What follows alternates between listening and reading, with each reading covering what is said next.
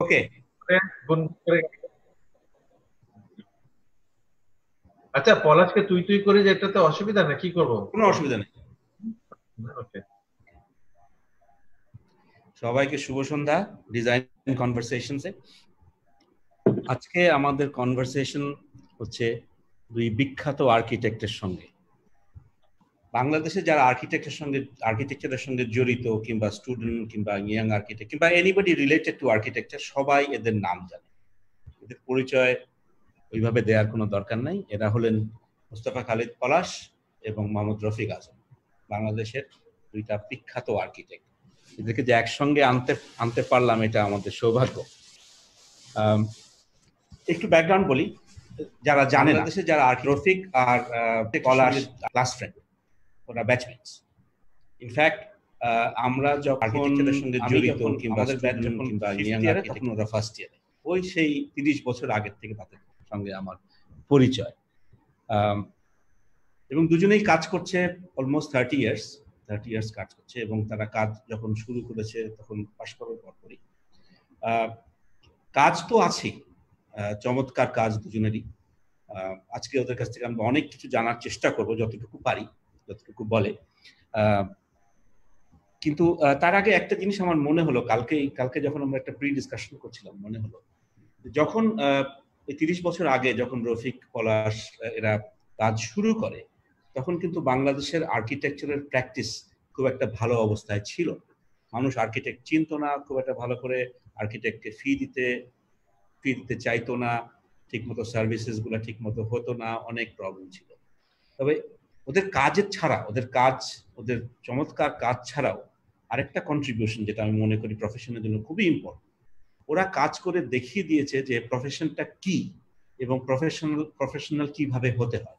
আজকে ওদের কারণেই কিন্তু অনেক আর্কিটেক্ট ইয়াঙ্গার আর্কিটেক্ট আর প্রপারলি প্র্যাকটিস করতে পারছে বিকজ অফ দ্যাট সো আমরা জানি যে দুজনের কাজ সবাই দেখছে আই এম শিওর সবাই ওদের কাজ দেখেছে।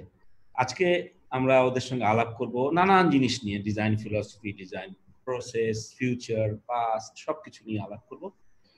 তো যেটা, যেহেতু এটা আমাদের school of architecture and design BRAC university একটা প্ল্যাটফর্ম আমরা কিছুটা শিক্ষা এগুলো নিয়েও কিছুটা আলাপ করব এবং ওদের কাছে জানতে চাইব যে কীভাবে ওরা কি মনে করে আর্কিটেকচার শিক্ষা সম্বন্ধে। দুজনেই শিক্ষার সঙ্গে জড়িত, রফিক তো পড়ায়, অনেক ইউনিভার্সিটি দেশে বিদেশে পলাশ তো বুয়েটে ছিল আমার কলিগ ছিল আমরা একসঙ্গে ক্লাসও নিয়েছি একটা অটো কার্ড ক্লাস নাকি যেন আমার মনে হয় কিছু পারতাম না।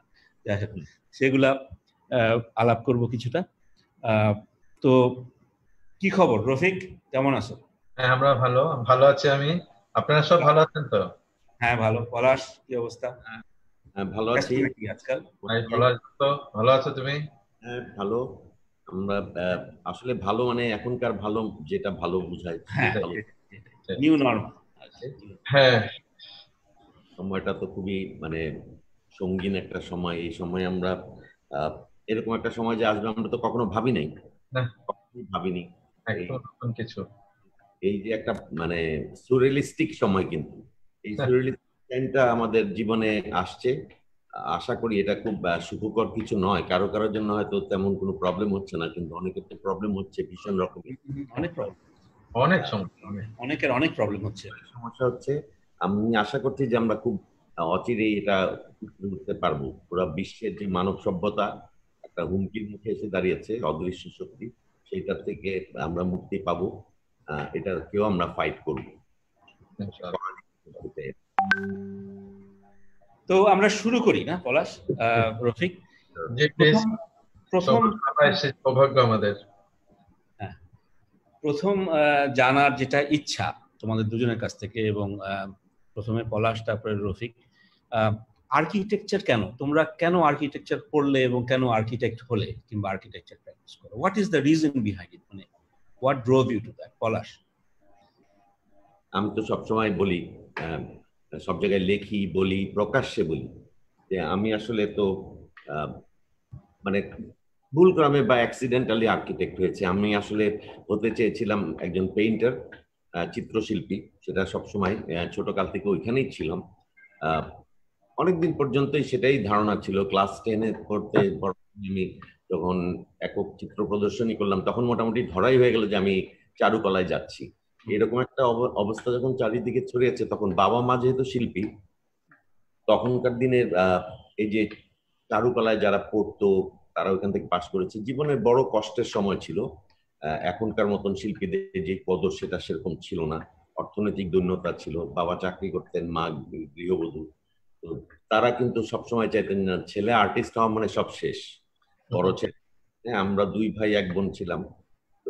কোনো না কোনো ভাবে তাদের প্ররোচনায় আমি ওই স্থাপত্য বিভাগে পরীক্ষা দেই। এবং ওখানে চান্স পাই চান্স পাওয়ার পর পড়ি। এবং সবসময় বুঝিয়েছিলেন যে আসলে দেখো আর্কিটেকচার আর আর্টের মধ্যে খুব বেশি পার্থক্য নাই। তুমি ওখানে থেকেও তোমার ছবি আঁকা সব কিছু চালাতে পারবে। এবং সেই কথা এখনও চালিয়ে যাচ্ছি বাট একটা সময় কিছুই করিনি। স্থাপত্য যখন পড়ালেখা করেছি বা তারপরে যে স্ট্রাগলিং পিরিয়ড ওই সময় আর কিছু করিনি, অন্য কিছুই করিনি।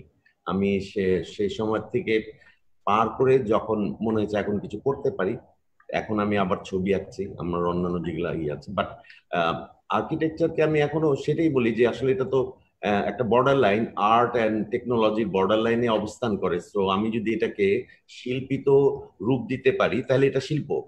হ্যাঁ। আমরা আমি যেটা বলি যে সব ভবনই কর্ম হতে পারে কিন্তু সব ভবন স্থাপত্য শিল্প হয়ে ওঠে না আর কি সেরকম যে এটাকে শিল্পের দিকে আমরা টেনে নেওয়ার চেষ্টা করেছি রোফের টেনে নেওয়ার চেষ্টা করেছি এটাকে শিল্পের আঙিনায় রাখার শিল্পের আঙিনায় রাখতে হবে সঙ্গে সঙ্গে আমার এটা মজার ব্যাপারটা হচ্ছে যে আর্কিটেকচারটা এই কারণে ভালো লাগে যে এটার সঙ্গে প্রযুক্তি নির্ভরতাও আছে। আমি প্রযুক্তি পিয়াসী একজন মানুষ প্রযুক্তি সবসময় ভালো লাগে এবং সাথে সাথে শিল্পও ভালো লাগে। এই যে একটা মানে দোটানা জিনিস এই জিনিসগুলো কিন্তু অনেকের মধ্যে ছিল আগে। আমরা অনেককে দেখেছি যে হেলিকপ্টার বানাচ্ছে সেই ভিঞ্চি আবার সঙ্গে সঙ্গে ছবি আঁকছেন। আবার অ্যানাটমি গ্রেজ অ্যানাটমি অনেক উপাদান তার দেয়া। অ্যানাটমি অ্যানাটমি নিয়েও কাজ করছেন। এই যে মানে ছুটাছুটি, এটা কিন্তু স্থপতিদের পক্ষে সম্ভব করা। তো সেইভাবে এখন মিলেমিশে আছি আর কি। দুটা শিল্প, প্রযুক্তি, মানুষ, সমাজ এবং সরাসরি এই স্থাপত্য দিয়ে কিন্তু সমাজের যে কোনো পর্যায়ে সেখানে পেনিট্রেট করা সম্ভব ইম্প্যাক্ট ফেলা সম্ভব। যদি আমরা কতটা পারছি এটা আলোচনায় আসবে একটু পরে আশা করছি। মানে architecture can connect with the society এটাই মনে হচ্ছে ততটা রিপেন্টেড না বাট এখনও মনের মধ্যে ওই যে কষ্ট লাগে না ওই কষ্টটা আছে কেন আর্টিস্ট হইলাম না? হইলেও এটা থাকবে এটা এটা না থাকলে তো ক্রিয়েটিভ হওয়া যাবে না। হ্যাঁ হলেও তো কি হইতো তা আমি জানি না বাট ওটা একটা কষ্ট আছে। ভালোই করছে। রফিক রফিককে প্রশ্নটা করার আগে আমি একটা ছোট্ট জিনিস বলে নিই। আমরা তো বুয়েটে আর্কিটেকচার পড়তাম। বুয়েট ছিল engineering Bangladesh university of engineering and technology আমি যখন আর্কিটেকচারে ভর্তি হলাম তো আমার বাবা আমার বাবা শিক্ষক ছিলেন। উনি বললেন যে তুই যে যখন আর্কিটেকচারই পড়বি তাহলে স্কুলে সায়েন্স পড়লি কেন? এটা তো আর্ট আমি খুব হাসলাম। এই ডিপার্টমেন্টে আসলাম সিনিয়র থেকে বললাম বাবা এটা সবাই হাসলো হ্যাঁ। এখন রিয়েলাইজ করি অ্যাকচুয়ালি তো আর্ট রফিক কি বল? এক্স্যাক্টলি তুমি বলো কীভাবে তুমি আর্কিটেকচারে আসলে? জি। আমার আমার তো জন্ম পুরন শহরে মানে আমার ফ্যামিলি এসছে কিন্তু বারাণসী থেকে। ফলে ঢাকা শহরে কিন্তু কেউ নেই আমাদের বাবার পক্ষে। বাবা দাদা সহ এসেছিলেন ছোট বাচ্চা নিয়ে মানে বাবারা ছোট। সেই কারণে আমরা ওল্ড টাউনে যে বাড়ি কিনেছিলেন বাবা মানে পরবর্তীতে লালবাগে সেটাই আমাদের একমাত্র বসত বাড়ি মানে আমাদের গ্রাম বলতে সেটাই আসলে। তো ফলে মানে আমি ওই জায়গায় স্থাপত্য কোনো চর্চা বা কোনো বিষয়ই ছিল না আসলে। আমার ফ্যামিলি এই শব্দটা উচ্চারণ করতেই বোধহয় পারতো না। এবং আমিও পারতাম না একটা সময়। কিন্তু যেটা হয়েছে যে আমি যেহেতু ছবি আঁকতাম কোনো কারণে সাত বছর বয়সে আমার বাবা আমাদের যুদ্ধের পরপর আর কি হয় না? যে আমাদের পাড়ায় কিন্তু অনেক বিহারি ছিল। আচ্ছা। এবং ওই বিহারি বা পাকিস্তানি কিছু ছিলেন। তাদের ছেলেমেয়েরা হার্ভার্ডে পড়াশোনা করছে, একটা কেমব্রিজে পড়াশোনা করছে, তার বাবা থাকেন, তার উনি স্কুলের শিক্ষক। তো ওইসব বাসায় যে সমস্ত জিনিসপত্র টিভি সুন্দর সুন্দর জিনিসপত্র, যুদ্ধের পর পালিয়ে যাওয়ার পর সব চুরি হওয়া শুরু করল। মানে ভেঙে লোকটি নিয়ে যায় না লুট করে? তো আমার বাবা বললেন যে, খবরদার, আমার বড় দিভাইকে বলেছেন, তোমরা কোনো জিনিস কারও বাসা থেকে আমার বাসায় আসবে না। একদম মানে নিষিদ্ধ করা হয়েছে। কিন্তু শেষমেশ দুটো জিনিস এসেছিল। কারণ কেউ নিয়ে যায়নি ওটা। শেষে আমার মেজ ভাই দেখল ও ছোট তখন। ও নিয়ে আসছে একটা হচ্ছে উইনসের নিউটন কোম্পানির একটা চব্বিশটা কালারের একটা বক্স কালো রঙের একটা বক্স ওখানে কেক কালার হয় না? কেক কালার ওইটা সে দেখল কেউ নেয় না। তো শেষমেশ ও বেচারা একা বাসায় ওই বাসায় একা পড়ে আছে ওটা নিয়ে আসছে।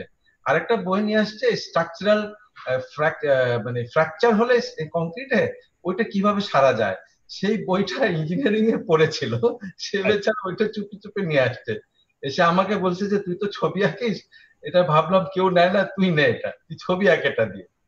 সেই প্রথম জীবন আমি দেখলাম উনসেন অ্যান্ড নিউটন কোম্পানির পৃথিবীর সর্বশ্রেষ্ঠ রং প্রস্তুতকারী প্রতিষ্ঠানে একটা চমৎকার রঙের বাক্স। রং এবং তুলি। ছিল হাবিতে একটা তুলি ছিল। দ্যাট ওয়াজ মানে অ্যামেজিং একটা এক্সপিরিয়েন্স আমার লাইফে আর কি। মানে এটা হাতে পাওয়া। তো ওই যাত্রাটা না অনেক বড় হয়ে গেল। রং দিয়ে আঁকা শুরু করলাম। এর আগে তো রং পেতাম না ইনফ্যাক্ট তো পরে যখন আমি নাইন এইট নাইনে থাকতে নতুন কুড়িতে বেস্ট অ্যাওয়ার্ড পেলাম ফার্স্ট হলাম। যেটা তখন বাংলাদেশে বেশ বড় সড়ো একটা অ্যাওয়ার্ড না? জিয়া রহমান সাহেব শুরু করলেন। তারপরে আবার নেহেরু গোল্ড মেডেলও পেলাম, তো পরের বছর আপনার। তো দুটা বছরে পরপর দুটা অ্যাওয়ার্ড পাওয়ার পরে সবাই তো ধরে নিল যে পেইন্টার তো হবই আমি। এবং আমি তো নিশ্চিত জানি পেন্টিং এ আমার ভবিষ্যৎ। এবং গ্রামে ছবি আঁকতে যাই, নদীর ওই পারে চলে যাই নৌকা নিয়ে। আমি কোনোদিন স্কুলে আসলে ছয় দিন যাইনি। আমি সবসময় পাঁচ দিন স্কুলে গিয়েছি, একদিন পালিয়েছি। পালিয়ে ছবি আঁকতে গিয়েছি ওই অন্যদিকে নদীর ওই পারে। তো ফলে আমি জানি শহর কি জিনিস এবং আমি জানি একই সাথে গ্রামের যে সৌন্দর্য মানে কি করে গাছের পাতার ফাঁক দিয়ে রোদ আসে ফ্লিকরিং নড়ে চড়ে বেড়ায় আপনার নদীতে নৌকা ভেসে থাকে বা বেঁধে রাখে দড়ি দিয়ে আপনার একটা লাঠি, লাঠির একটা পাখি বসে থাকে, সেই ছবি আঁকা। এই যে এক্সপিরিয়েন্সগুলো, এবং শহরে বাসায় ফিরে আসলে একটা একদম শহরে একটা ব্যাপার, একটা উঠানওয়ালা বাড়ি সেখানে দুটো গাছ আছে আপনার। এই যে কন্ট্রাস্ট চিন্তাগুলা চিত্রশিল্পী হিসাবে কিন্তু দারুণ মজা পেতাম আমি এগুলো করতে আপনার। তো যখনই দেখলাম যে ক্লাস টেন এর পরে আমার বাবা আস্তে আস্তে ভাবছেন, কোথায় তুমি আর্ট কলেজে পড়বে? কেন আর্ট থেকে না খেয়ে মরবে? যেটা পলাশের ক্ষেত্রে হয়েছে। ওনার বাবা আর্টিস্ট ওনার বাবা কিন্তু ভয় পেয়েছে। সেখানে আমার বাবা পুরনো শহরের একটা মানুষ হ্যাঁ? লাইব্রেরিতে কাজ করেন উনি আপনার। উনি পড়াশোনা করেন লাইব্রেরিতে বসে বই পড়েন। চাকরি করেন বই পড়েন। তো ফলে উনিও কি করে বলবেন আমাকে যে হ্যাঁ তুমি চিত্রশিল্পী হয়ে যাও? একইভাবে তো ফলে আমার এক বোন ছিল সে স্ট্যাটিস্টিক্সে তখন মাস্টার্স করছে আর কি। সে আমাকে বুদ্ধি দিল যে একটা সাবজেক্ট আছে ওর নাম হচ্ছে আর্কিটেকচার এবং ওইটাতে না ছবি আঁকা যায়। উনি একবার পরীক্ষা দিয়েছিলেন সেই পরীক্ষা উনি ফেল মেরেছেন। বইটা ভর্তি হতে পারেননি আর্কিটেকচারে ফেল মেরেছেন। এবং মুক্তার ভাই উনার তখন আর কি সঙ্গে পরীক্ষা দিয়েছিলেন উনি পাশ করেছেন। উনি আমাকে নিয়ে গেলেন সেই মুক্তার ভাইয়ের কাছে। যে মুক্তার ভাই আমাদের পলাশের আমার দুজনের মেন্টার কিন্তু। ভর্তি পরীক্ষা ওনার হাত দিয়েই আমরা দিয়েছি। তো ওই মুক্তার ভাই কিন্তু আমাকে মানে গ্রহণ করলেন এবং শেখানো শুরু করলেন যে আর্কিটেকচারে কীভাবে ভর্তি হয় কারণ আমার একটাই লোভ ছিল যে আর্কিটেকচারে পড়লে নাকি আমি পেন্টিংটা করতে পারব। পেন্টিংটা আমার জার্নিটা কন্টিনিউ করতে পারব। আমার বাবাকে বললাম যে আমি তো ইউনিভার্সিটি ইঞ্জিনিয়ারিং এন্ড টেকনোলজিতে পড়ব। তো বাবা শুনে বললেন যে খুব ভালো ইঞ্জিনিয়ারিং ইউনিভার্সিটি এটা। এটাতেই তুমি পড়ো তোমার আর্ট কলেজে পড়ার দরকার নেই। তো আমি বেশি বাবাকে এমোফ্লাজ করেছিলাম। মানে কিছুটা বলে না বোকা বানিয়েছিলাম যে যে বাবা মনে করছে আমি ইঞ্জিনিয়ার হব ইঞ্জিনিয়ার হব, এটা আমি ভেবেছি, আমি তো ছবি আঁকা কন্টিনিউ করব। অ্যাকচুয়ালি আমি দুজনকে বোকা বানিয়েছি, আমার বাবাকে এবং আমাকে নিজেকেও। কারণ ভর্তি পড়া যখন শুরু করলাম ক্লাস তখন তো মোটামুটি ফেল করা শুরু করলাম কন্টিনিউয়াসলি যে হয় টেনে টেনে পাস, না হয় ফেল তো আমি মনে করি আমি দুইজন ফেল মেরেছিলাম প্রথম সাবজেক্টে প্রথম যে প্রজেক্টে আমি আর আসিয়া চৌধুরী, যে নাকি আমাদের সঙ্গে ফার্স্ট ক্লাস ফার্স্ট হয়ে পরে আপনার এমআইটি তে পড়ে এখন আমেরিকাতে ভালো করছে। ও কিন্তু টেনে একদম নিজেকে দাঁড় করিয়েছে। আমি খরাতে খরাতে এগিয়েছি আর জি? কোন সাবজেক্টে আমি? আমি ডিজাইনে অনেকবার না না ডিজাইন প্রথম প্রজেক্ট ডিজাইন যেটা ছিল। ও প্রথম প্রজেক্টে আচ্ছা হ্যাঁ নিজের নাম লেখা নিজের নাম লেখা। আচ্ছা নাম লেখা এটা ওটা হ্যাঁ। হ্যাঁ তা আমার আমার নামটা এত কষ্ট করে সারা রাত ধরে লিখেছি। তো আমার নিজাম স্যার ছিলেন মনে হয়। উনি আমার নামটা হাতে নিয়ে দেখে বললেন যে এটা কার? আমি তো এক্সাইটেড হয়ে হাত তুললাম স্যার এটা তো আমার। উনি অনেকক্ষণ তাকিয়ে দেখুন তোমার নাম কি আসলে? নাম ফলে লেখা প্রজেক্টের নাম পড়া যাচ্ছে না। So I got fail fail grade definitely so this is how I started architecture তো পলাশের মতো আমিও বলি সবসময় I am an architect by chance আর কি বাট বাট আর্টিস্ট হিসাবে আমি মনে করি এটা আমার কনভিকশন যে আমি সারা জীবনে ফিল করি যে আমি আমি আঁকতে ভালোবাসি। অ্যাকচুয়ালি অনেকেই কিন্তু আর্কিটেক্ট বাই চান্স অনেকে না জেনে শুনে ঢুকে গেছে। আমিও খুব একটা জানতাম না। সময় বা আমাদের আগে আমার মনে অনেক লোকই তাই অনেক মানুষ ভাই আমি এটার মধ্যে একটু যেমন নাম নামের বিষয়টা যেহেতু আসলো হ্যাঁ। নেম প্রথম হচ্ছে নাম বানাইতে হবে এটা তো ছিলই। আমি একটু নামের কথা বলি যে আজকে একটু পুরোনো দিনে চলে যায় আমার স্কুলিং শুরু হয় হচ্ছে স্বাধীনতার আগে ভিকারনেসা স্কুলে তখন আমার নামটা কি ছিল? এখনও আমার নাম কিন্তু এত ছোট না অনেক বড়। তখন আমার নাম ছিল আজকে খুব মজা হইতো সেই নামটা থাকলে। তখন আমার নাম ছিল হচ্ছে খান খালিদ আজম মুস্তাফা। তার মানে আমি আজম মুস্তাফা লিখতাম কি? খান খালিদ আজম খালেদ আজম আর রফিক আজম। আজকে কিন্তু এরকমও হইতে পারে। কেন? নামটা পাল্টালেন ভাই। বাবা নামটা পাল্টে দিলেন স্বাধীনতার পরে বললেন না এই কায়দে আজম আজম রাখব ওটা বাদ। নাহলে আজকে কিন্তু রফিক। রফিক, আমি খালেদ আজম থাকতাম। আমাদের জার্নিটা এরকম যে আসলে প্যারালালি রফিক যে নতুন করে কথা বললাম আমরা তো দেখেছি তখন, ছোটকালে তখন। আমার, আমিও ছবি আঁকতাম, কিন্তু আমি কখনো, আমি কখনোই প্রতিযোগিতায় বিশ্বাস করি না আসলে, খুব একটা না। আমি ইতে বিশ্বাস করি রিকগনিশনে বিশ্বাস করি কিন্তু আমি অ্যাওয়ার্ডে শিল্পের অ্যাওয়ার্ড হবে সেটা আমি খুব একটা বিশ্বাস করি না। ইভেন নোবেল প্রাইজ নিয়েও আমার অনেক মত দ্বৈততা আছে। তো তখনও আমি করতাম না। দুইটা কারণে একটা হচ্ছে যে আমি যে কাজগুলো করতাম মানে বড়দের মতন হয়ে যেত আর কি। এবং হয়তো সবাই দেখলে বলতো ওর বাপ মা এঁকে দিয়েছে। করতাম না কিন্তু আমি কিন্তু রফিককে নতুন করিতে দেখেছি হ্যাঁ? তো তখন আরেকজন খুব ভালো আমাদের অ্যাডলিন মালাকার আমার মার বান্ধবী তার ছেলে ছিল সুপ্রিয় মালাকার। সেও ধরেই নিয়েছিল সে আমাদের সাথে পরীক্ষা দিয়ে আর্কিটেকচারে ফার্স্ট হবে। সে এত ভালো ছবি আঁকিয়ে হয়েও আর্কিটেকচারে ঢুকতে পারেনি। আমাদের আরও মিল হচ্ছে যে আমরা এই যে মুক্তার ভাই মুক্তার ভাই আমার পাড়ার বড় ভাই আমি আর্কিটেকচার সম্বন্ধে উনার থেকে প্রথম দেখেছি। খুব ইন্টারেস্টিং সেন্টেনিয়াল হলো যখন আপনারা তখন স্টুডেন্ট গেছি মজা লাগে ছোট ছোট মডেল আকর্ষণ করেছে। ওই মুক্তার ভাই আমাদের দুজনেরই মেন্টার আরও দুজন তিনজন ছিল আমাদের সাথে একসঙ্গে আমাদের কোচিং দিয়েছে। এবং ইন্টারেস্টিংলি আমরা তিনজনই ডিস্টিংশন নিয়ে অ্যাডমিশন টেস্টে মানে অ্যালাউড হয়েছি। মিলগুলো এই যে মিল আমরা যে এখনও পথ চলি আমাদের ছবি ছায়ার মতন। আমাদের আমি ছায়ার মতন ছায়ার মতন। আসলে ছবি আঁকার একটা বিরাট মানে প্রভাব আমার আমার মনে হয় আমাদের কাজের মধ্যে আছে। হ্যাঁ সেই ছবি হয়তো আমরা কংক্রিট দিয়ে আঁকি ব্রিক দিয়ে আঁকি। কিন্তু এই প্রভাবটা কিন্তু আছে বলেই যে শিল্পিত হওয়া বা কিছু একটা আর্কিটেকচার প্লাস তৈরি করা। আমি একটু আগে বলছিলাম যে সব বাড়ি বা সব বিল্ডিং এ কিন্তু একটা ওয়ার্ক বাট সব বিল্ডিং আর্কিটেকচার না আসলে। সত্যিকার অর্থে যদি এইভাবে মিন করতে চাই আর্কিটেকচারের ডেফিনেশন অনুযায়ী। সেই জন্য আমাদের অনেক মিল আমরা বাইরের থেকে অনেকে মনে করে যে রফিক আর পলাশ বোধ খুব মানে রেশারেশি চলছে but we are very good friends হ্যাঁ এবং সেই জন্যই আপনি আজকে খুব নাম দিয়েছেন। অফকোর্স তোমরা এক কথায় রাজি হয়ে গেছো হ্যাঁ। না আমরা তো আমি একটু পলাশ একটু অনেস্ট আমি কিন্তু একটু ইয়ে ছিলাম মানে হেজিটেন্ট যে কীভাবে বলব দুজনকে বলব দেখি সমানে রাজি হয়ে গেছে। আমি আমি এটা হইতে পারে আমি বড় ভাই দেখে না করতে পারো নাই। না না পদ ভাই এই মানে আপনার সঙ্গে সবসময় সম্পর্কটা এরকমই ছিল যে আপনি ইলজিক্যাল কখনো কিছু বলেন নাই। লজিক্যালি আমি আপনার কলিগ ছিলাম আপনি আমার বড় ভাই ছিলেন তারপরে আমরা মানে এখনও আমাদের সম্পর্ক আছে। মানে আমি যেটা রফিক আজম সম্বন্ধে বলি আর কি ও তো এগুলো জোকিংলি বলে অনেক সময়। অনেক সময় হয় কি যে টিচারদের বোঝার একটু ক্ষমতার সমস্যা থাকে। টিচাররা অনেক সময় খুব বেশি রিজিড জিনিসগুলাকেই আর্কিটেকচার মনে করে। হ্যাঁ? ওইটার মধ্যে ওটার মধ্যে বেশি ফ্লুইডিটি ওটার বেশি হয়ে যাওয়া। রফিক তো আর্টিস্ট বেসিক্যালি তো তার কাজের মধ্যে সেটা সবসময় ছিল।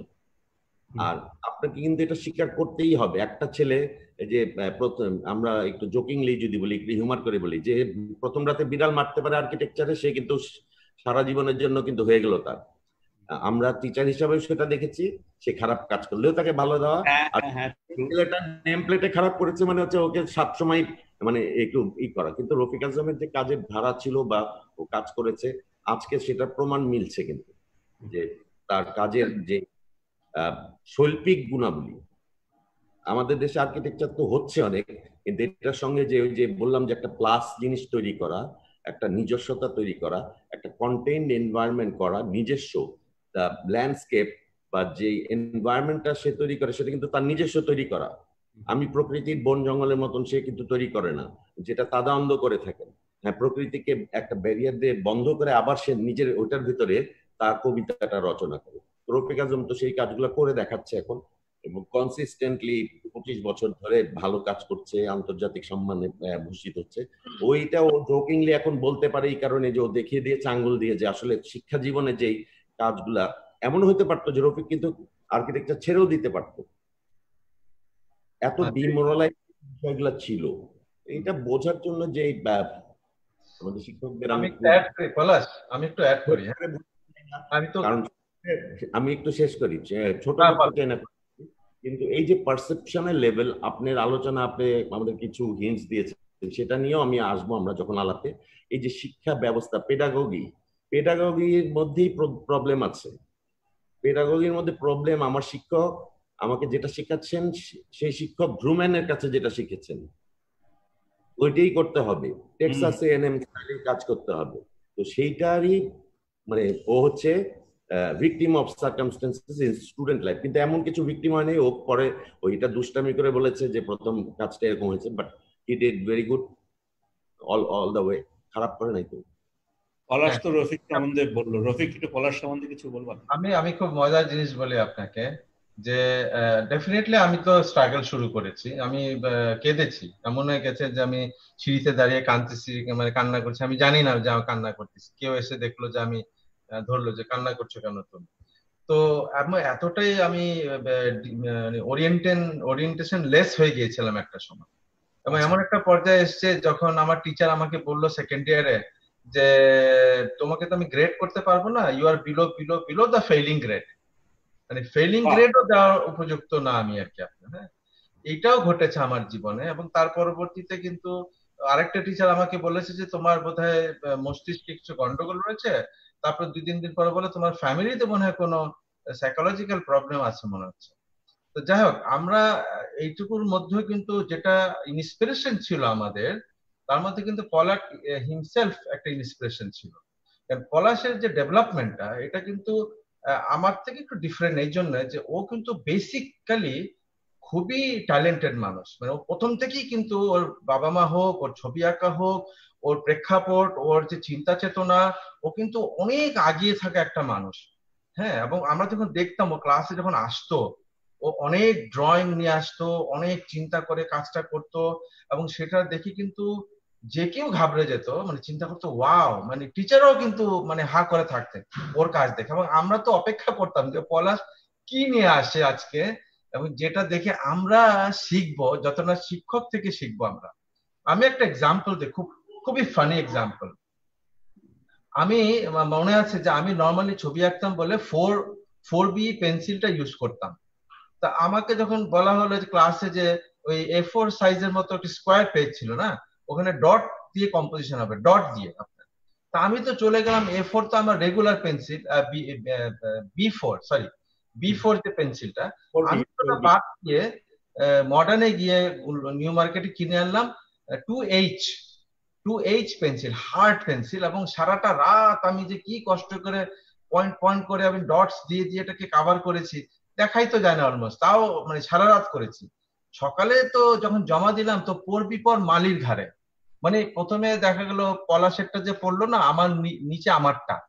তো পলাশ করে নিয়ে আসছে সম্ভবত six B or five B or four B I don't remember কিন্তু কালো কালো ডট কালো কালো ডট সাদা কাগজে আপনার এমন ভাবে ফুটে আছে যে দেখেই মনে হয় এটা একটা চমৎকার কম্পোজিশন শিল্পকলা।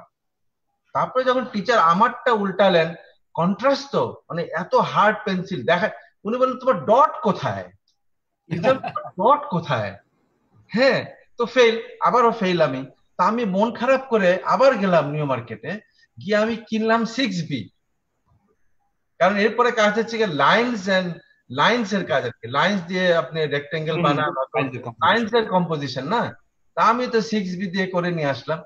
পলাশ দেখেন কত স্মার্ট ও কিন্তু বোধহয় two two B or something or H B দিয়ে করে নিয়ে আসছে। এত সুন্দর শার্প লাইন আপনার কম্পোজিশন তো ও মাস্টার এ টু জেড হচ্ছে মাস্টার অফ কম্পোজিশন এবং আমারটা যখন সবার মধ্যে গিয়ে পড়ল পুরো সিক্স বি তো পেঁচায় গেল মানে পুরো কালো হয়ে গেল কাগজ আমার।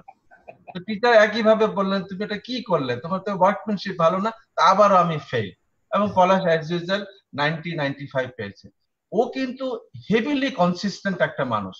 ও কিন্তু আজকে ভুল করে কালকে করে না আজকে ভালো করে নাই কালকে ভালো করেছে। নো ও ফ্রম দ্য বিগিনিং কিন্তু একটা স্ট্যান্ডার্ড মেনটেন করে এবং লাইফ লং লাইফ সে কিন্তু এটা মেনটেন করেছে। এবং এইরকম লোক বাংলাদেশে আমার জানা মতে কিন্তু স্থাপত্যে তো নাই। অন্য কোন প্রফেশনও আছে কিনা আই ডাউট যে এতটা বেশি বলা করে আমরা কিন্তু কম্পারেবল না পলাশের সাথে। আমরা না আমরা কিন্তু পারি না জোরাজোরি করি এটা হয় এটা হয় না। We are proud of each other for sure. Yes exactly. I think you have every reason every reason to be proud of it. আমি বলি আসলে তো সবারই স্ট্রাগল পিরিয়ড থাকে রফিক আজম। তুই তুই যেমন কেঁদেছিস আমারও কানতে হয়েছে আমাকে আমার শিক্ষা জীবনে তো মনেই আছে আমাদেরকে শিক্ষক হিসাবে নিল না বুয়েটে। নিল না কারণ আমরা জুরিতে দাঁড়াইনি। জমা দিলাম হ্যাঁ। নয় জন ফেল করে গেল। সেই নয় জনকে আমরা আন্দোলন করে পাশ করালাম। তার কোনো গ্রেড যোগ হলো না পাস হয়ে গেল। কিন্তু আমাদেরকে দুই বছর কোনো রিকমেন্ডেশন দেয়নি বিদেশে পড়ার জন্য প্লাস আমাদেরকে বুয়েটেও নেওয়া হয়নি। চাকরি করার জন্য। তো সেই অবস্থায় একটা ফ্রাস্ট্রেশন দিয়ে শুরু। আমি তো চাকরি করব না আমি নিজেই আমার তো আমার কিন্তু সচ্ছলতা খুবই জরুরি ছিল আসলে সেই সময়। আমার স্ত্রীও আর্কিটেক্ট ওকে চাকরিতে ঢুকাই দিয়ে ওর বেতন দিয়ে কোনো রকম একটা অফিস চালাই। তো সেই স্ট্রাগলিং একটা পিরিয়ড পাঁচ ছয় বছর কিন্তু মনেই হয়েছে যে কেন আর্কিটেকচার করলাম? এত ফ্রাস্ট্রেশন এত ফ্রাস্ট্রেশন করতে করতে এক সময় মনে হলো যে মানে এমন এমন ফ্রাস্ট্রেশনের লেভেল যে আমার ছেলের জন্মদিন হবে কিনা, তখনও মডেল বানাই মানুষের।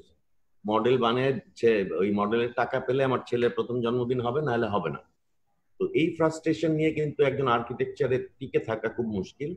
এবং আলটিমেটলি আপনি দেখলেন নাইনটি ফোরে আবার ডাক করল বুয়েটে জয়েন করলাম। এই সময়টাও কিন্তু রফিকরাও কিন্তু এই স্ট্রাগলটা করেছে। ওরা একটা ফার্ম করেছিল হ্যাঁ? বনু আমরা আসিয়া চৌধুরীর কথা বলল ইয়াসিন দাস ওরা একটা বেশ ফার্ম নিয়ে ওরা কিন্তু বেশ এগিয়ে যাচ্ছিল সামনে। যাই হোক কেউ কেউ বিদেশে চলে গেল তারপর রফিক নিজে শুরু করল। এবং শুরুর থেকেও কিন্তু সেম শুরুর থেকেও আমাদের হয়তো কিছু না কিছু তো ঈশ্বর প্রদত্ত যে ভাগ্য এগুলা একটা বলতেই পারি ভাগ্য আছে কিন্তু ভাগ্য কিন্তু গড়তে হয়। ভাগ্য কিন্তু একটা জিনিস ছেড়ে দিই আসলে ওটাকে কিন্তু বিল্ড করতে হয়। ওটাকে এই ম্যানিফেস্টেশনটা কিন্তু এমনি এমনি হয় না। এই যে রফিক লেগে পড়ল কাজে অ্যাকোলার্ড করল অ্যাওয়ার্ড পাইলো আয়োবির ওর প্রথম ওর কাজটা গেলাম হচ্ছে আমরা পাস করার পরপরই ওর লালমাটির বাড়িটাকে সে রেনোভেট করল। আমার বাসা। হ্যাঁ ওর মার বাড়ি ওদের বাসা সেটা রেনোভেট করল। ওইখানে গিয়ে তো দেখলাম যে সো মাচ অফ ইনোভেটিভনেস এই লাল ফ্লোর ও কিন্তু মোজাইক করেনি। লাল ফ্লোর আবার লাল আমরা যেটা আগে দেখতাম যে রেড অক্সাইডের ফ্লোর সেটা দেশে টালি বানিয়েছে। মানে তার মনে হচ্ছে যে এন্টিকুইটির সঙ্গে যে মডার্নাইজেশনের একটা মানে ইম্প্রোভাইজেশন সেটা করেছে সে রুফ গার্ডেন করেছে পারগোলা করেছে। মানে that was all about space colour light not the form এইখানটাতে আমরা আর্কিটেকচার নিয়ে অনেক সময় ভুল করি। It's not the form he made a space he made the colours he made the light মানে invited the light environment environment দিচ্ছে। এটা লালমাটিয়া আঙ্গিকে বা নাইনটি ফাইভ সিক্স এর দিকে এরকম একটা জিনিস কিন্তু আমরা আশা করি না। আমাদের সমাজ সেই সেই লেভেলে তখনও যায়নি ওই যে ওইখান থেকে শুরু না আসলে মর্নিং ইজ দ্য ডে ওর স্টুডেন্ট লাইফ মর্নিং না কিন্তু ওর স্টুডেন্ট লাইফটা হচ্ছে বিফোর সানরাইজ ওর সানরাইজ যদি আমরা ধরি অর উই ক্যান ও তো আর্কিটেকচারে পড়ার আগেও কিন্তু যথেষ্ট সুনাম সুনামধারী একজন হ্যাঁ রফিক আজম তখন নতুন করি বা কিশোর বাংলা বা শঙ্কর পুরস্কার এগুলা তো আসতো পেপারে আমরা সবসময় অবজার্ভ করতাম। সেটা আমি জানি। ওর ওর যদি ডার্ক পিরিয়ড বলি তাহলে ওর হচ্ছে বুয়েটের পিরিয়ডটাই ওর ডার্ক পিরিয়ড যদি বলি। মনে করে কিন্তু ওইটা আসলে ডার্ক পিরিয়ড না ওটা ফাউন্ডেশন ওইখানে অন্ধকার থাকতেই পারে। কিন্তু এরপরে ওর যে সানরাইজ হলো ওর এই লালমাটিয়ার বাড়ি ওদের নিজেদের বাড়ি ওরকম ভাবে ওর বাবা মা ওকে অ্যালাউ করেছে করতে মানে হচ্ছে প্রথমেই সে নিজের হাত দিয়ে নিজের জিনিসকে মোল্ড করেছে। মোল্ড করে যেই যেই জিনিসগুলো যেই যে জিনিসগুলো আমাদের শিক্ষকরা বুঝতে পারতেন না সেই সেই জিনিসগুলাকেই ওই বাড়িতে ইনকর্পোরেট করা হয়েছে। আমি অ্যাড করি একটু পলাশ নাকি? হ্যাঁ। বলব একটু? একটা যেটা মানে প্রসঙ্গটা ওইখানে এসে দাঁড়িয়েছে তো বাবা মার বাসা। বাবা মারা গেলেন আপনার। সেকেন্ড ইয়ারে বাবা মারা গেলেন, আমি শুনলাম যে you are below below the failing grade third ইয়ারে যখন টিচার আমাকে ধুয়ে দিলেন, যে তোমার মাথা আসলে মস্তিষ্ক খারাপ, তোমার তোমার ফ্যামিলিতে প্রবলেম আছে কোনো। তখন অ্যাকচুয়ালি আমি আর্কিটেক্ট ছেড়ে দিয়েছিলাম। যে পলাশ যে বলতেছিল, আমি আর্কিটেক্ট ছেড়েও দিতে পারতো। আমি কিন্তু আর্কিটেক্ট ছেড়ে আর্ট কলেজে গিয়ে ফর্ম টম এনে ভর্তি পরীক্ষা দেওয়ার প্রস্তুতি নিয়েছি। তখন কিন্তু ফ্যামিলি থেকে বলল যে অলরেডি তুমি মানে তিন বছর হয়ে গেছে আর্কিটেকচারে আর দুটো বছর পরে বের হয়ে গিয়ে তুমি ছবি আঁকা অসুবিধা নাই। বাবা তো নেই, আমাকে আর কে বলবে যে তুমি আর্ট কলেজে পড়তে পারবে না? কিন্তু আমি ফেরত আসি আর্কিটেকচার তার কারণ ছিল যে মা যখন ফ্যামিলি ডিসাইড করল যে ভাঙাচোরা বাড়ি, বৃষ্টি, পানি পরে বর্ষাকালে থাকা যায় না, বড় ভাইয়া বিয়ে করবে, একটা তো ঘর বানাতে হয় না ঠিকঠাক করে। তখন তো রেনোভেশন আর এক্সটেনশন হলো বাসার। তখন এক আর্কিটেক্টের কাছে আমরা গেলাম ডিজাইন করতে। কেন আমি তখন থার্ড ইয়ার সেকেন্ড ইয়ার শেষ করে থার্ড ইয়ার শুরু করেছি মাত্র। তো ওই আর্কিটেক্টের ডিজাইন দেখে আমার মা যেটা বললেন যে, এই বাড়িতে একটা উঠান ছিল, একটা বাগান ছিল। আমি গাছ নিয়ে পড়ে থাকতাম, তোমার বাবার সঙ্গে ঝগড়া করতাম, একসঙ্গে মিলেমিশে করতাম। এই বাগান আর উঠান ছিল আমার জীবনের অংশ। এই বাড়িতে বাগান আর উঠান কোথায় গেল? এই ডিজাইনে তো আর বাগানও নাই, উঠানও নাই, খালি ঘর। এই বাড়ি যদি বানানো হয়, তাহলে তোমার বাবাকে হারিয়েছি। এরপর দেখে মনে হচ্ছে যে আমি আমার স্মৃতিগুলা তোমার বাবার সাথে, সেটাও আমি হারাবো। তা আমার তো কিছু থাকল না। এইটা বলার পর আমি না আমার গায়ের মানে মানে গুজবুম হয় না আপনার মানে রোয়া দাঁড়িয়ে যায় আপনার? ওইটা হলো আমার। তখন আমি প্রমিস করলাম ফ্যামিলির কাছে যে এই বাড়ি আমি পচা ছাত্র হওয়া সত্ত্বেও আমি এই বাড়ি ডিজাইন করব এবং তোমাদের যে স্মৃতি এটা আমাদের যে স্মৃতি, আমি ফেরত আনব। দ্যাট ইজ দ্য রিজন ওই বাসায় কিন্তু দোতলাতে একটু উঠান করা হয়েছিল, মা থাকবে বলে, এবং একটা দোতলাতে বাগান করা হয়েছিল। মাটি দিয়ে একেবারে নর্মাল কোনো ইয়ে না টপ দিয়ে না।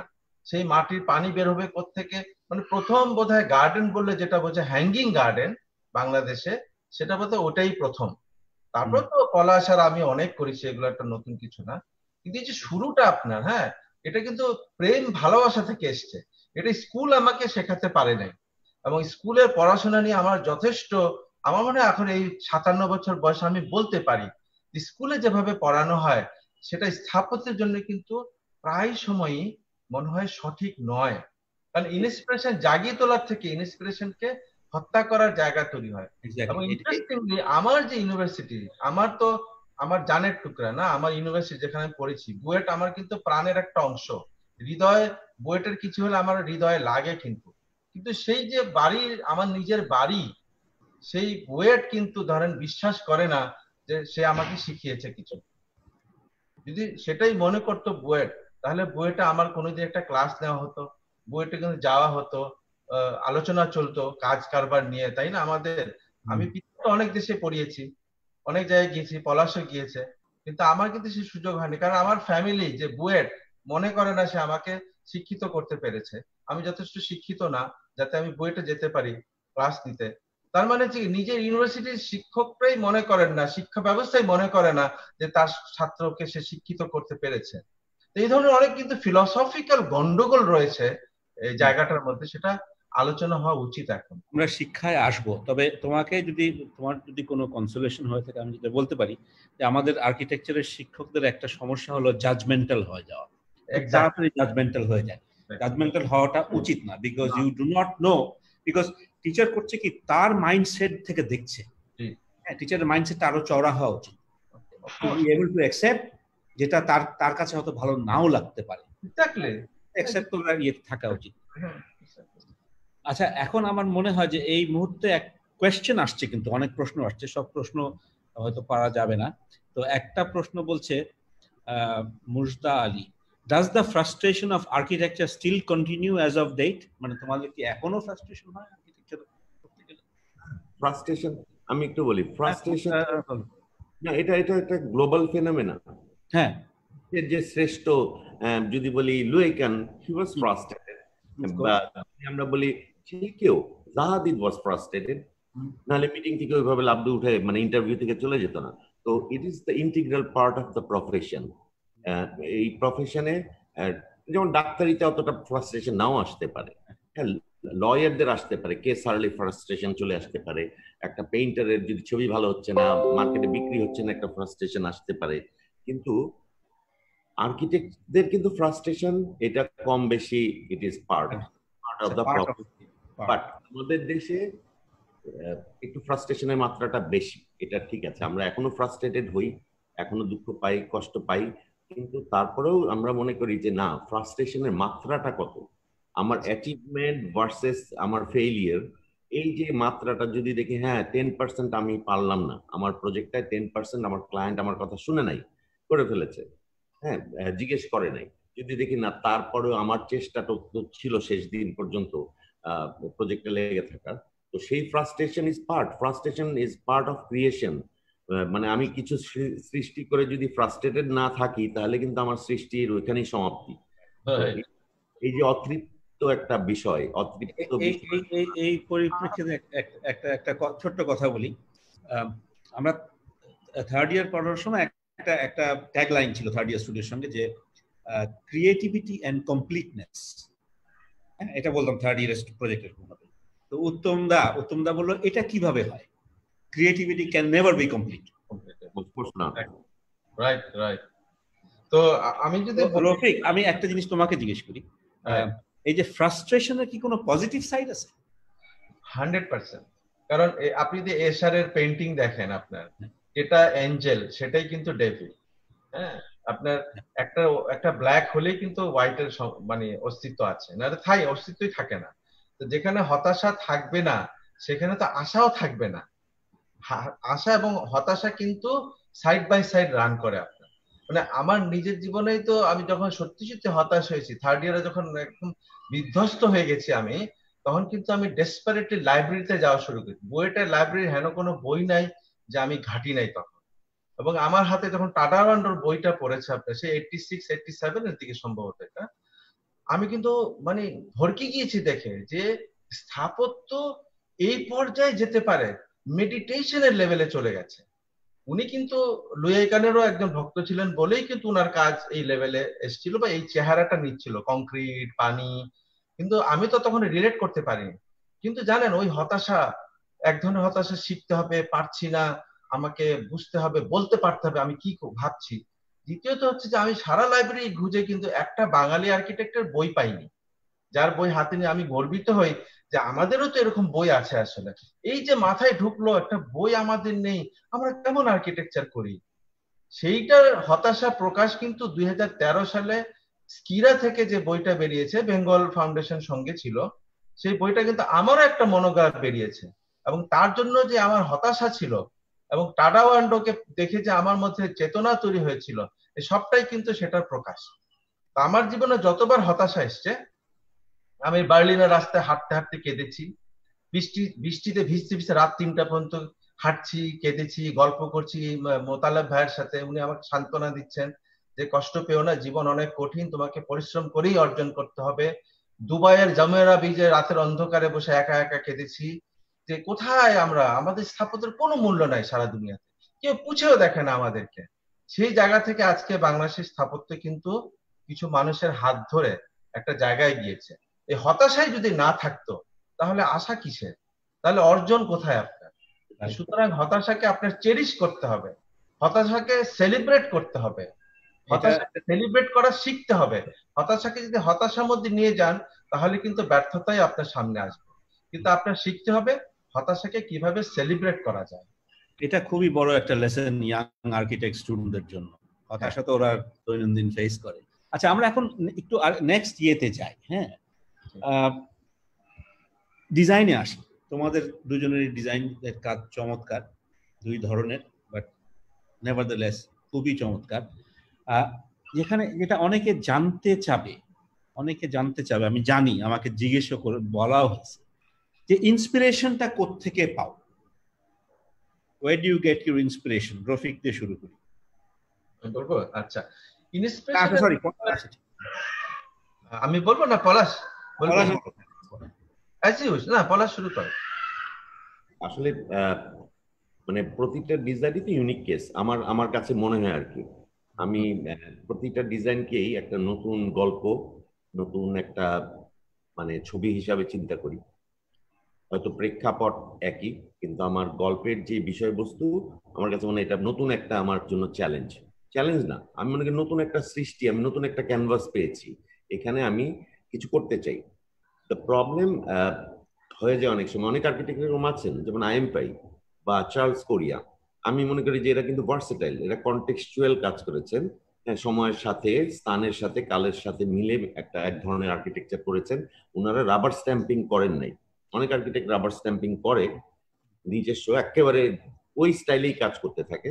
আমি আমার কাজগুলোকে প্রথমে নেই হচ্ছে যে this is a chance I can create something new something different কিন্তু I want to keep my signature there আমি সিগনেচার রাখতে চাই that is the difference between stamp rubber stamp and signature কোন সিগনেচার একটার সাথে আরেকটা মিলবে না কিন্তু রাবার স্ট্যাম্প হচ্ছে রিপিটেশন ক্লোনিং করা।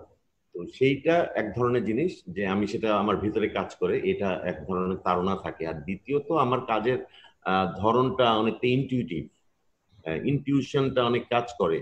এতদিন কাজ করেছি ভিতরে যেই ব্যবহারিক বিষয়গুলো ফাংশনাল বিষয় সেফটি ইস্যুস এগুলো আমার কাছে মনে হয় I can easily handle them মানে এগুলাকে আমার জানা হয়ে গেছে, আমার গ্রামার জানা হয়েছে। আমি গ্রামার আমাকে জানতেই হবে। গ্রামার না জানলে কিন্তু আমি কবিতাও লিখতে পারব না, আমি গল্পও লিখতে পারব না। সো আমাকে গ্রামার আমি জানা আছে এবং গ্রামারটা অত্যন্ত অভ্যস্ত হয়েছি কাজ করতে করতে। এরপরেও একটা জায়গায় গিয়ে কিন্তু ঘোরপাক খেতে থাকে, সেটা হচ্ছে কি করব, নতুন কি করা যায়? সেই নতুন কি করা যাওয়ার জন্য অবশ্যই আমি বারবার বলছি যে এই যে ব্যবহারিক দিক ক্লাইমেট বা কনটেক্সট লোকালিটি পিপল এগুলো কিন্তু থাকছে সঙ্গে।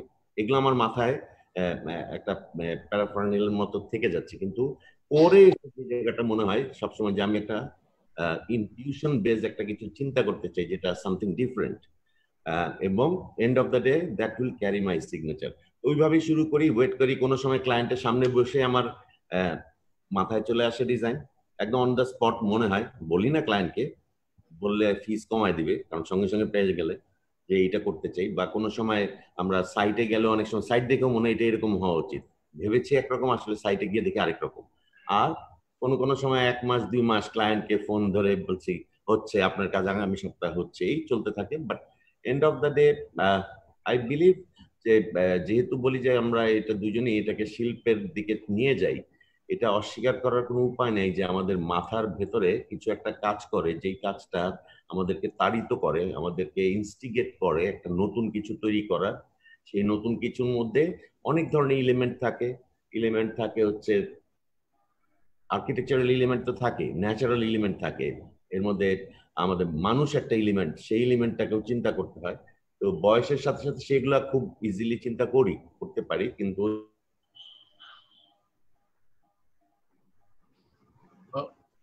ঠিক আছে নাকি? হ্যাঁ একটু একটু ফ্রিজ করে গেল।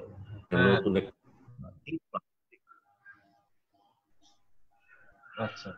আমার আর আরেকটু বলে রাখি। আমার ইন্সপিরেশনের আমি তো আর্কিটেকচারকে আমি আর্কিটেকচারকে প্রথমে যেটা মনে করতাম বোধ এটা বোধ হয় স্টুডেন্ট লাইফে থার্ড ইয়ার পর্যন্ত। থার্ড ইয়ার পর্যন্ত আমি আর্কিটেকচারকে একটা ফর্মাল আসপেক্ট নিয়ে বেশি চিন্তা করতাম। থার্ড ইয়ারে আমি একটা প্রজেক্ট করেছিলাম। হাইরাইজ প্রজেক্ট ছিল উইথ দ্য শপিং মল আমি নিজেও জানি না আমি কি করেছিলাম বাট আই ক্রিয়েটেড সাম মানে water colour perspective indoor perspective space বা যে কোনো জায়গা থেকে টাওয়ারটা দেখতে পাওয়া। এইটার উপরে ওয়ারেস স্যার আমাকে চোখটা খুললেন প্রথম। সেটা হচ্ছে আর্কিটেকচার কি সেটা বোঝালেন।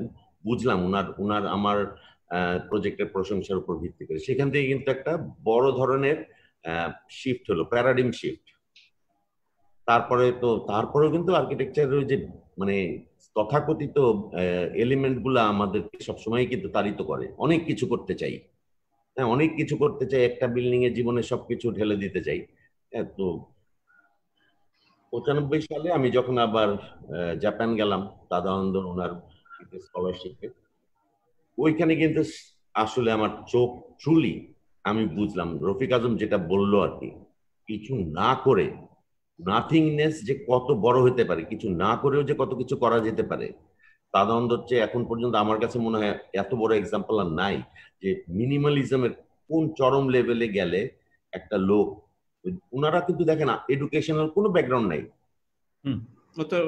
হ্যাঁ পড়াশোনা করেন পড়াশোনা করেন এরকম বহু বিখ্যাত আর্কিটেক্ট আছে যাদের একাডেমিক কোনো ব্যাকগ্রাউন্ড নাই।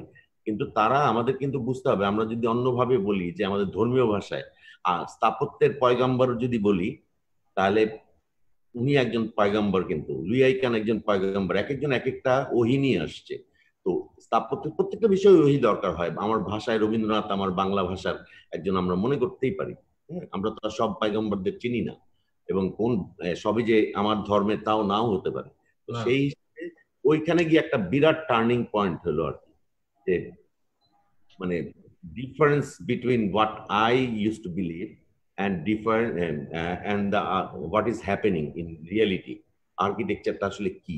ওইখান থেকে চোখটা খুললো। ওইখান থেকে এখন ইন্সপিরেশন তো লুইয়ে খান আম তাদানন্দ এই গ্রামার দেখলে করবুশিয়ার বা এই টপিকে আছি রফিকের কাছে যাওয়ার আগে তোমাকে জিজ্ঞেস করিনি তোমার ফেভারিট আর্কিটেক্ট কে? মানে কিংবা কারা? পছন্দ নাম তো বললে আমি তো একদম সহজ সরল উত্তর। আমি আমি সবসময় বলি যে আমার মানে যে এটা প্রোজ পার্ট গদ্যর একটা অংশ আছে স্থাপত্যে। আবার পদ্য মানে প্রোজ পোয়েট্রি একটা পার্ট আছে। তো পোয়েট্রি পার্টটা আমি পরে আসি। ওইখানে আমি বলছি যে আমার যে আমার কাজের মধ্যে একটা ব্রুটালিজমের একটা ইম্প্যাক্ট আছে। আমার কাজ ভালো লাগে ধরেন লেকর কাজ ভালো লাগে বা ইনফ্লুয়েন্স আছে হ্যাঁ মডুলেশনের বিষয়গুলা। তারপরে ওয়াল্টার গ্রপিয়াস মার্সেল ব্রুয়ের হ্যাঁ বা ধরেন এই পল রুডলফ এই যে ধারা এই ধারাটা কিন্তু আমার মধ্যে আছে আমি এটা অস্বীকার করি না। আমার অনেক বন্ধু বলেছে তুই একেবারে আর্লি মডার্নিজমের কাজ করছিস। আমি বলি খুব ভালো হ্যাঁ আমি আর্লি মডার্নিজম নিয়ে থাকতে চাই। এটা হচ্ছে আমার যেটা প্রোজ পার্ট আর পোয়েট্রি যেটা পোয়েট্রিতে এসে আমরা আমার কাছে মনে হয় যে আমার দুই আইকান এবং এই দুজন এই দুজন আসলে কবিতাই লিখেছেন কংক্রিট দিয়ে। লিখছেন। আরও হয়তো আছে আরও নাম আছে কিন্তু আমার কাছে এই আমরা এই সংক্ষিপ্ত পরিসরে এতটুকু বলতে চাই যে এই দুজন এসে আর অবভিয়াসলি আমার শিক্ষায় ভীষণ রকমের ইনফ্লুয়েন্স আমার পড়ালেখায় আমি বললাম যে ওয়ারেস স্যারের থেকে তো ভীষণ ইনফ্লুয়েন্স আছে। উনি কতগুলা হয় কি প্রত্যেকটা শিক্ষককে আমরা যাকে যেই নামেই ডেকে থাকি না কেন স্টুডেন্ট লাইফে কিছু ম্যাগনেট ওয়ার্ড কানের মধ্যে ছুড়ে দেন। সেটা সবাই ছুড়েছেন একটা দুটা একটা দুটা ওটা ফলো করার চেষ্টা করি। হয়তো প্রফেসর শামসুল ওয়ারেস অনেক বেশি ছুড়েছেন। উনি আর্কিটেকচারকে ওইটার যে গ্রামারটাকে একটু খুব মানে ইজিলি আমাদেরকে বুঝিয়েছেন। So this is the way I am doing architecture Rafiq what drive you আমি একটু ট্রাই করি যে আমার আসলে ইন্সপিরেশন নিয়ে কিছু বলার কথা ইচ্ছা আছে আসলে।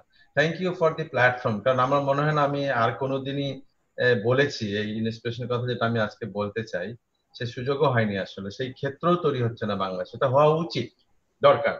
যেন আমি বলি, আমি কিন্তু যেহেতু ভালো ছাত্র ছিলাম না এবং আমার ফ্যামিলি ওল্ড টাউনে নট রিচ ফ্যামিলি অলসো তা আমাকে, আমি খুব ভয় পেতাম যে আমি কি আসলে আর্কিটেক্ট হিসেবে টিকে থাকতেই পারব কিনা?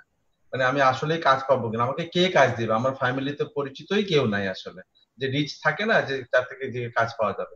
তো ফলে আমি কিন্তু একটু পাগলের মতো অনেক জায়গায় ছোটাছুটি করতাম শেখার চেষ্টা করতাম। যাতে আমি ভালো আর্কিটেক্ট হয়ে টিকে থাকতে পারি। যেমন আমি টিকিওম করলাম একটা ট্রেনিং টোটাল কোয়ালিটি ম্যানেজমেন্ট অনেকেই বলেছে আমি পাগল নাকি, এটা কেন করছি? আমি চলে গেলাম করতে আপনার behaviour modelling for productivity how to talk how to behave how to motivate people for the better result আপনার। আমি গানের উপরে এক বছর কোর্স করে ফেললাম। হ্যাঁ অ্যাপ্রিসিয়েশন আর্ট অ্যাপ্রিসিয়েশন মঙ্গলচন্দ্র দাসের কাছে হোয়াট ইজ মিউজিক মিউজিকটা বোঝার একটা ব্যাপার আছে হ্যাঁ? ফনিটিক্স থেকে শুরু করে আপস এন্ড ডাউন তাল, লয়, দ্রুততা স্লো উঁচু, নিচু, অনেক ব্যাপার আছে যেগুলো আর্কিটেকচারে মারাত্মক ভাবে আপনার সম্পৃক্ত আসলে এগুলো হ্যাঁ? আমি শিখতে চলে গেলাম আপনার রবীন্দ্রনাথ এক বছর ক্লাস করলাম। রবীন্দ্রনাথের উপন্যাস নিয়ে এক বছরের কোর্স করলাম। আমি কোর্স করলাম ওয়ার্ল্ড লিটারেচার হ্যাঁ বিশ্ব সাহিত্য নিয়ে আমি এক বছর কোর্স করলাম আপনার। তারপরে টপ লেভেল ম্যানেজমেন্ট চলে গেলাম। আর্কিটেকচার ফটোগ্রাফি করলাম। ফিল্ম মেকিং উপর আমি কোর্স করলাম টু আন্ডারস্ট্যান্ড ফিল্ম আপনার। এগুলো সবই আমার ইন্সপিরেশন কারণ আমি এন্ড অফ দ্য ডে কিন্তু আমি টের পেলাম যে আমি যা করি আসলে, সবটা কিন্তু এই সব জায়গা থেকে নেওয়া হয়েছে। হ্যাঁ এবং আমি ধরে ধরে বলতে পারব নানান প্রজেক্টে যে, যেগুলো, যেমন ফ্রান্স কাফকা আমার খুবই পছন্দের একটা লেখক হ্যাঁ? এবং ফ্রান্স কাফকা আপনারা জানেন ওর যে মেটামারফোসিস ওর যে সাবজেক্ট ওর লেখাগুলো যেগুলো আছে, সেগুলো কিন্তু অ্যাবসার্ড একটা জায়গার লেখা যেটা বিশ্বযুদ্ধ সেকেন্ড ওয়ার্ল্ড ওয়ারের পরে ইউরোপ যে একটা মানে ভাঙাচোরা অবস্থা, তখন কিন্তু এই লেখাগুলা আপনার অ্যাবসার্টিটি এসছিল। এবং তার মধ্যে কিন্তু আপনার স্যামুয়েল বেকেটের ওয়েটিং ফর গডো এই ধরনের নাটকও তৈরি হচ্ছে তো এইগুলা কিন্তু আপনাকে একটা ডিকনস্ট্রাকশন যে ব্যাপারটা, একটা জিনিসকে ভেঙে দেখা, সেটা কিন্তু সুযোগ হয়েছে আপনার। তো ওইখানে যে জিনিসটা সে করে ভাঙাচোরা, ওর মধ্যে কিন্তু যেভাবে লেখে সে সেই লেখার যে ডিটেলিং আপনার, সেগুলো এত সুন্দর দেখে মনে এটা সত্যি। ও একটা পারসেপশন তৈরি করে আপনার মধ্যে যে আপনার মনে হবে যে এটাই তো সত্যি। কেন এত ডিটেলে আপনি সব চোখের সামনে দেখতে পাচ্ছেন ডিটেলি সো আর্কিটেকচারের ডিটেলিং এমন একটা জিনিস যেটা দিয়ে একটা অবাস্তব, অসত্যকে সত্য জায়গায় নিয়ে আসা যায়। আপনি খেয়াল করে দেখবেন আমার যে নৌকাওয়ালা বাসা যেটা বাড়ির মাঝখানে নৌকা আপনার, হিজল গাছ আপনার জীবনাথ দাসের কবিতার হিজল গাছ, পুকুর পাড়ে, ঘাটলা, নৌকা আলো এসে পড়ছে। সবটাই কিন্তু ফিল্মের যে মেজেন্সিন হয় না আপনার? ফিল্মে যে বানানো একটা একটা সেট বানানো হলো আসলে। এটা কিন্তু সত্যি না। এটা একটা একটা ভুয়া জিনিস কিন্তু একটা ভুল জিনিস হ্যাঁ। কিন্তু কাফকার মতো বা সালবাদা ডালির মতো, কিন্তু এটা সাজিয়ে ফেলা হয়েছে এমন ভাবে যে দেখে মনে হচ্ছে এটাই তো সত্যি আসলে। তো আমার কিন্তু অনেক জিনিস কিন্তু ইন্সপিরেশনগুলা এসব অদ্ভুত অদ্ভুত জায়গা থেকে আসে। বা মনে করেন আপনার আমেরিকান পেইন্টার আপনার হুপার হুপারের পেন্টিং আপনি জানেন পেন্টিং এ অনেক মুভিও হয়েছে আপনার। অনেক ফিল্ম আছে, তার দৃশ্যগুলো একেবারে তৈরি করা হয়েছে ফিল্মের মধ্যে। আমি কিন্তু অনেক দিন ধরে আপনার, ওর হুপারের যে সাইলেন্স আপনার, যেটা আমেরিকান সোসাইটির জন্য একটা পেইন আপনার। সেইটাকে আমদানি করছি আমি আমাদের হ্যাপিনেস আকারে। কারণ আমাদের যদি সাইলেন্স তৈরি করা যায়, এটা হ্যাপিনেস আমেরিকার, আপনার মনে করেন সবার্বে যদি যে যে সাইলেন্সটা আছে, এটা কিন্তু এক ধরনের পেইন আপনার। কিন্তু এটা কন্টিনিউ করতে থাকে। কিন্তু আমি যদি ওই হ্যাপিনেসটাকে কনভার্ট করে ট্রান্সফর্ম করে আমাদের সোসাইটি নিয়ে আসি, আপনি কিন্তু ক্ষণিকের জন্য যে একটা সাইলেন্স পাবেন, সেটা হবে আপনার লাইফের সেলিব্রেশন তা আমি কিন্তু এটা অদ্ভুত ভাবে খালি ওই আপনাকে ওটাকে হুবহু যে নিয়ে চলে আসলাম সাইলেন্সে তা না এটাকে আমি ট্রান্সফর্ম করে এটাকে রিভার্স করে আমি আমার মতো ব্যবহার করা শুরু করি। এরকম আমি অনেক বলতে পারব মানে পলিটিক্স যেমন একটা বড় ব্যাপার আমার জন্য একটা মারাত্মক একটা মিডিয়া যেটা দিয়ে আমি কাজ করি আসলে। আমি জানি না আমি কত বলব আমি বলতে থাকতে চাইলে বলতে পারি। যদি একটু ডিস্ট্রিবিউট তার মানে তুমি নানান রকম creative field poetry music film এখান থেকে ইন্সপিরেশন নাও। সেটাকে সেটাকে ট্রান্সলেট করো তোমার ডিজাইন কন্টিনিউয়াসলি আজও করি প্রতিদিন করি রাইট এই পলাশকে একটা প্রশ্ন করলাম তোমার কোন আর্কিটেক্ট পছন্দ? তোমার মানে আর্কিটেক্ট কিংবা হোয়াট এভার অ্যাকচুয়ালি কোনো একটা আর্কিটেক্টের নামই আমি কোনোদিনই ভাবিনি আসলে। আমি বলতেও চাই না ওইভাবে কিন্তু জোর করে যদি কেউ বলতে চায় ধরেন আমরা অনেক সময় খুব সাদা মাটা ভাবে বলি যে হ্যাঁ লুই আইকানকে ভালো লাগে। কিন্তু খেয়াল করে দেখেন লুই আইকান ভালো লাগার কারণটা কিন্তু সে আর্কিটেক্ট বলে না। তাকে ভালো লাগে এই জন্য যে সে কিন্তু রুমির মতো কথা বলে। সে কিন্তু জালালউদ্দিন রুমির ভক্ত এবং রুমির মতো সে চিন্তা করে সে আলো নিয়ে কথা বলে সে অন্ধকার নিয়ে কথা বলে সে সাইলেন্স নিয়ে কথা বলে। রুমি যখন বলে যে silence is the language of God rest all are poor translations silence হচ্ছে গডের ভাষা। আর বাকি যতভাবেই গডকে আপনি রিপ্রেজেন্ট করেন আপনি এক্সপ্লেইন করেন অল্প শব্দে, বেশি শব্দে গভীর ভাবে সবটাই হচ্ছে পুয়ার ট্রান্সলেশন। ওই সাইলেন্সে হচ্ছে কি আসল। তো ওই সাইলেন্স নিয়ে যখন ইয়ে ইয়ে কথা বলে, লুইয়াইকান কথা বলে আপনার, তখন লুইয়াইকানকে ভালো লাগে। তো সুতরাং লুইয়ানকে ভালো লাগে এই জন্য না যে সে একজন গ্রেট আর্কিটেক্ট এই জন্য ভালো লাগে সে একজন গভীর দর্শনের একজন দার্শনিক, একজন চিন্তাশীল মানুষ, যে আলো নিয়ে কথা বলে, যে শব্দ নিয়ে কথা বলে, শব্দহীনতা নিয়ে কথা বলে। এই কারণে ভালো লাগে। আমার আপনার গ্লেন মার্কাটকে ভালো লাগে আমার। টাটাউন্ডাকেও ভালো লাগে আমার, কারণ ওই ওই লাইনের লোক যে সে আপনার। আবার গ্লেনকে ভালো লাগে যে আর্কিটেকচার নিয়ে কথা বলে না, সে প্রকৃতি নিয়ে কথা বলে, সে ফুল নিয়ে কথা বলে।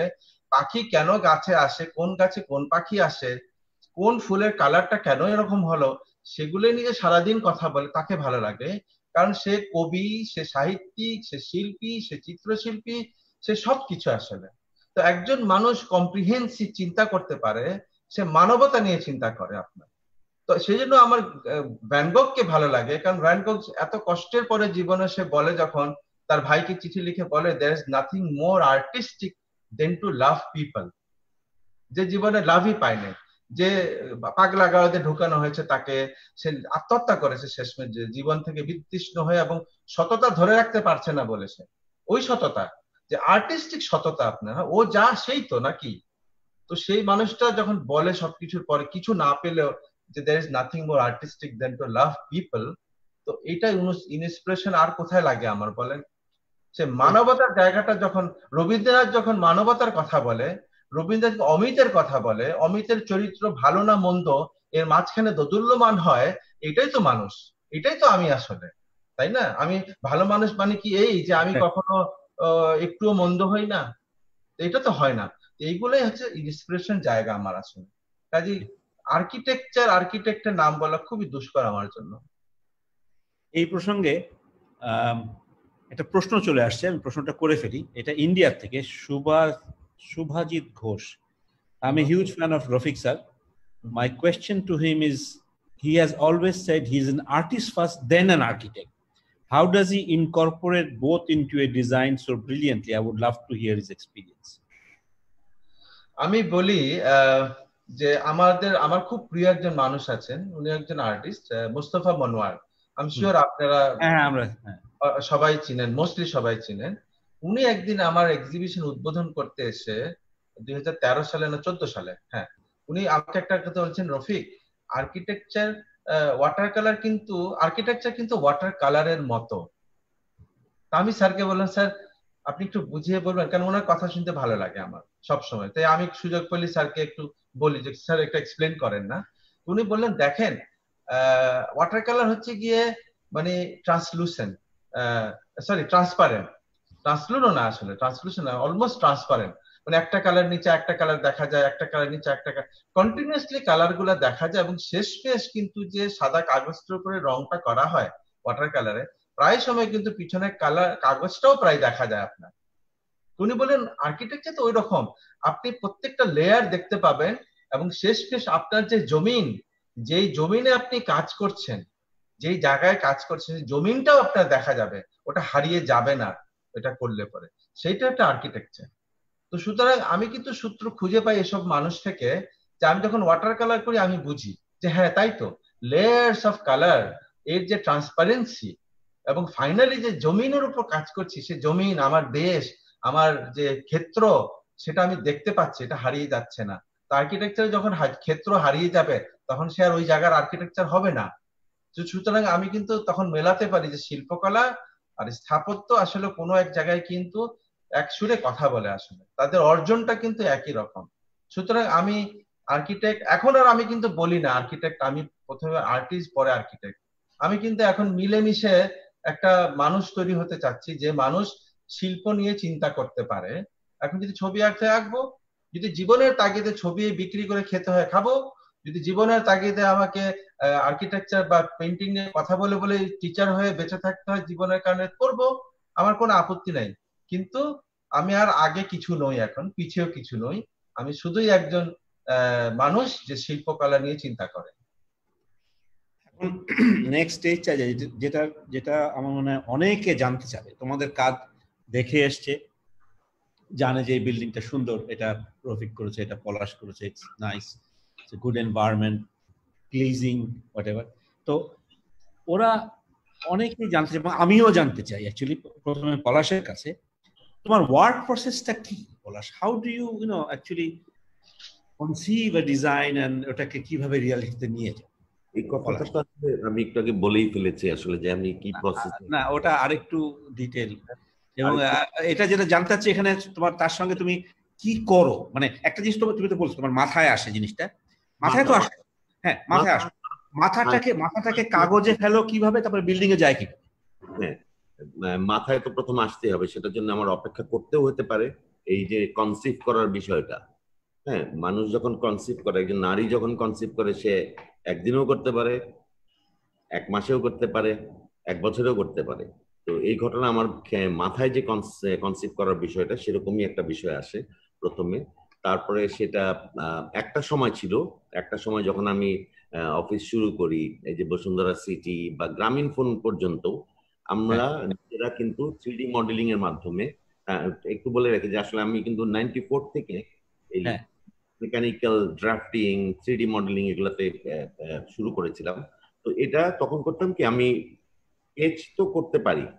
অনেকে বলে যে যারা স্কেচ করতে পারে না তারা থ্রি দিয়ে করে। তা আমার কথা হচ্ছে যে এই যে আস্তে আস্তে ultrasound three D ultrasound sound চলে আসছে তাতে যদি আমি বুঝতে পারি যে আমার যে এই সন্তানটা প্রসব হতে যাচ্ছে, সেই সন্তানটার কি কি প্রবলেম আছে, আমি ঘুরে ঘুরে দেখতে পারি। হ্যাঁ একটা অলিক মানে অসত্য পার্সপেক্টিভ আঁকার চেয়ে আমি যদি বুঝতে পারি, তাহলে আগে তখন তাই করতাম। মাসিংটা ইউজুয়ালি ধরেন দুই হাজার ছয় সাত পর্যন্ত, ছয় সাত না, আরও আগেই মানে প্রথম কিছু স্কেচ করলেও করতাম, করে কিন্তু চলে যেতাম হচ্ছে থ্রি মডেলিং এ নিজের হাতে থ্রি ডি মডেলিংটা করতাম। তখন আমরা I started with three D Studio then Max ওই পর্যন্ত করে যতটুকু করা যায়। ওই ওয়েট করা পর্যন্ত ওয়েট করতেই হতো। তারপর কিন্তু বারবারই ওই মডেলই একবার চেঞ্জ করতাম ই করতাম কিন্তু দুই হাজার আটের পর থেকে আমি অ্যাবসলুটলি আর এই থ্রি ডি মডেলিং নিজে করি না। আই ডু স্কেচেস আমি স্কেচ করি, সেই স্কেচটা করি হচ্ছে কলম আমার আলটিমেট টুল আমার হাতের মাধ্যমে but it it comes from my brain for sure এবং যেহেতু ছবি আঁকতে পারি আমি ওইভাবেই কাজগুলো চলি আমার আটকে গেল। পলাশ ফ্রোজেন মধ্যে আবার কারেকশনগুলো করি। আচ্ছা। করে একটা পর্যায়ে যাই এবং এটার একটা সুবিধা হচ্ছে যে দুটো জিনিস। যেমন ধরুন আমরা অবাক হই একটা সময় যখন এই যে ডিজিটাল সেলুলয়েডে সিনেমা তৈরি করা হতো। দ্যাট সো চ্যালেঞ্জিং আপনি জানেন না ডেভেলপ করার পরে কি আসছে আপনার? ফ্রেম ধরেছেন, কি পরিমাণ লাইট পড়েছে?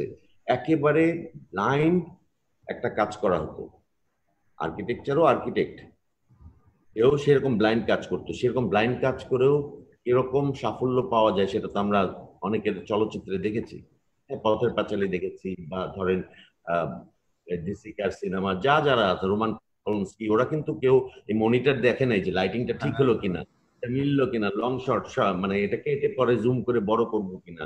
সিমিলারলি ইন মিউজিক আগে একসঙ্গে সবাই গান বাজাতো রেকর্ড একবারে হয়ে যেত কাটা যাবে হ্যাঁ। একবারে শেষ।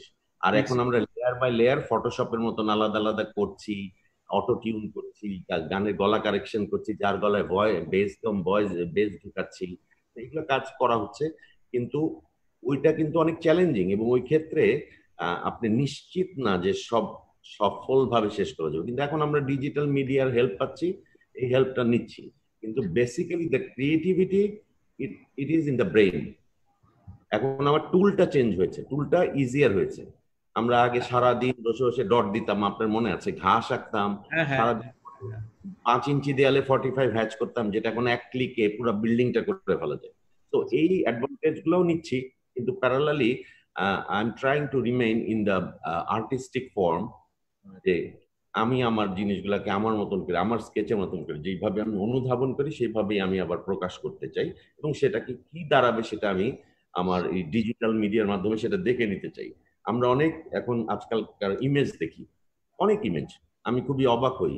আমার আমার অফিসের রেন্ডারিং কিন্তু খুবই পুয়ার খুবই পুয়ার রেন্ডারিং ওটা নিয়ে আমার মাথা ব্যথা নেই। আমার বোঝার জন্য যতটুকু লাগে, সেটা কোনোভাবেই কমার্শিয়াল পারপাসে ইউজ করা যায় না। এতই পুয়ার কিন্তু এখন অনেক রেন্ডারিং দেখি, অবাক লাগে যে এত অপূর্ব। মনে হচ্ছে এটা আর বাংলাদেশেই না, এটা অন্য কোথাও, এটা স্বর্গের কোথাও আছে হ্যাভেনলি কিন্তু ওই বিল্ডিংটাকে কিন্তু রিয়েলিটিতে আর খুঁজে পাই না। ন্যাশনাল আইডি ন্যাশনাল আইডির ছবি নর্মাল মানুষ আর ফেসবুকের ছবি। আমাদেরকে আজকাল যেটা থ্রি মাধ্যমে দেখানো হয়, বেশিরভাগ ক্ষেত্রে সেটা আসলে হচ্ছে ফেসবুকের ছবি হয় প্রোফাইল পিকচার আর আমরা রিয়েলিটিতে যেটা পাই গিয়ে সেটা হচ্ছে আমাদের ন্যাশনাল আইডি মার্কা জিনিস। তো এই জিনিসটার কি বলব? এক্সপ্লয়টেশন হচ্ছে মিস ইউজ হচ্ছে সেটাও কিন্তু বুঝতে হবে। এই জিনিস থেকে বেরোতে হলে ক্রিয়েটিভ এই মেল্টিং পটটা সেটা কিন্তু মাথার মধ্যে রাখতে হবে নট ইন দ্য কম্পিউটার হ্যাঁ ওই জায়গাটাতে আমি এখন খুব আরামে স্বাচ্ছন্দ্য কাজ করছি। অনেক কাজ করা যায় তাতে। আগে তো আমার লোকবল কম ছিল নিজের হাতে করতেই হতো। স্কেচ করছি সবকিছুই হচ্ছে। ড্রয়িং এর উপরে মানে ওই প্রিলিমিনারি যে ড্রয়িংটা বেরোচ্ছে ওটার উপরে আবার হাতে কাজ করছি কোন জায়গায় ল্যান্ডস্কেপিং হবে কি হবে না হবে সেগুলো সেই সেইভাবে কাজগুলো আগাচ্ছে আর কি। আমি ইন্টারেস্টিং এক্সপিরিয়েন্স বলি তোমার আমি আমি ওই তোমার যখন এই যে একশো সাতত্রিশ নম্বর বাসার কাছে অফিসটা ছিল হ্যাঁ? হ্যাঁ হ্যাঁ। তখন আমি তোমাকে দেখছিলাম একবার যে তুমি ওই কোনো একটা ডিজাইন প্রজেক্ট নতুন আসছে ইমিডিয়েটলি কম্পিউটারে বসে গেছো এবং কম্পিউটারে জিনিসটাকে পারসিভ করতেছে কম্পোজ করতেছে। তো বহুদিন পরে কোনো একটা স্টুডিওতে একটা ছাত্র এরকম ওই যে ডিজাইন প্রজেক্ট সঙ্গে সঙ্গে সে কম্পিউটারে বসে শুরু করছে। আমি আগে একটু হাতে একটু দেখো একটু স্কেচ টেচ করে মাছ টাছ বানাও তারপরে করো। কেন স্যার? পলার স্যার তো ইয়ে করে ও তো ডাইরেক্টলি কম্পিউটার করে। আমি পলার স্যার ইস পলার স্যার পলার স্যারের মাথায় সবকিছু আছে। ও হাতেও আঁকতে পারে কম্পিউটার আঁকতে পারে এবং ওর অ্যাবিলিটি আছে যে মাথার জিনিসটাকে ডাইরেক্টলি হাতের ইন্টারফেস না দিয়ে ডাইরেক্টলি কম্পিউটারে করে। আমি এই টুলটাকে ইউজ করেছি অনেক আমি আমি এই এই পর্যায়ে যে আমাদের আলাপ হয়েছিল। আপনি যদি একটু যদি দেখতে চায় সবাই যে আসলে হ্যাঁ একটু একটু দেখতে চাই। হ্যাঁ একটু স্ক্রিনটা শেয়ার করব। আমি আমার কয়েকটা প্রজেক্টের আমি এখনকার আমার কাছে যে কয়টা ছিল সেই কয়টা আমি একটু দেখাতে চাই। আচ্ছা দেখি। দেখালে বোঝা যাবে আর কি।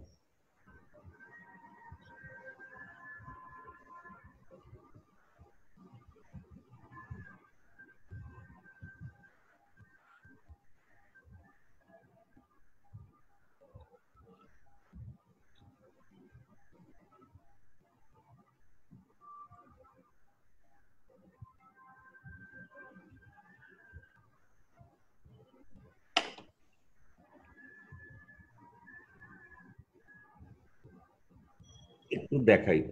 হ্যাঁ। ফর এক্সাম্পল একটা রিসেন্ট একটা প্রজেক্ট একদম প্রিলিমিনারি স্কেচ আমার প্রথম।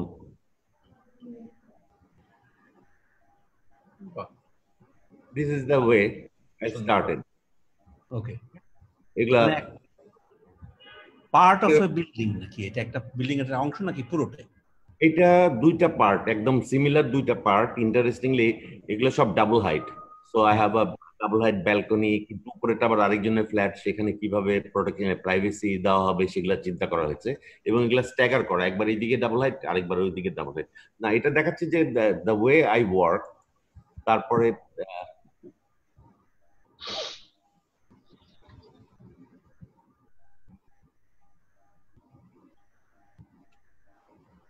এটা আবার একটু একটু আগে যেটা কথাটা বললাম this is my initial sketch একেবারে সন্ধ্যায় বসে বসে স্কেচ করছিলাম যে করা যেতে পারে। একটা প্রজেক্ট যে কি কি করা যেতে পারে একটু চিন্তা ভাবনা করা। করার পরে যেটা দাঁড়াল আর কি সেটা হচ্ছে নিয়ে আসলো প্রথম একটা কম্পিউটারে মোটামুটি একটা ফর্ম সেটার মধ্যে কিন্তু আবার হাতে আঁকা হচ্ছে। আচ্ছা।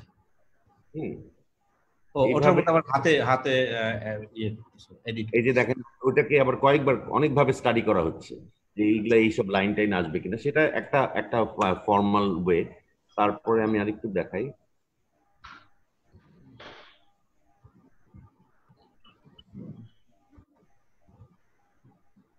এটা একেবারে ইনিশিয়াল একটা স্কেচ একটা বিল্ডিং এর প্রথম স্কেচ এটা। আমি এরকম একটা জিনিস চিন্তা করছি। তারপরের স্টেপে আরেকটু স্কেচটা ডেভেলপ করলাম। ডেভেলপ করে যে এই জায়গাগুলো কীরকম হবে এটা একটু স্কিউড হবে। তো সেই সেইভাবে স্কেচগুলো করা হচ্ছে এবং এটা কিন্তু পরে গিয়ে মোটামুটি এই ধরনের এসছে।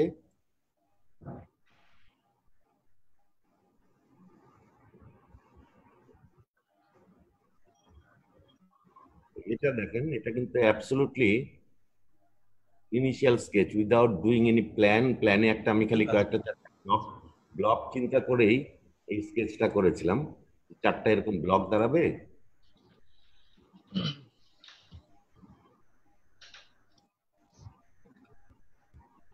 তারপর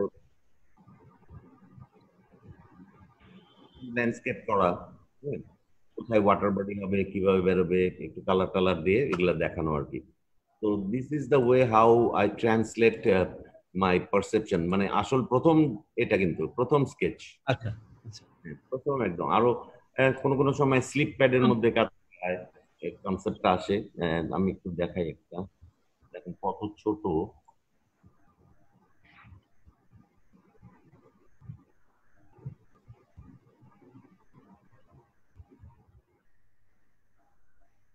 এটা একটা চিটং এর একটা হাউজিং প্রজেক্ট এবং ওইভাবে চিন্তা করা যে এক একটা টাওয়ারিং অ্যাসপায়ারিং কিউব এক একটা এক একটা অ্যাপার্টমেন্ট ছোট ছোট অ্যাপার্টমেন্ট এগুলো দাঁড়িয়ে যাচ্ছে।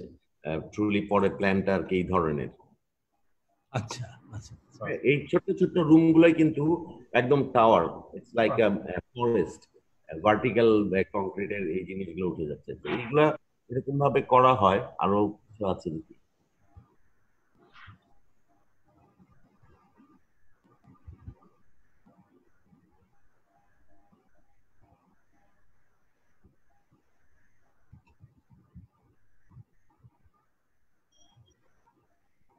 This is the beginning sketch মানে কত ছোট। হ্যাঁ এটা একটা স্লিপ প্যাডের মধ্যে হিসাব করা। আমি আমি আপনাকে একটু আগে বলেছি যে আমি আসলে মডুলেশন নিয়ে খুব কাজ করি। মডুলেশন নিয়ে একটা হিডেন জিমেট্রি নিয়ে কাজ করি। হিডেন জিমেট্রি এটা হিউম্যান ফিগারের মধ্যেও আমরা পাই যেটা আমরা কখনোই বুঝি না। আমি যদি আমাকে তার এখন ক্যামেরায় দেখা যাচ্ছে? আমাকে দেখা দেখা যাচ্ছে? আচ্ছা। তাহলে আমি বলি যে আমি কখনো বুঝি যে আমার বাহুটা এক বিঘত? কখনো বুঝি? কোনো মেপে দেখেছি? মাপি নাই তো। আমার এই যে এখান থেকে এতটুক এখান থেকে এতটুক নাক এখান থেকে এই যে তিন ভাগ এই যে একটা হিডেন জিমেট্রি নেচারের মধ্যেই আছে কিন্তু। এই জিনিসটা আর্কিটেকচারে অনেক আগে কথা বলে গেছেন মডুলার কোঅর্ডিনেশন নিয়ে ওইটা একটা থাকে। কারণ হচ্ছে যখন আপনি সিম্পল জিনিস করতে যাবেন ভেরি সিম্পল হ্যাঁ একটা মিনিমাল একটা জিনিসে যেতে হবে। তখন কিন্তু আপনাকে কোথাও না কোথাও একটা ডিসিপ্লিন নিয়ে আগাতে হবে। স্ট্রিনজেন্ট ডিসিপ্লিন সেই মডুলেশনটা চেষ্টা করি সবগুলোতে ফলো করতে। সেটাই এই এই স্কেচে ছিল আর কি। মানে কিছুটা এই স্কেচে সেটাই ছিল। যে আসলে কীভাবে কীভাবে মডিউল করে কোন মডিউলে গিয়ে এরকম দেখতে চাই। এটার পরে স্কেচগুলো আছে কিছু। I think this is the sketch I think এই পয়েন্টে একটা একটা প্রশ্ন আসছে যা মনে তোমাকে করতে পারে। তোমাকে ডাইরেক্টেড প্রশ্ন সাব্বির আহমেদ। পলার স্যার আপনি প্ল্যানের আগে এলিভেশন চিন্তা করে স্কেচ করেন। অর্থাৎ বাইরের দেখতে কেমন হবে এটা চিন্তা করেন। বিষয়টা একটু বুঝিয়ে বলবেন। আমি তো আমি কিন্তু বলি নাই কখনোই যে এই প্ল্যানটা দেখতে আমি কখনোই বলি নাই যে বাইরে ভিতরের ব্যাপারটা কিন্তু আমি আগেই বলছি। ওইটা মাথার মধ্যে থাকতেই হবে। সেটা একটা ইনিশিয়াল স্কেচ থাকতেই হবে। সেটা না থাকলে কোনো হবে না। একটা বিল্ডিং কে আমি দশ ভাবে আর্কিটেকচারালি এক্সপ্রেস করতে পারি কিন্তু একটা প্ল্যানকেই একটা প্ল্যানকেই একটা প্ল্যানকেই রফিক আজমকে দিলে রফিক আজম রফিক আজমের মতন দেখতে করে দিবে ওর বাচ্চা হবে এটা আর ওই একটা প্ল্যানই সেম প্ল্যান আমাকে দিলে আমার বাচ্চা হবে। তো প্ল্যান থাকতেই হবে ওটা কিন্তু ওইটা ওই জায়গাতে কম্প্রোমাইজ করা যাবে না রাইট কিন্তু ওইটার সঙ্গে কিন্তু এটাও সঙ্গে সঙ্গে চিন্তা করতে হবে যে আসলে আমি কতটা সহজ ভাবে কতটা সাবলীল ভাবে সহজ ল্যাঙ্গুয়েজে আমি আমার কাছে সবসময় মনে হয় আমি সহজ ল্যাঙ্গুয়েজে করতে পারলে যে ভাষাটা সহজ সেই ভাষাটা পারসিস্টেন্ট হয় আর কি। প্রত্যেকটা প্রজেক্টেরই আমরা যখন কাজ করি তখন কিন্তু এটা ইট ইজ নট ট্রু যে এই করা হয় না। এই যে এটা আসুক প্রথমে হ্যাঁ? এখানে আমি কয়েকটা ছবি দেখাই। হ্যাঁ। এটা হচ্ছে আরেকটা কমার্শিয়াল বিল্ডিং এখানে কিন্তু একটা নাইন স্কোয়ার নিয়ে কাজ করা হচ্ছে এবং এটা যে স্টেপ বাই স্টেপ কোথায় সিঁড়ি হবে এই যে প্ল্যান এই প্ল্যানটাই কিন্তু একজন আর্কিটেক্টের জন্য এনাফ এই প্ল্যানটা এনাফ আমি কোথায় সিঁড়িটা বসাবো? কোথায় আমি বসাবো? আমার কমার্শিয়াল স্পেস কি হবে? বা বেডরুমটা কোথায় বসাবো? এটার যে শুরুটা হয়েছে হচ্ছে এই নাইন স্কোয়ার দিয়ে মান্ডালা দিয়ে। সেটাকে সেটাকে এই যে পরে এই প্ল্যানে strong conceptual basis of the plan ও এটার পিছনে কাজ করতেছে। না এবং দেখেন আলটিমেটলি প্ল্যান এটা মনে হয় মিসপারসেপশন হচ্ছে বুঝতে যে বাইরে কেউ- কোনো আর্কিটেক্টই বাইরেরটা করে করতে পারে না কখনোই না না এটা পারে না। এটা it is not possible it is the thing আর্কিটেকচারের দুইটা জিনিস আছে। একটা তো মান্ডেন একটা পার্ট থাকতেই হবে। দ্যাট ইজ ফাংশনালিটি এই যে একটা ফাংশনালিটি তো সব বিল্ডিং এ আছে। আমার যত বিল্ডিং সবগুলাই ফাংশনালিটি আছে। কিন্তু সবগুলা কি মানে আর্কিটেকচার হতে পারে কিনা শিল্প হতে পারে কিনা, সেটা কিন্তু ভাবার বিষয় আছে। এরকম প্ল্যান থেকে কিন্তু আলটিমেটলি এটাকে জেনারেট করেছে। তো এটা সাইমালটেনিয়াসলি যেতে হবে। এখানে মিসপারসেপশনের কোনো স্কোপ নাই।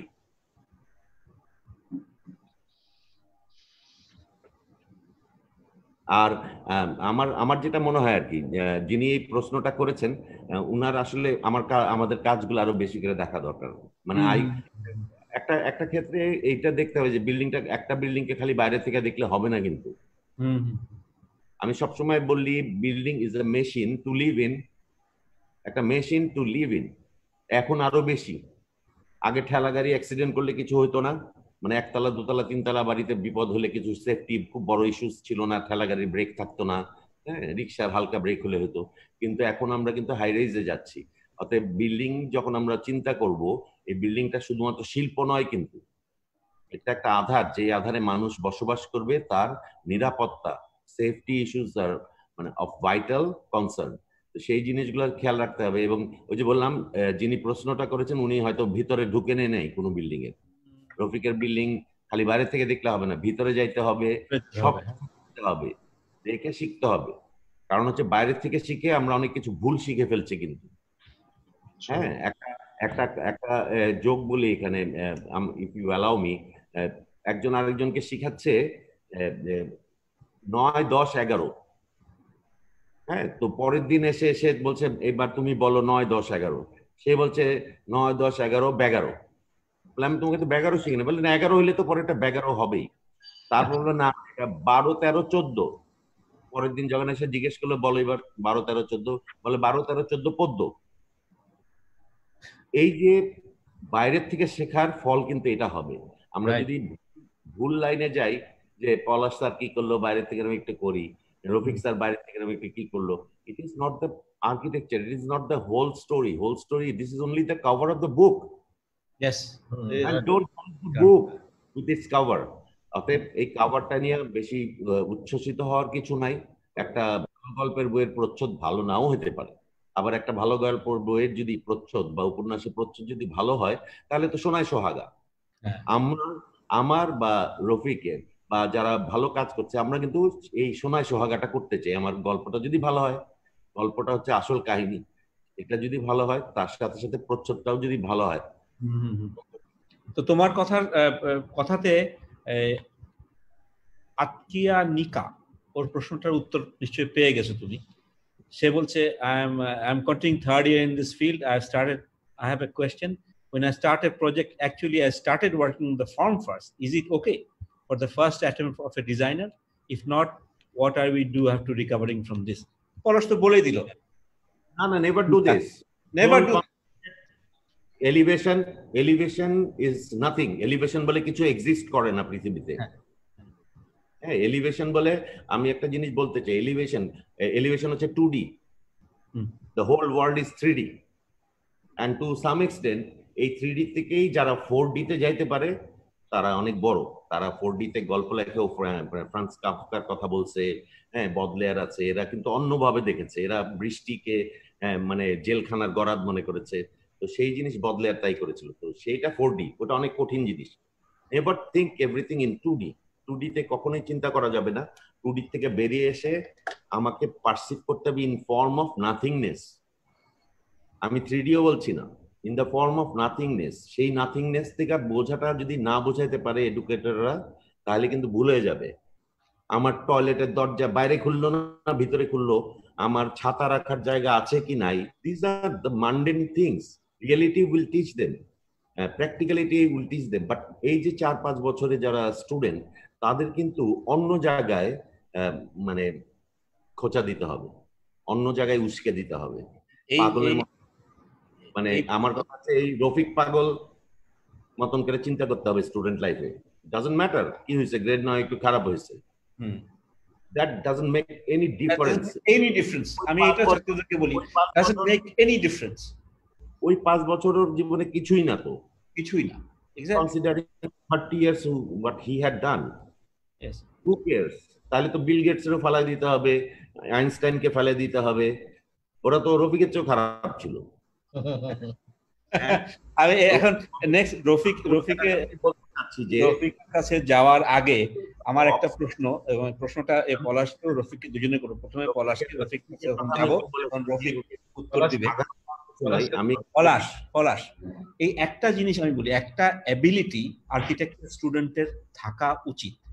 অনেক সময় থাকে না সেটা to to ability to visualise something তুমি তো তোমার মাইন্ডে ভিজুয়ালাইজ করো তাই না? এবং সেটাকে পরে পেপারে আঁকো।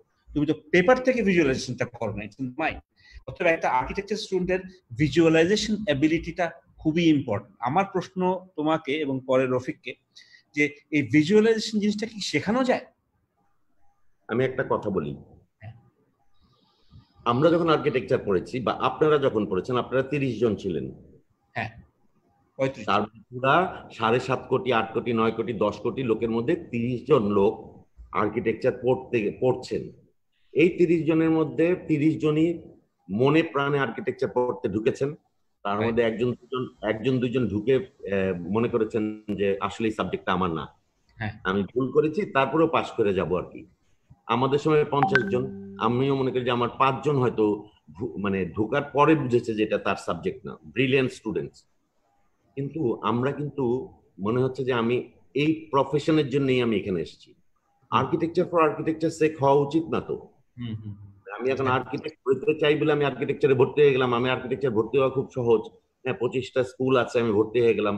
It is not that easy it is not that easy কারণ হচ্ছে এই জিনিসটা কিন্তু ভিতরে থাকতে হবে। সবাই কিন্তু আর্কিটেক্ট মানে আমি বলছি যে আর্কিটেক্ট সবাই হবে। সবাই আর্কিটেক্ট হবে। কে না করেছে, সবাই আর্কিটেক্ট হবে। সবাই তো কথা বলে, কিন্তু সবাই কি অরেটর হয়? সবাই তো লিখতে পারে, সবাই কি সাহিত্যিক হয়? সেটা তো হয় না। তো এটা ধরে নিয়ে ফ্রাস্ট্রেটেড হওয়া যাবে না আবার। আমি লিখতে পারি, পড়তে পারি, কিন্তু গল্প না লিখতে পারি, তাতে কি আসে যায়? আমার কথা হচ্ছে যে এই যে ক্রিয়েটিভিটির ইস্যুটা যদি আগে কোনো না মানে না থেকে থাকে, খুব রেয়ার কেসে এটাকে স্টুডেন্ট লাইফে বা এই যে আর্কিটেকচার ক্যারিয়ারে স্টুডেন্ট ক্যারিয়ারে এটাকে ডেভেলপ করা সম্ভব। আমি যেমন সবসময় বলি, যে ভালো ছবি আঁকে, সে যদি আর্কিটেকচার পড়ে, সে ভালো আর্কিটেক্ট হতে বাধ্য। যে ভালো ছবি আঁকে, সে যদি আর্কিটেকচার পারে হোয়াট এভার মানে হি ডিড সে যদি পাঁচ বছর পার হয়ে যায়, সে ভালো আর্কিটেক্ট হইতে বাধ্য। বিকজ ওর ন্যাক ছিল। এই ন্যাকটা তৈরি করা যায়। অনেক সময় ভিতরে ক্যালিবারটা থাকে আমাদের মধ্যে। আমাদের ক্লাসেই মনে আছে রফিক আজম ইয়াসিন। হ্যাঁ। ইয়াসিন ইয়াসিন আব্দুল্লাহ খুব ভালো রেজাল্ট করেছে পরে ভালো কাজ করেছে অল দ্য ওয়ে কিন্তু ওর কিন্তু ওই যে ছবি আঁকা বা এইসব কিছু ছিল না। এরকম বড় আর্কিটেক্ট আছে আইএমপেরও তাই বোধহয়। হ্যাঁ ওনার ওই ড্রয়িং দেখলে মানে টাসকি খেতে হবে সেরকম জিনিস ছিল। তো এই জিনিসটা ক্রিয়েটিভিটি না থাকুক কিন্তু আমার কথা হচ্ছে সবাই তো রফিক আজম হওয়ার দরকার নাই। বাংলাদেশের ষোলো কোটি লোকের জন্য একা কাজ করছে না। বহু লোক কাজ করতে হবে এত বড় একটা দেশের জন্য। কিন্তু আমার কথা হচ্ছে সেটার একটা মিনিমাম স্ট্যান্ডার্ড তৈরি করতে হবে। সেই স্ট্যান্ডার্ড তৈরি করতে you don't need the creativity you need the acumen you need the knowledge technology এগুলা জানতে হবে। You have to at least know the lifestyle আমার জল ও বায়ু এবং এই যে ক্লাইমেট এগুলো জানতে হবে। এগুলো তো একেবারে টেকনোলজিক্যাল ইস্যুস আমি বলি না যে সবাইকে রফিক আজম হইতে হবে সবাইকে আরও বড় বড় আমাদের যারা আর্কিটেক্ট আছে তাদের মতন হইতে হবে। কিন্তু এটার রিস্ক পার্টটা হচ্ছে যদি তা না হয় আমাদের যে আর্কিটেকচার সবাই যদি রাস্তাঘাটে এখন সেজে বেড়ে বেড়ে হাঁটাচলা করতে থাকে তা তো হবে না। আমাকে সব স্ট্যান্ডার্ডের জিনিস তখন লাউড হয়ে যেতে পারে। আর্কিটেকচার সামটাইমস বিকাম লাউড যেমন অনেক দেশে আমাদের পার্শ্ববর্তী দেশে অনেক জায়গায় গেলে দেখা যায় কি লাল বাড়ি নীল বাড়ি সবুজ বাড়ি কারণ হুম, কোম্পানিগুলো এরকম রং তৈরি করেছে বেগুনি রং নীল রং সবুজ রং মানে একটা মানে সাইকাডেলিক একটা অবস্থা তৈরি হচ্ছে সেরকম একটা চান্স আছে। অতএব অ্যাওয়ার করতে হবে যে তুমি ভাই দরকার নেই don't try to be Rafiq Azam হয়ে গেলে হয়ে গেল। আর যদি না হইতে পারো try try to be a standard architect এখন তাহলে রফিকের কাছে যাই পলাশের কাছে শুনলাম। তোমার design thinking design process camera off নিব। Camera off I am listening Rafiq don't worry cigarette দাও আচ্ছা ওই গাছা গাছা আচ্ছা থ্যাংক ইউ ভেরি মাচ না আমি পলাশের শুনে তো মানে অনেক কিছুই শিখলাম। আমার বেলা যেটা আমি খুব বেশি কথা না বললাম কিছু কাজই দেখাবো। হ্যাঁ হ্যাঁ সেটা হলো যে প্রথম জিনিস আমি কিন্তু একটু মানে সবসময় ভয় পাই যে আমি ভুল না করে ফেলি। কোন একটা জায়গা, সেই জায়গার যে চাহিদা, সেই জায়গার মানুষগুলার যে চাহিদা, যে মানুষের জন্য করছি সেই মানুষের চাহিদা আর আশপাশের সব মানুষের চাহিদাও কিন্তু ইম্পর্টেন্ট কারণ ওই জায়গাটা তো আসলে তার একার না। ও সবকিছু নিয়েই কিন্তু তার জায়গাটা। মানে সে তো একা পৃথিবীতে থাকে না। তার আশপাশে বহু লোক, বহু পাখি, বহু গাছ, সবাই থাকে। কাজে আমি যদি ভুল না করি, সেজন্য ওই জায়গায় আমি অবশ্যই যাই, চলে যাই। আমি কোনোদিন কোনো কাজ করিনি এরকম। হতে পারে জীবনে হয়তো একটা কোনো কাজ করেছি রিকোয়েস্টে যে জমিটা দেখিনি আমি। আমার মনে হয় জীবনে একটা করেছি আমি, এরকম মনে পড়ছে। কিন্তু আমি জমি না দেখে কোনোদিন কোনো কাজ করি না আমি জমিতে যাই, আমি এখানে বসে থাকি, আমি সারাদিন থাকি জমিতে আপনার। কারণ আমার ধারণা হচ্ছে আমি হাঁটি আশপাশে। আমি সবসময় বিশ্বাস করি যে জমিন একটা জিনিস যে আপনি তার সঙ্গে বাতচিত করবেন। এবং একটা সময় আসবে জমিন আপনার সঙ্গে বাতচিত করবে। কারণ সে কিন্তু ইনফরমেশন দিবে আপনাকে হ্যাঁ? সূর্যে আলোটা কোথা থেকে পড়ছে, হাওয়াটা থেকে আসছে, তারপরে জমিনের ইতিহাস থাকে একটা, ওই জায়গাটা কি ছিল আগে হ্যাঁ? ওখানে কি ঘটেছিল ওখানে আগে এই ধরনের অনেক তথ্য উপাত্ত যখন নিতে থাকবেন, তখন কিন্তু ওই জমিন আপনার সঙ্গে একটা সম্পর্ক তৈরি করবে। যখন দুইজনের সম্পর্ক হবে, জমিন এবং স্থপতি, তখন কিন্তু ওই জমিনে হাত দিলে পরে সম্ভাবনা কম হয়েছে কম থাকে যে আপনি একটা দুর্যোগ ঘটাবেন। হয়তো আপনি ভালো কিছু করার সম্ভাবনা তৈরি হবে। তো জাস্ট আমি কিছু এক্সাম্পল দিই শেয়ার স্ক্রিন না দিব? ওকে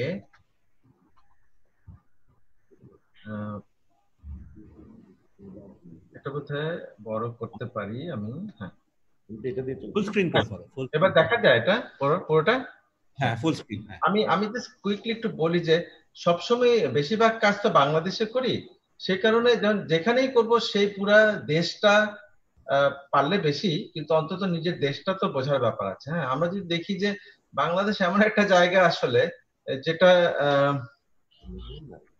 হ্যাঁ বাংলাদেশ এমন একটা জায়গা যেটা কিন্তু আধা পড়ছে আপনার ট্রপিক্স এর মধ্যে, আধা পড়েছে ট্রপিক্স এর বাইরে।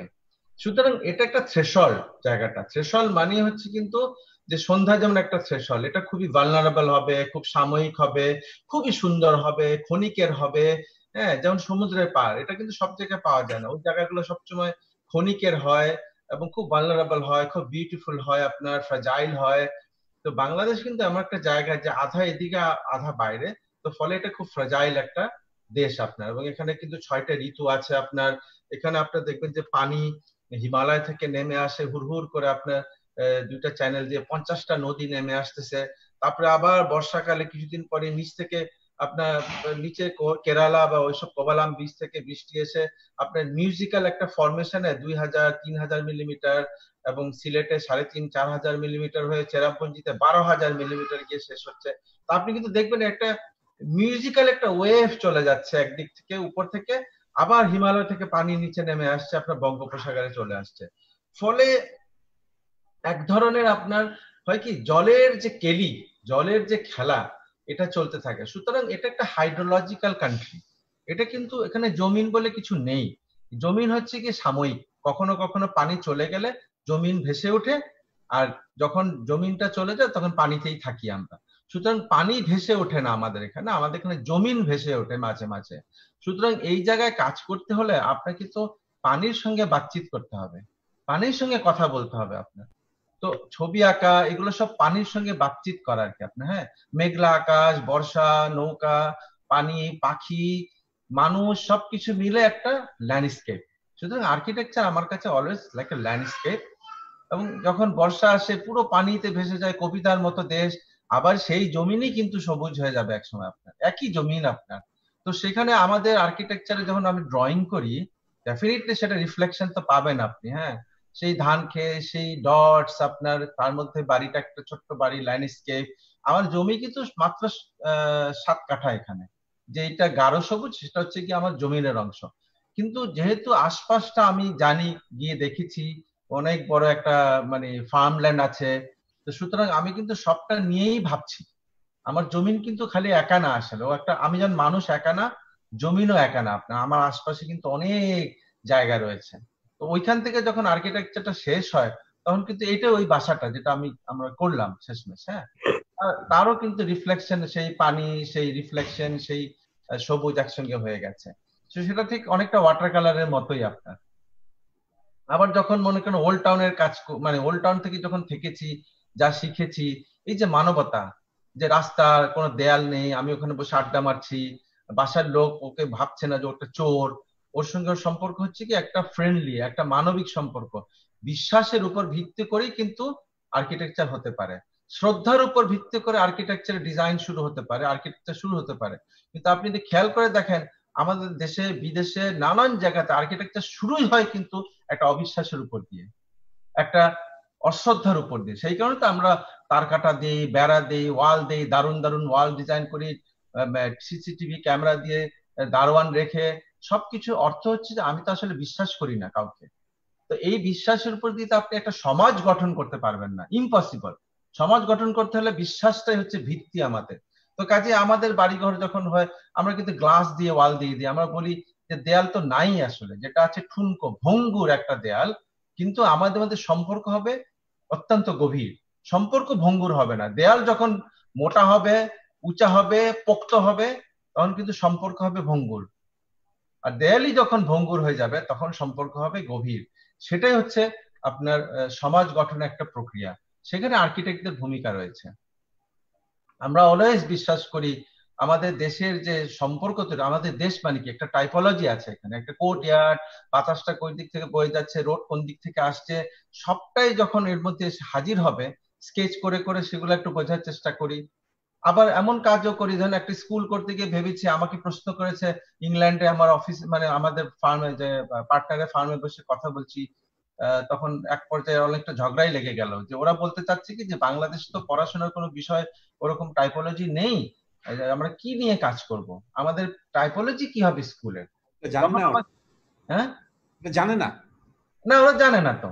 ওরা থেকে জানবে? ওদের ব্রিটিশ সাথে এই কাজটাই করে গেছে। দুইশো বছর ধরে তারা শুধু কেটেছে কাঁচি দিয়ে কেটেছে যে সম্পর্কহীনতা।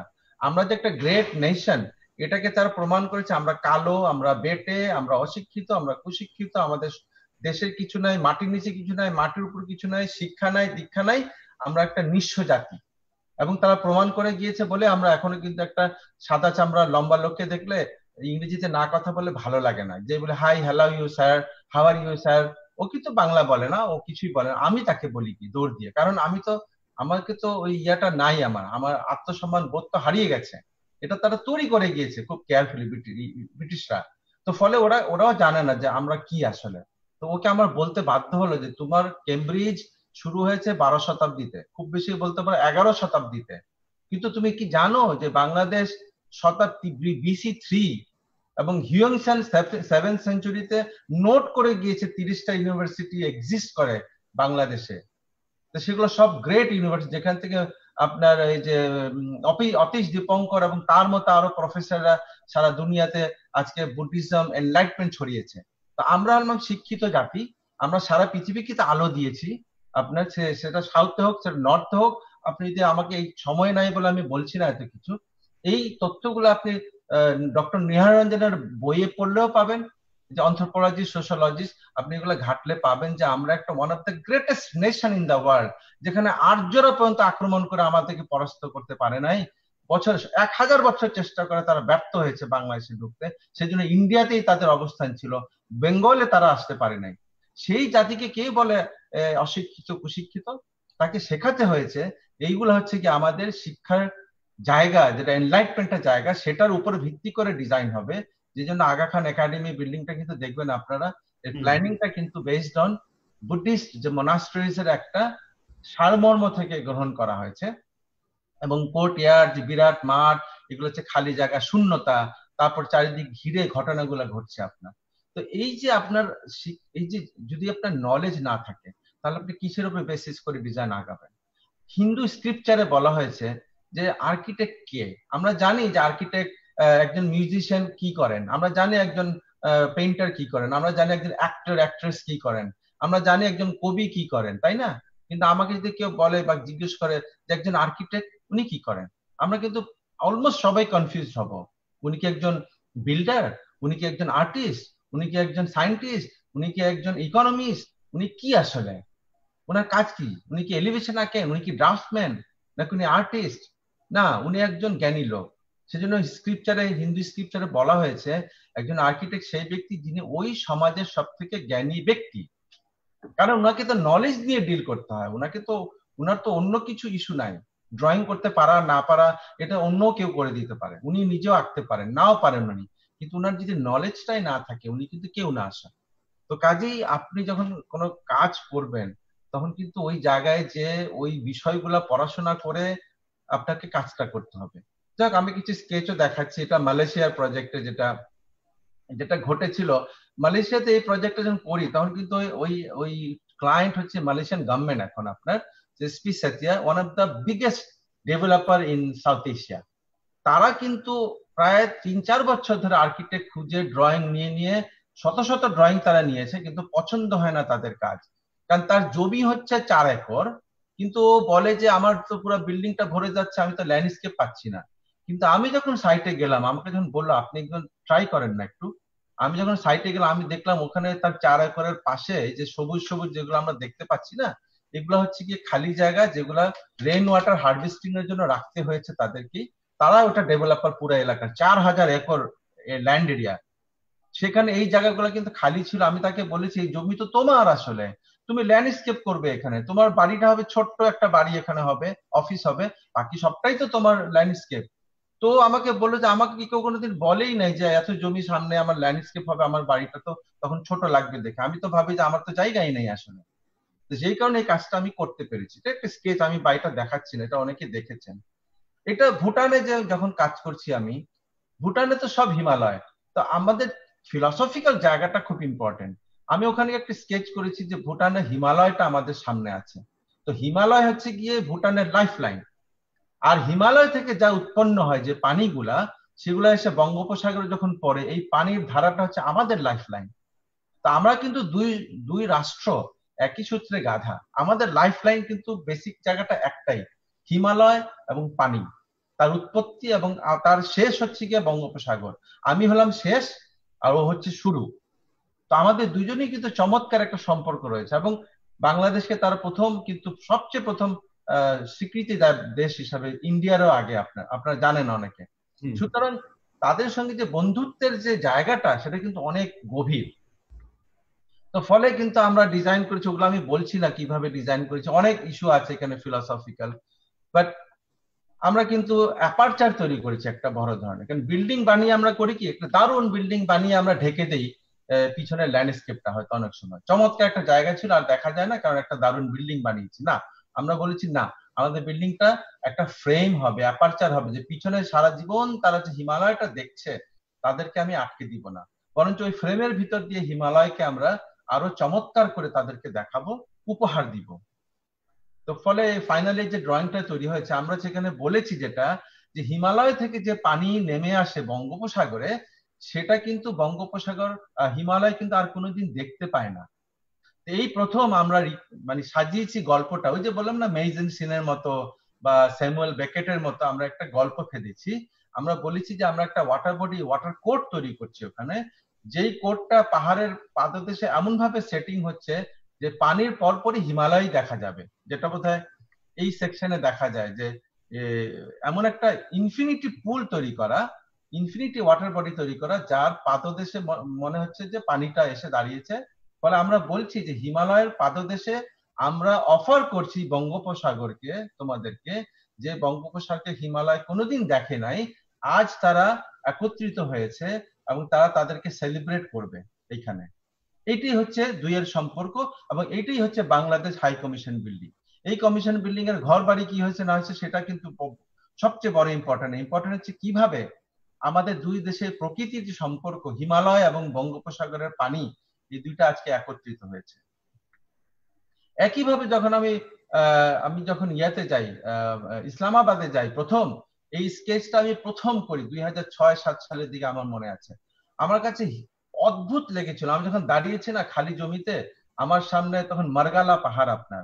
প্রায় সাত হাজার, আট হাজার ফিট উঁচু মার্গালা হিল, আপনার ভয়ঙ্কর সুন্দর, হিউম্যানগাস মার্গালা মানে রিগাল একেবারে একটা জিনিস আমার মুখের সামনে দাঁড়িয়ে আছে। আমি সেইখানে দাঁড়িয়ে আমার বাড়িটা বানাবো। বাংলাদেশের এমবিসি বিল্ডিং এটা কি হওয়া উচিত? একটা দারুণ চিন্তার মধ্যে পড়ে গেলাম। পড়ে গেলাম রাজনৈতিক সংকটে। কারণ মনে হচ্ছে যে আমি যদি মানে একটা ফ্রেন্ডশিপ ডেভেলপমেন্ট ফট করে চলে যায় আহ দুই দেশ তো বন্ধু, আমাদের দারুণ একটা বিল্ডিং হবে। তখন তো মনে, মানুষ আমাকে বলবে, আমি বিশ্বাসঘাতক। তারা যা করেছে আমাদের সাথে সেখানে তো আমি আর তাকে এইভাবে প্রমোট করতে পারি না।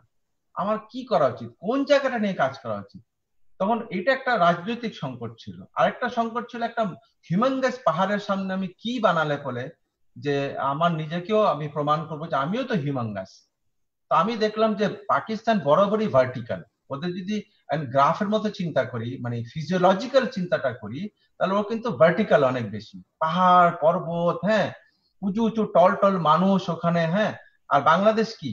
ফ্ল্যাট, একেবারে পানি, সারা জমিন ফ্ল্যাট।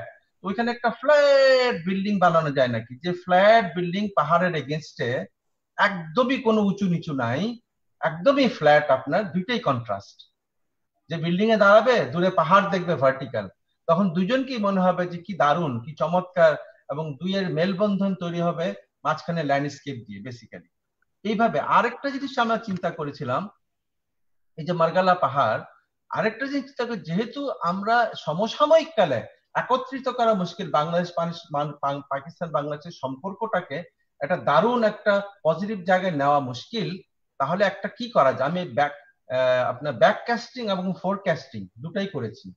ব্যাককাস্টিং করা ফোরকাস্টিং তো আমরা করি, আমরা ব্যাককাস্টিংও করতে পারি।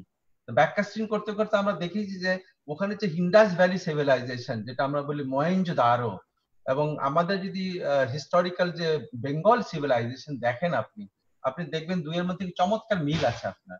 ওটা পাঁচ হাজার বছর পুরনো এটা প্রায় আপনার আড়াই হাজার বছরের পুরনো, কিন্তু সেই ব্রিক দিয়ে বানানো আপনার গ্রেট ব্যাথ যেখানে ছিল মহেঞ্জো দারোতে ব্রিক দিয়ে বানানো স্ট্রাকচার কোর্ট ইয়ার্ড আপনার বৃষ্টির পানি জমে ওখানে বৃষ্টির পানিতে গোসল করা পাবলিক বাথ এই সমস্তটা কিন্তু ওখানে ছিল আপনার।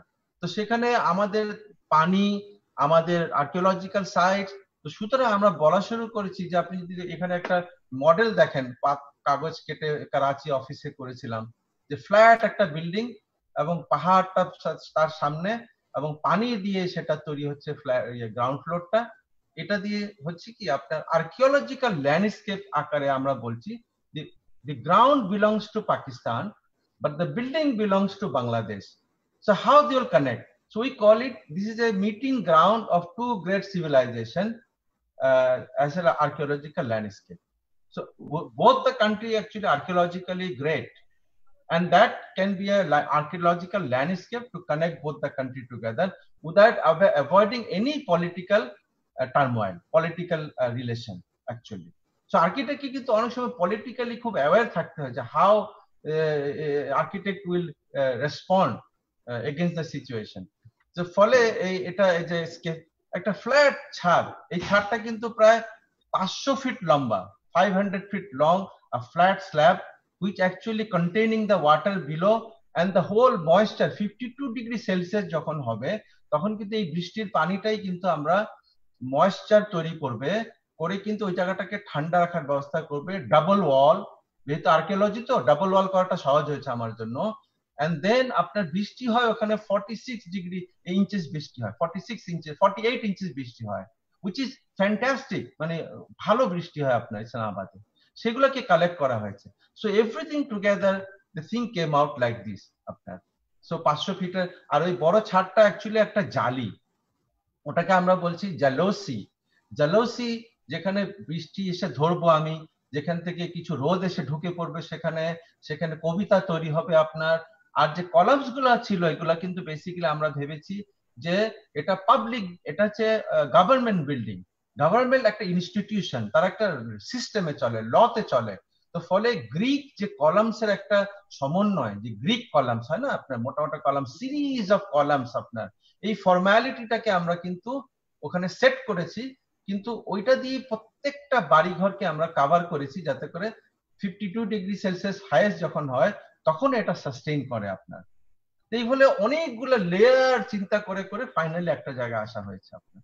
তো এইভাবে কিন্তু যখন ওল্ড টাউনে কাজ করেছি, কিন্তু ওল্ড টাউন তো আপনার ভয়ঙ্কর অবস্থা আপনার আসলে। এখানে কবিতার জায়গা কোথায়? এখানে মারামারি হচ্ছে, গোলাগুলি হচ্ছে, বৃষ্টির সময় পানি জমে যাচ্ছে। গত পঞ্চাশ বছর ধরে এখানে কেউ কিছু করতে পারছে না।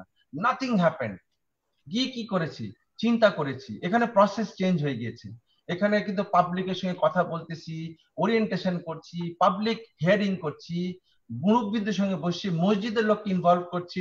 Then we started dismantling the whole wall যেটার উপরে দোকানপাট বসেছিল এবং আজকে ওই জায়গাটা কিন্তু কমপ্লিটলি চেঞ্জ ওই পানি আর জমে না। ওই পানিকে আমরা ধরে বৃষ্টি পানিকে ধরে আমরা কিন্তু ফিল্টার করে এই পানি পাড়ার লোকে এখন খায়। এই পানি তাদের সম্পদ তৈরি হয়েছে, যেটা হয়েছিল তাদের জন্য একটা দুর্বিষহ একটা জীবন। সারা জীবন তারা কষ্ট করেছে পানিটা নিয়ে। কিন্তু এখন তাদের জন্য এটা আরামের জায়গা। একইভাবে এরকম চ্যালেঞ্জগুলো এসছে, তখন কিন্তু এই যে আমাদের যে শিক্ষা, আমরা যে এতদিন যে কাজগুলো করেছি, যে বইপত্র পড়েছি, এই নলেজটাকে কিন্তু এখন পিওরলি পাবলিক মানে হিউম্যানিটি মানে পর্যায়ে নিয়ে এসে তাদেরকে সার্ভ করার উদ্দেশ্য হচ্ছে আর্কিটেক্ট কাজ।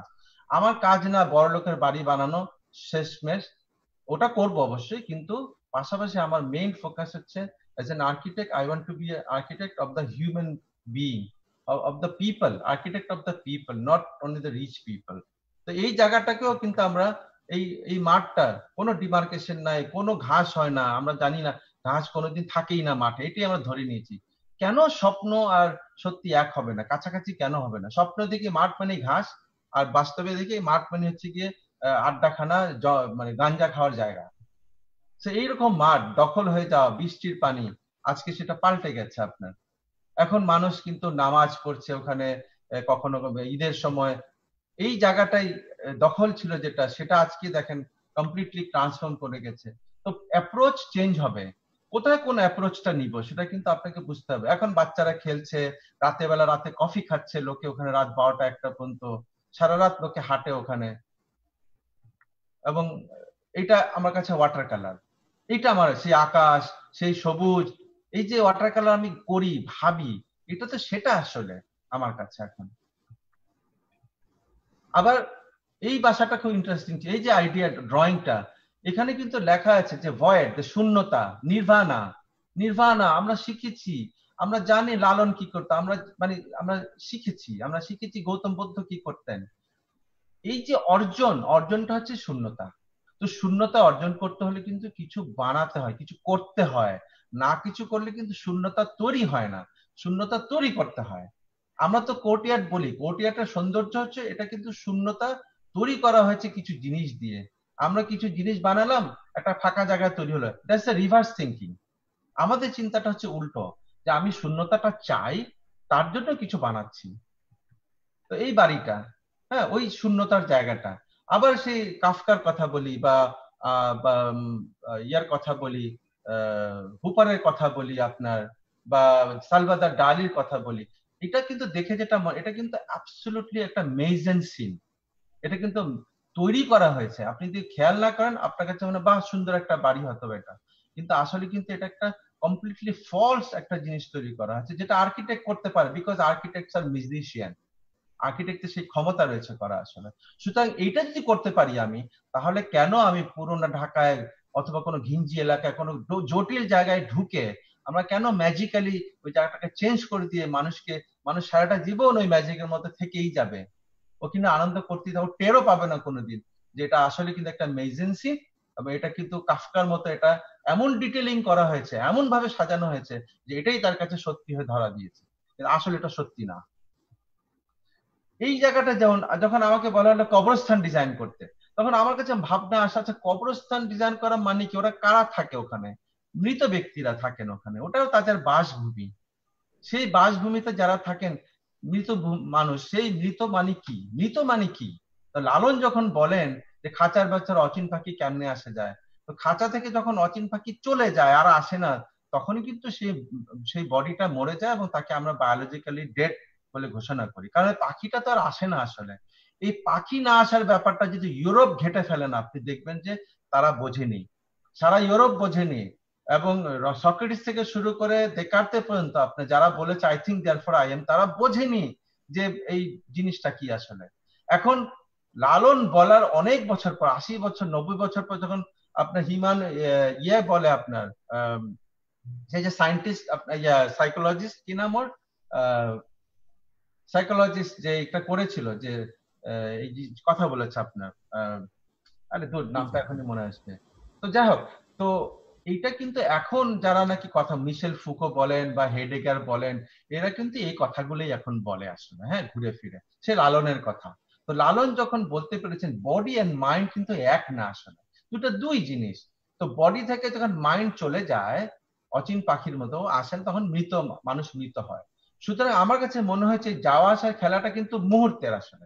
সুতরাং একটা দাগ টেনেছি যে দাগের এই পার হচ্ছে গিয়ে আপনার পার্থিব জগৎ, আর দাগটা ক্রস করলে কিন্তু আমি চলে গেলাম স্বর্গীয় জগতে অথবা সাইলেন্ট জোনে যেটা আমি বলছি কবরস্থান আপনার। তো কাজে এই দাগটাই কিন্তু একটা জানলার মতো। সে জানলা দিয়ে তাকালে আমরা কিন্তু দেখব আমি এই জগতে বেঁচে আছি এবং ওই জানলার বাইরে যে জগৎটা দেখা যাচ্ছে, ওটাই কিন্তু হচ্ছে গিয়ে আরেকটা জগৎ, স্বর্গীয় জগৎ, যেটা যেটা কবরস্থান বলছি আমরা। এবং মাঝখানে আমি যে জায়গাটা তৈরি করি থ্রেশল সেই সমুদ্রের পাড়ের মতো একটা থ্রেশল স্পেস তৈরি করেছি। এইটার পরেই এই যে জায়গাটা, চিত্রকলার সাথে, এই থ্রেশল জায়গাটা হচ্ছে সেই জায়গাটা যেখানে গেলে আপনি না মৃতের জায়গা রয়েছেন, না আপনি পার্থিব জগতে রয়েছেন। আপনি একটা সম্মিলিত জায়গায় রয়েছেন, সমুদ্রের পাড়ের মতো, যেখানে কখনো পানি এসে ধরা দেয় যখন শুকনো এসে ধরা দেয়। কখনো মৃত মৃত্যু এসে ধরা দেয়, কখনো আপনার বাহ্যিক জীবন এই পার্থিব জীবনে এসে ধরা দেয়। কিন্তু আপনি কিন্তু ওইখানে হচ্ছে চিন্তা করতে পারবেন যে এই দুই জীবনের মানে কি আসলে। So you can combine yourself to become a proper human being you can act properly you can behave properly, you can serve your society accordingly. So এই জায়গাগুলো হয় কি আর্কিটেকচার জায়গাগুলো হয় কি মানুষকে রিয়েলাইজেশনের জায়গায় নিয়ে যেতে পারে তাকে মানবতা শেখাতে পারে এবং তাকে হিট দিতে পারে। সে সে ভালো মানুষ হয়ে উঠতে পারে। একটা ভালো মানুষ যদি না হয় সে ভালো আর্কিটেক্টও হতে পারবে না সে ভালো কবিও হতে পারবে না। সবচেয়ে আগে ভালো মানুষ হতে হবে তাকে। তো এই এইটাই কয়েকটা স্কেচ আমি দেখালাম থ্যাংক ইউ রফিক হ্যাঁ। আমার মনে আমার বলার কিছু নাই।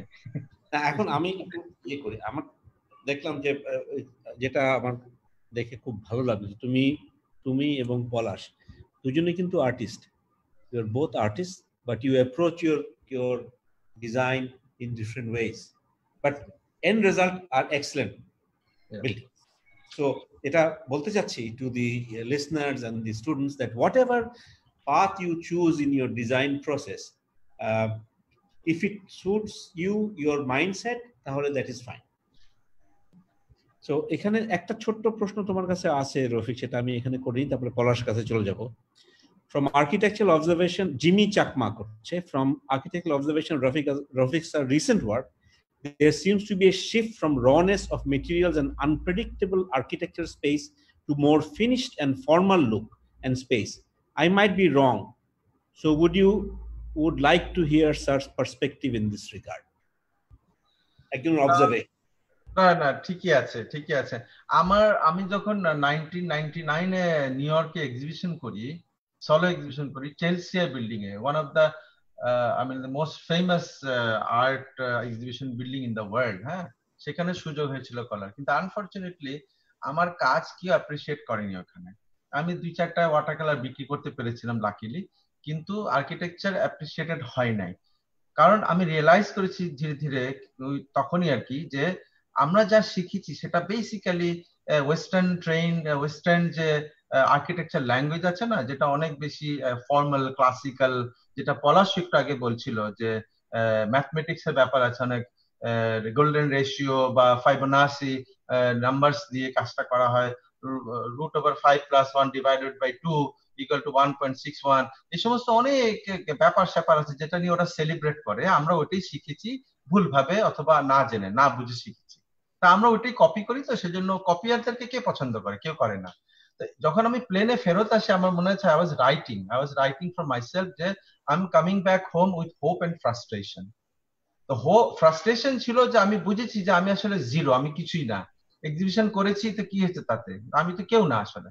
কিন্তু হোপটা হচ্ছে এই, যদি এই সুযোগে আমি ঘুরে না দাঁড়াতে পারি, আমি যদি না আমার ল্যাঙ্গুয়েজ কি বুঝি, তাহলে আমি কোনোদিনই আর আসলে পারব না আসলে। তা আমার টার্নিং পয়েন্ট কিন্তু নাইনটি নাইনের ওই এক্সিবিশনের পরই আসলে। তো সেই কারণে আমার তখনকার কাজ যদি কেউ দেখে, দেখবে আমার জিওমেট্রি কিন্তু একই।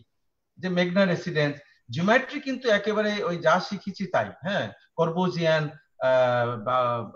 বাহাস তো না বাহাস স্কুলের মানে মোস্টলি বাহাস নট যে লুয়েকানের যে স্কুল আপনার, ওইটা না। তো কিন্তু ওখানে কিন্তু জঙ্গল আসছে, ওখানে ঘাটলা আসছে, জংলা আসছে, ওখানে গোসা ঘর আসছে ওখানে আবল তাবল গাছ আসছে। তখন আমার কাজটাকে মনে হতে কি যে একটু মানে ট্রপিক্যাল একটু ইনফর্মাল একটু এলোমেলো, একটু রোমান্টিক হ্যাঁ?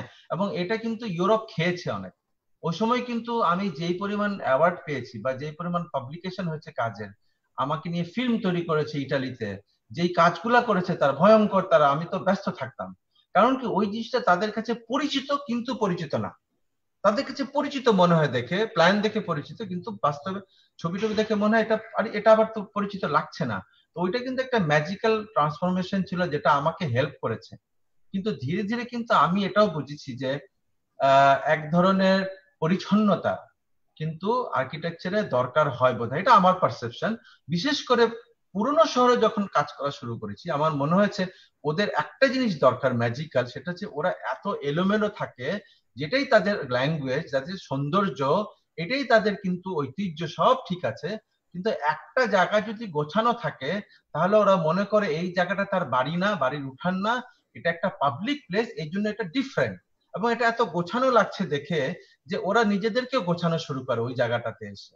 ফলে এই ল্যাঙ্গুয়েজটা কিন্তু আমি পলিটিক্যালি ব্যবহার করেছি। Don't tell me maybe I am wrong baby একদিন কেউ কেউ বলবে যে উনি একটা ব্লান্ডার করেছে ওল্ড টাউনে ঢুকে উনি এত গুছিয়ে হাঁটা পথ পানি ধরা এসব করতে গিয়ে উনি কিন্তু ওল্ড টাউনের ফেব্রিকের উপর হাত দিয়েছে এবং এটা একটা ব্লান্ডার হয়েছে। মেবি দ্যাট ইজ রাইট কিন্তু এখন আমি যে কর্বুজিয়ারের মতো কিন্তু, আমি কিন্তু ওই ভুলটা হয়তো করছি। যে পলিটিক্যালি বলছে যে আর্কিটেকচার কোনো রুলস নাই আর্কিটেকচার কোনো প্রেসিডেন্স নাই আর্কিটেকচার একটা কিউবিক ফর্ম থেকে হবে, সব জায়গায় লাগানো যাবে, এর কোনো কন্টেক্স নাই। এবং পলিটিক্যাল হি ওয়াজ রাইট নাহলে তো আর্কিটেকচার দিয়ে বাঁচানো যেত না ওই ওই ইন্ডাস্ট্রিয়াল সোসাইটিকে বাঁচা, হাজার হাজার লোক মরে যেত তখন কিন্তু। কিন্তু সে যখন নিজে কাজটা করেছে, তখন সে ঠিকই প্রেসিডেন্স মেনটেন করেছে, সে প্রপোর্শন মেনটেন করেছে, সে কন্টেক্সট কে মেনটেন করেছে, তাই না? তার মানে হি ওয়াজ লায়ার অলসো তো পলিটিক্যালি কারেক্ট বাট আর্কিটেকচারে সে কিন্তু, সে মানে নাই ওগুলা কিন্তু। লুকিয়ে লুকিয়ে সে ঠিকই করেছে ওগুলা। তো তার মানে যে দুইটা চরিত্র তার দেখা গিয়েছে, এটা কিন্তু সময়ের দাবি ছিল, না হলে কিন্তু সে এই ওয়ার্ল্ড কে বাঁচাতে পারতো না এরা কিন্তু, এই মানুষগুলা। যে জাপি আউট বলেন বা এরা বলেন। তো আমারও কিন্তু অবস্থা অনেকটা ওইরকম হয়েছে। আমি কিন্তু স্যানিটাইজ করছি অনেক কিছু because of reason to save my nation save my community তো ওইটা করতে করতে কি আমার কিছু অভ্যাসও খারাপ হয়ে গিয়েছে।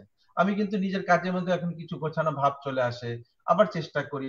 So I am passing through very difficult time now no maybe I will go somewhere or maybe I will die without going any না that's not going to happen এ, পলাশের কাছে আসি। পলাশ, তোমার অনেক অনেক বিল্ডিং দেখে অনেকে মনে করে যে, স্যার, এটা কীভাবে করল? মানে how did you manage to convince the client to do whatever you did তো ওই পরিপ্রেক্ষিতে প্রশ্ন আসছিল Palash sir we always know sometimes we can't express our work due to boundaries of the client. Is there any solution to get rid of this and we can express our thoughts? সত্যিকার অর্থে কি client architecture করার চেয়ে client handle করাটা কিন্তু tough টাফার একটা বুঝতে হবে যে সেই আর্কিটেক্ট যে ক্লায়েন্ট আসছে সে ধনবান যে তার কাজ করাতে চাই যদি পাবলিক সরকারি ভবন হয় সেটা আলাদা কথা। আনফর্চুনেটলি আমি সরকারি ভবন করিনি গত তিরিশ বছরে। করার সুযোগ হয়নি সুযোগ আসেনি আর কি। আমাদের আমাদের কাছে এই ধরনের কাজগুলো আসে না খুব একটা। যেগুলো ধরেন মিউজিয়াম গ্যালারি বা really meant for people what we are doing we are actually uh, catering for interest of the society যাদের কাছে পয়সা আছে, সোজা কথা। এবং পয়সাই তো এখন এই এই যুগে বাজার অর্থনীতিতে পয়সাই হচ্ছে সকল শক্তির উৎস। সেই শক্তি যার কাছে আছে, তিনি মনে করেন যে উনি কারও চেয়ে কম বুঝেন না। আর্কিটেক্ট তো তার একজন পেইড লোক। আমি পয়সা দিব, আমার কথা শুনবে না কেন? তো তার মানে হচ্ছে যে স্থাপত্য করার চেয়েও এই যে আমরা ক্লায়েন্ট যাদের বলি আমাদের যা, যারা গ্রাহক, সেই গ্রাহককে হ্যান্ডেল করা অনেক কঠিন কাজ। এবং আমি মনে করি যে আর্কিটেকচারের যে ফ্রাস্ট্রেশনের যে কথাটা প্রথমে এসেছিল ফ্রাস্ট্রেশনের একটা মূল কারণ কিন্তু আমাদের ক্লায়েন্ট আমাদের ক্লায়েন্ট এবং এই ক্লায়েন্ট এটা এটা মনে করলেও ভুল হবে যে, এটা শুধুমাত্র এই দেশেই হচ্ছে, তা নয়। এটা একেবারে সবচেয়ে উন্নত দেশেও হচ্ছে। আমাদের এখানেও এই ক্লায়েন্টের যে একটা জনরে এই জনরেটা মোটামুটি একই। তাদের বিহেভিয়ারাল প্যাটার্ন আর্কিটেক্টের সঙ্গে মোটামুটি একই। কেউ কেউ, সবাই তো আর লর্ড নর্মান ফস্টার হতে পারে নাই হ্যাঁ? সবাই পারে নাই, বা সবাই লিউএকান হতে পারে নাই, দুইশো একরের জায়গায় ছয়শো একর নিয়ে ডিজাইন করে ফেললাম। But that was government project এবং ওইটার একটা পলিটিক্যাল মোটিভেশন ছিল।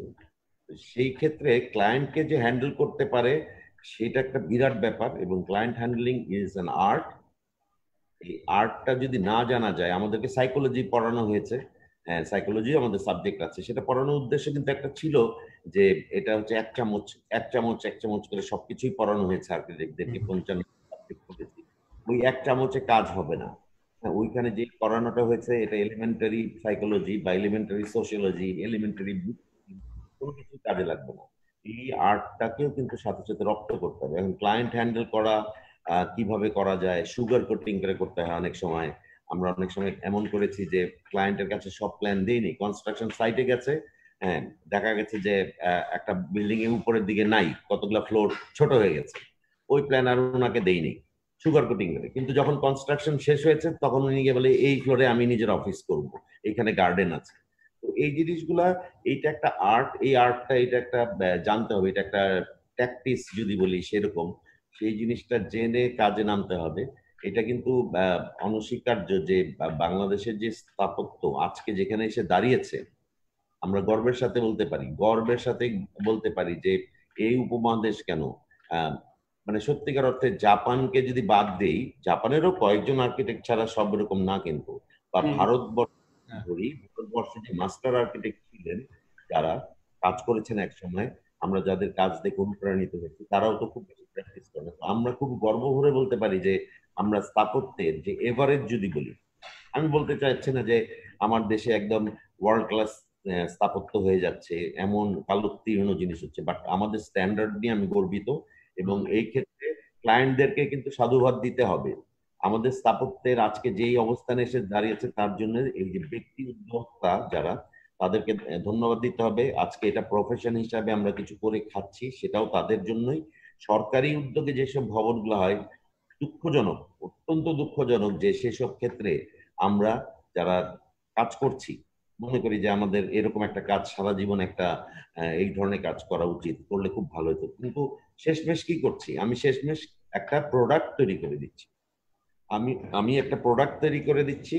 হ্যাঁ রফিক আজম করছে। রফিক আজম ভুটানে হাই কমিশন করছে বা পাকিস্তানে হাই কমিশন করছে। দিস আর দ্য প্রজেক্টস ও যেগুলো দেখিয়েছে। হ্যাঁ ও যেটা দেখিয়েছে সেগুলো প্রজেক্ট এরকম প্রজেক্ট একজন একটা গোরস্থান করছে দুটা কবরের জন্য। এই প্রজেক্ট আর একটা যখন একটা কমার্শিয়াল বিল্ডিং হয় বা একটা একটা অ্যাপার্টমেন্ট বিল্ডিং হয় বুঝতে হবে এটার মধ্যে বিস্তর ফারাক। বিস্তর ফারাক বিস্তর ফারাক। এবং এই যে যেই প্রোডাক্টগুলো তৈরি করি সেটা কিন্তু আলটিমেটলি একজন বিক্রি করে। মানে হচ্ছে এখানে একজন মধ্যস্বত্ব ভোগী আছে। এই মধ্যস্বত্ব ভোগীরা শিল্পের কদর খুব কম বুঝেন কবিতা খুব কম বুঝেন। তাদের কাছে কিন্তু হচ্ছে নন্দন তত্ত্ব তাদের কাছে একটা বিষয় বিশাল ব্যাপার। নন্দন তত্ত্ব তো দর্শনের একটা ছোট অংশ। তো সেই নন্দন তত্ত্বটা তার কাছে খুব ইম্পর্টেন্ট দেখতে জিনিসটা ভালো কিনা। হ্যাঁ এই যে বলা হচ্ছে যে ফিনিশিং করতে হবে বাধ্য। না না করলে সোসাইটি থেকে বাদ যেতে হবে আলটিমেটলি তারপরেও আমরা বলছি যে আমরা যেইভাবে ক্লায়েন্ট হ্যান্ডেল করে আজকে পঁচিশ, তিরিশ বছর ধরে কাজ করছি, আমরা একটা স্ট্যান্ডার্ড তৈরি করার চেষ্টা করছি যে যে স্থাপত্যকে আমি মোটামুটি আমরা স্ট্যান্ডার্ড বলতে পারি। হ্যাঁ অ্যাট পার যে গ্লোবাল স্ট্যান্ডার্ড সেরকম একটা জিনিস তৈরি হচ্ছে। আর ক্লায়েন্ট হ্যান্ডেল কিন্তু ইজ অ্যান আর্ট আমি বারবার বলছি, এই আর্টটা সবাই জানে না। এই আর্টটা অনেকে জানে না বলে আমাদের দেশে এত ভালো ভালো কিছু আর্কিটেক্ট ছিলেন। আমি একদম পিন পয়েন্ট করে নাম বলব না। যারা মানে বিশ্বমানের কাজ করতে পারতেন তারা কিন্তু মানে এই যে বাজার থেকে বাদ হয়ে গেছে এটা বুঝতে হবে this is a profession end of the day আমি কাজ করে পয়সা নেই। আমি বলি তো এইটা এই জিনিসটা না বুঝলে বিপদ। ইগোইস্টিক হওয়া যাবে না। ইগো থাকবে। ইগো ইমোশন এগুলা ছাড়া তো আর মানুষ হয় না। ইগো থাকবে ইমোশন থাকবে। কিন্তু সেটাকে এনি হাউ ম্যানিপুলেট করে ক্লায়েন্টের কাছে উপস্থিত করতে হবে। রাগান্বিত হওয়া যাবে না। আমরা এক সময় শুনেছি অনেক বিখ্যাত আর্কিটেক্ট ড্রয়িং ছিঁড়ে ঘরের থেকে বের ক্লায়েন্ট আমরা এটা প্র্যাকটিস করেছি। আমি প্রথম দশ বছর ওই ধরনের প্র্যাকটিস করেই ফ্রাস্ট্রেটেড হয়ে ছেড়ে দিয়েছিলাম অলমোস্ট আর্কিটেকচার বইটা জয়েন করে। তো সেইটা করা যাবে না। আমার কথা হচ্ছে একটা প্রকল্প যদি শুরু করা হয় সেটা শেষ পর্যন্ত থাকতে হবে এবং অন্তত আশি ভাগ আর্কিটেক্ট যা ডিজাইন করেছে সেটা যাতে অ্যাচিভ করা সেটা চেষ্টা করতে হবে। শেষ দিন পর্যন্ত যদি না থাকা যায় কোনো যে কোনো প্রজেক্টে তাহলে ওই প্রজেক্ট ডিজাস্টার হতে বাধ্য। শেষ হয়ে যেতে পারে। কারণ শেষে গিয়েই দেশে ই করি আমি শেষ করি। আমাদের দেশে শেষে গিয়েই কিন্তু ক্লায়েন্টরা আর্কিটেক্ট হয়ে যায়। সে তার নিজের ইচ্ছা মতন গ্রিলটা ডিজাইন করতে চায় বাউন্ডারি এন্ট্রি গেটটা ডিজাইন করতে চায়। মানে পুরো প্রজেক্টটাকে কমপ্লিটলি মানে আপসাইড ডাউন করে দিতে পারে। তো সেই জন্য প্রজেক্টের সঙ্গে থাকা এটা খুব জরুরি।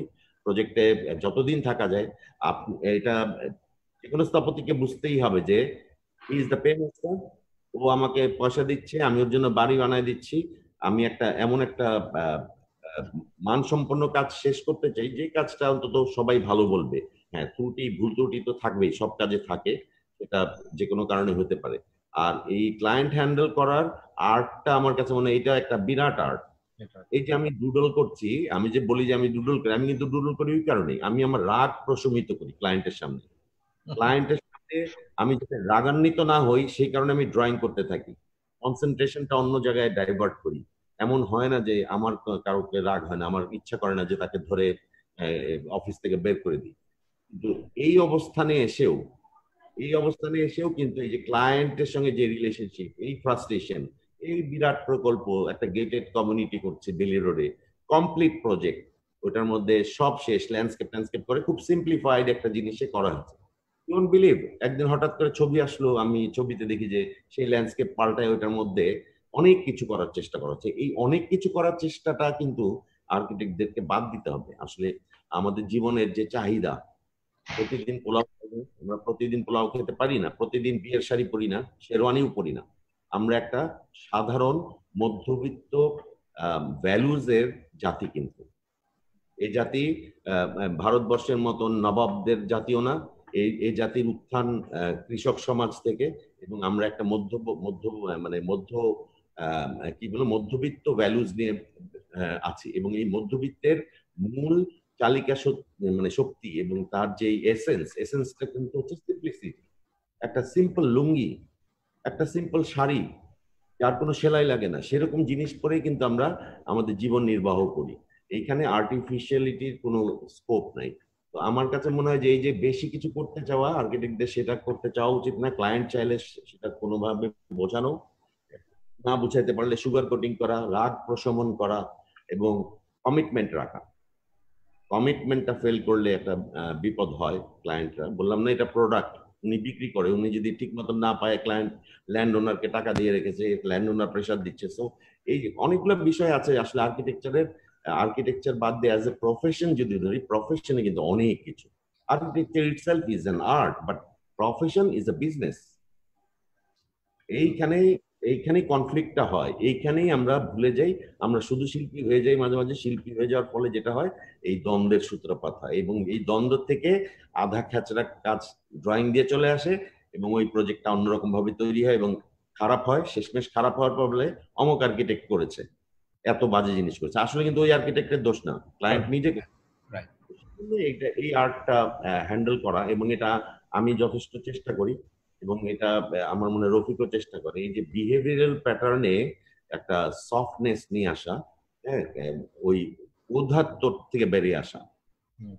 এবং ওকে বুঝতে দেওয়া যে you are the owner of this project এইটার ওনারশিপ যে কোনো সময় আপনি চেঞ্জ হয়ে যেতে পারে। কালকেই আপনি এটার ওনার থাকবেন না। কিন্তু you can't sell the architect you can't change the name of the architect of the project তার মানে এটা আমারই সন্তান সারা জীবন আমারই থাকবে। এবং এটার থেকে আমার নাম কোনোদিন মোছা যাবে না। পাকিস্তান থেকে বাংলাদেশ হয়েছে পার্লামেন্ট ভবন কিন্তু লুইয়াই খানকে আমরা নাম মুছতে পারি নাই কিন্তু এটার ওনার হয়ে গেছে বাংলাদেশ এখন। সেই জিনিসগুলো বুঝতে হবে এবং এই বোঝার সূত্র ধরেই আমি মনে করি যে আমাদেরকে অনেক সহনশীল অনেক ধৈর্য সম্পন্ন হইতে হবে। ধৈর্য সম্পন্ন ভালো ব্যবহার সুন্দর করে বোঝানো। আমি খুবই প্র্যাকটিক্যাল জিনিসগুলো এই কারণে বলছি যে যেহেতু রফিক অনেক ফিলোসফিক্যাল জিনিসগুলো বলেছি ইলাবোরেটলি ওইখান থেকে এক ধরনের এসেন্স পাচ্ছি। আমি আর ও যদি একই কথা বলি তাহলে কিন্তু আবার রিপিটেশন হ্যাঁ, খুব চমৎকার একটা ব্যালেন্স হচ্ছে কনভারসেশনে রিয়েলি চমৎকার এত আর্কিটেক্ট বেরোচ্ছে আমি বারবারই বলছি সবাই তার রফিক আজম হবে না। হ্যাঁ তো সবাই আরও অনেকে আমাদের বড় বড় আর্কিটেক্ট সবাই হবে না, আমরা পাঁচ, ছয় জন, দশ জন, বারো জনের কথা বলতে পারি। সবার হওয়ার দরকার নাই ট্রুলি স্পিক একটা স্ট্যান্ডার্ডাইজড প্র্যাকটিস করার, একটা প্ল্যাটফর্ম তৈরি করা আর্কিটেক্টকে এই সমাজে একটা ইনএভিটেবল পার্ট করা সেটা চেষ্টা হচ্ছে, এখনও হয়নি হয়তো হবে সামনে। এরকম একটা পরিস্থিতি করতে হলে এটার যে মানে একক ইউনিট হচ্ছে আর্কিটেক্ট সেই আর্কিটেক্টকে ওই স্থাপত্য শিল্পের সাথে সাথে ওইটার যে প্রফেশনাল আসপেক্টগুলো আছে ওইটাকে রপ্ত করতে হবে। রফিকের কাছ থেকে কমেন্ট শুনি তারপর আমরা শিক্ষায় চলে যাব। শিক্ষার পরে তোমাদের জয়েন্ট প্রজেক্ট ছোট করে বলি পলাশ কিন্তু পলাশকে আমি মনে করি যে এখনও সুযোগ আছে। পলাশের কাছ থেকে আলাদা হলেও এইটার উপরে আলাদা সেশন করে এটা শেখার ব্যাপার আছে। হ্যাঁ। এটা কিন্তু যা তা কথা নয়। এই যে একটা উঁচু মানের স্থাপত্য তৈরি করা এবং সেখানে আপনার জটিল জটিল ক্লায়েন্ট মানে পাওয়ারফুল ক্লায়েন্ট তারপরে কিন্তু দেখেন সবাইকে কিন্তু মানে ওই যে বলে না ছাগল আর মানে বাঘকে এক ঘাটে পানি খাইয়ে দেওয়ার মতো অবস্থা এটা কিন্তু একটা পাওয়ার পলাশ কিন্তু একটা পাওয়ার হাউস এই সোসাইটিকে এটা বুঝতে হবে এখন। ওর পক্ষে যা করা সম্ভব এটা যদি না শিখে পেলে ওর কাছ থেকে আমরা নতুনরা যারা নতুন তারা কিন্তু অনেক কিছু হারাবে। ও কিন্তু বারবার বলার চেষ্টা করছে যে শিখতে হবে, ধৈর্য ধারণ করতে হবে। এখন এথিক্যাল পয়েন্টে যদি বলি, ওই জায়গাগুলো কোথা থেকে আসে? পলাশ আমি কখনো কমিশন খাই না। পলাশ আমি কোনোদিন ইন্টেরিয়ার করতে গিয়ে মিস্ত্রি খেতে পয়সা নেই না। আমরা ইন্টেরিয়ার করতে কনস্ট্রাকশন করি না। আমরা জীবনের অনেকগুলা শর্ত আরোপ করেছি নিজেদের উপরে। যা আমরা ইন্টেরিয়ারে ব্যস্ত থেকে টাকা আয় করে করতে করতে ডিজাইন ভুলে গেলাম। আমরা আর ওই কাজ করতে পারছি না এখন। না, আমরা কিন্তু আমাদের ফোকাস যে, আমাদের যে কমিটমেন্টের জায়গা, এটা কিন্তু এক ফোটা নরচর হয়নি। এখন আমি ছোট্ট একটা এক্সাম্পল দেই। ওয়েটিং ফর গডো নাটক যদি দেখি স্যামুয়েল বেকেটের, আমরা দেখব সবই উল্টা পাল্টা কখনো চাকর সেই মালিক মালিক আবার চাকর হয়ে যাচ্ছে। নাটকটা কিন্তু অ্যাবসার্ড কিন্তু সমালোচকরা অনেক অ্যানালাইসিস করেছেন বা আলোচকরা ক্রেটরা ওনারা বলছেন যে এন্ড অফ দ্য ডে এরা কিন্তু ওয়েট করেছিল গডোর জন্য। গডকে কেউ জানে না গড না গডো কিন্তু তারা ওয়েট করেছে, অপেক্ষা করেছে এন্ড অফ দ্য ড্রামা এই যে তাদের কমিটমেন্টের লেভেল কিন্তু অনেক হাই যেটা অ্যাপারেন্টলি বোঝা যায় না। তা আমরা অনেক কিছু করি, কিন্তু এই যে ক্লায়েন্টকে বুঝাই ক্লায়েন্টকে কখনো যে ডুডল করে সে নিজেকে ব্যস্ত রাখে ক্লায়েন্টের কথা না শোনার জন্য। অনেক কায়দা কানুন যে করি আমরা পলাশ যে করে, একটাই কিন্তু কমিটমেন্ট আমাদের যে জিনিসটা বানাবো, সেটা কিন্তু সমাজের জন্য মঙ্গলময় হবে এবং যারা ব্যবহার করবেন তারা ওটা থেকে তারা ফেসিলিটি পাবেন, আনন্দ পাবেন, ব্যবহার করতে পারবেন। কে ওনার ওটা তখন ডিজলভ হয়ে যায়। কে ওনার কিন্তু ইম্পর্টেন্ট থাকে না। তো কাজে এই এই ওনারকে কেন আমরা গুরুত্ব দিব? কেন আমরা ওর সঙ্গে ঝগড়া করব? কেন, ও তো হচ্ছে মিডিয়া ও হচ্ছে একটা কি বলব? ও হচ্ছে একটা উছিলা যাকে দিয়ে আমরা সমাজের মঙ্গল করছি, মানুষের মঙ্গল করছি। তো তাকে খামাকে ঘাটিয়ে কেন আমি ব্লান্ডার করে একটা এমন জিনিস বানালাম যে পুরো সমাজের জন্য এটা বোঝা হয়ে গেল সারা জীবনের জন্য। কাজেই পলাশের কথা মনোযোগ দিয়ে শোনা দরকার ওদের এবং শেখা দরকার। এখন আমি নেক্সট প্রসঙ্গে যাই। অনেক প্রশ্ন আছে কিন্তু আমি প্রশ্নগুলোকে একটু কনসলিডেট করে বলি। এটা শিক্ষা সম্বন্ধে জি তোমরা বলেছ যে আর্কিটেকচার শিক্ষায় রফিক তো পাশই করল না কয়েকটায়। পলাশ বলল যে ওখান থেকে শেখার বেশি কিছু। আমাদের, আমার আমার মনে হয় আমাদের স্থাপত্য শিক্ষার কিছু প্রবলেম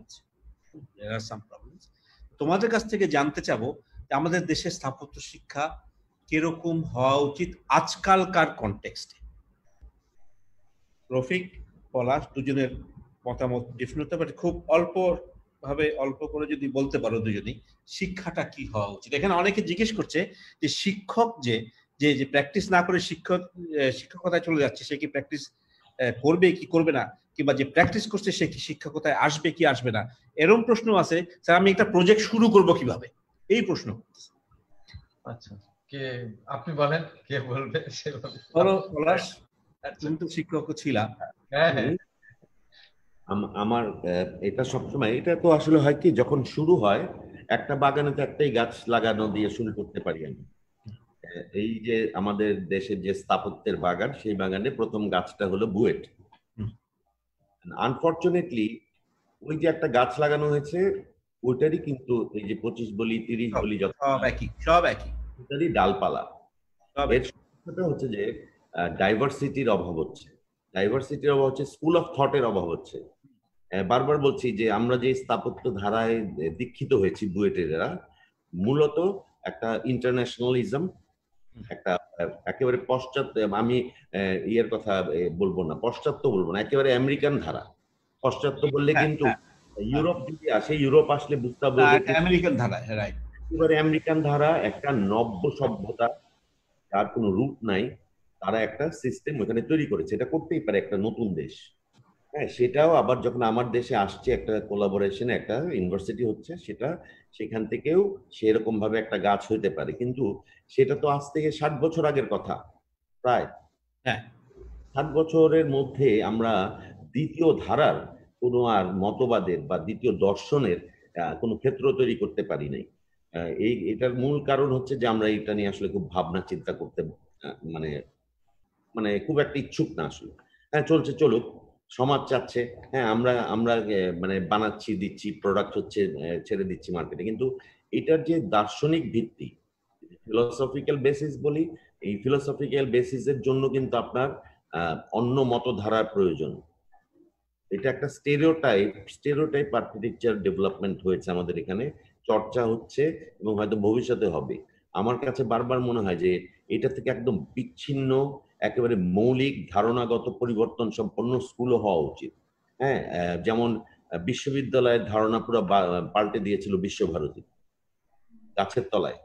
হ্যাঁ সেই বীরভূমে হ্যাঁ বরেন্দ্র এলাকাতে, গরমের মধ্যে দেখেন ভালো করে আজকে চিন্তা করে দেখেন, সেখান থেকে কিন্তু এক ধরনের যে ফলগুলো পাচ্ছি আমরা, সেই ফলগুলো কিন্তু টিপিক্যাল বিশ্ববিদ্যালয়ের মানে প্রোডাক্টের মতন নয়। তো সেই রকম কেউ আসলে আমরা পাইনি। হয়তো পেতে পারতাম হয়তো আমরা মাজহারুল ইসলাম স্যার যদি একটা স্কুল করতেন হ্যাঁ, হয়তো আমরা একেবারে অন্য ধারার চিন্তা ভাবনা করতে পারতাম। অনেকেই আছে যে যারা করতে পারে। তবে এটা এই স্কুলটা এখন মনে হয় ডেভেলপ করবে আস্তে আস্তে আমার মনে হয় ডেভেলপ সমস্যাটা অন্য জায়গায় আমার কাছে মনে হয়। এটা এখন স্কুলটা যেহেতু এখন ব্যবসা হয়ে গেছে এটা যেহেতু একটা বিজনেস কেস এই বিজনেস কেসে সবসময় কম্পোনেন্ট গুলাকে যত সহজ কপি ক্যাট করা যায় তত সোজা। হ্যাঁ কারণ হচ্ছে আমি আমি, আমার প্রোডাক্ট হচ্ছে কারণ ডুয়েটের টিচার পাইলে খুব ভালো কথা, নাইলে ওইখান থেকে যেটা হচ্ছে যে প্রোডাক্টটা দিয়ে আমি স্কুলটা চালাচ্ছি বা যেই টিচার দিয়ে স্কুল মানে একাডেমি দিয়ে স্কুল চালাচ্ছি, সেটা কিন্তু আসলে ঘুরে ফিরে ওই জায়গা থেকেই আসছে। উৎস কিন্তু এক। উৎস এক হলে আমাকে মানে ওই দর্শনগত জায়গায় আমরা কোনো হেরফের আনতে পারব না। আমরা যদি বলি যে না আমরা একটা আর্কিটেকচার স্কুল রফিক আজম যেটা বলল আমরা আর্কিটেকচার স্কুল করতে চাই বেসড অন লালন। ওকে এরকম একটা চিন্তা করতে পারি। বা আমি একটা আর্কিটেকচার স্কুল করতে চাই বেসড অন রবীন্দ্রনাথ। হতে পারে। মানে totally out of the box একটা কিছু চিন্তা করা একটা হোক। আমি আরেক অ্যাড করি যে কিছু আর্কিটেকচার স্কুল হওয়া উচিত যেগুলো টেকনিক্যাল। যারা well design well engineer building বানাতে পারে। মাস ইয়ে করার জন্য। আর্ট সাইড আরেকটা থাকবে। আমাদের সাতাশটা স্কুল আজকে শুনলাম উনত্রিশটা। সব সবগুলো রুট এক। আমার কাছে যেমন মনে হয় যে একটা এমন কোনো আর্কিটেকচার স্কুল হতে পারে যেখানে আমি প্রথম দুই বছর সবাই পেন্টিং করব। এবং ওইখানে আর কিছু শিখাবে না। আমি দুই বছরের পরে গিয়ে আমি ঠিক করব আমি পেন্টিং লাইনে যাব আমি স্কাল্পচারে যাব নাকি আমি আর্কিটেকচার পড়ব তার মনে হচ্ছে তার বেসিকটাকে ওই যে ন্যাক তৈরি করে দেওয়া তার মধ্যে ক্রিয়েটিভিটির যে মানে সবার মধ্যে ক্রিয়েটিভিটি আছে। এই ক্রিয়েটিভিটি ছাড়া তো মানুষ নাই। এই ক্রিয়েটিভিটির যে পোটেনশিয়ালিটিটা সেটা গ্রো করানো। এই জিনিসগুলা নাই কিন্তু। এটার উদ্যোগ নেওয়া হচ্ছে না। বারবারই বলছে এটা বিজনেস কেস হয়ে যাচ্ছে। ল্যাপটপ এখন টেবিল আরও ছোট লাগে। আগে তো আমাদের তাও চার ফিট পাঁচ ফিট সাইজের টেবিল লাগতো বিরাট রুম লাগতো। এখন ল্যাপটপ এবং আমি ক্লাস নিয়েছি। এখন তো ক্লাসে যেতেও হয় না। আপনাদের এখানে ক্লাস নিয়েছি ফোনে এসে ডিজাইন দেখায়। ল্যাপটপ আনে না। তো this is the situation it is going to be মানে ডিবাকল আমার মনে হচ্ছে। কারণ আপনি যেহেতু মেশিন অনেক বেশি মাস প্রোডাকশন অফ আর্কিটেক্ট হচ্ছে তাতে কিন্তু ডেঞ্জারটা যত বেড়ে যাচ্ছে ওই পঞ্চাশ জন তো আর এখন নাই এখন এক হাজার জন বেরোচ্ছে আর্কিটেক্ট অনেক হ্যাঁ। এরা তো প্র্যাকটিস করবে। এবং এদেরকে যদি ঠিক মতন ওই দর্শনের ভিত্তিটা তৈরি করে না দেওয়া হয়, আমাদের ওভারঅলি সোসাইটিটাতে এমনি আস্তে আস্তে মাটির উপরে শ্যালো হতে হতে নিচে স্তর পড়তে পড়তে মানে নেভিগেট করার আর কোনো জায়গা নেই। সো একেবারে থিন একটা লেয়ার অফ নলেজ বেস তৈরি হবে, যেটাকেই আমরা আর্কিটেকচার মনে করব বিম কলাম খাড়া করে দিয়ে কিছু ব্যালকনি ট্যালকনি দিয়ে বানাই দেবো। তো ওইখান থেকে বেরিয়ে আসতে হলে কিন্তু একটা র্যাডিক্যাল চেঞ্জ ইন পেডাগোগি লাগবে। এই র্যাডিক্যাল চেঞ্জটা আনবে কারা? আমি জানি এটার জন্য উদ্যোগ দরকার এটার জন্য অর্থ দরকার সাপোর্ট দরকার অনেক কিছু দরকার। তো ওইটা হয় না দেখেই হচ্ছে না এই হচ্ছে না বলেই হচ্ছে না। আর হচ্ছে না বলেই এটা এটা ডিমান্ড থেকেই আসবে।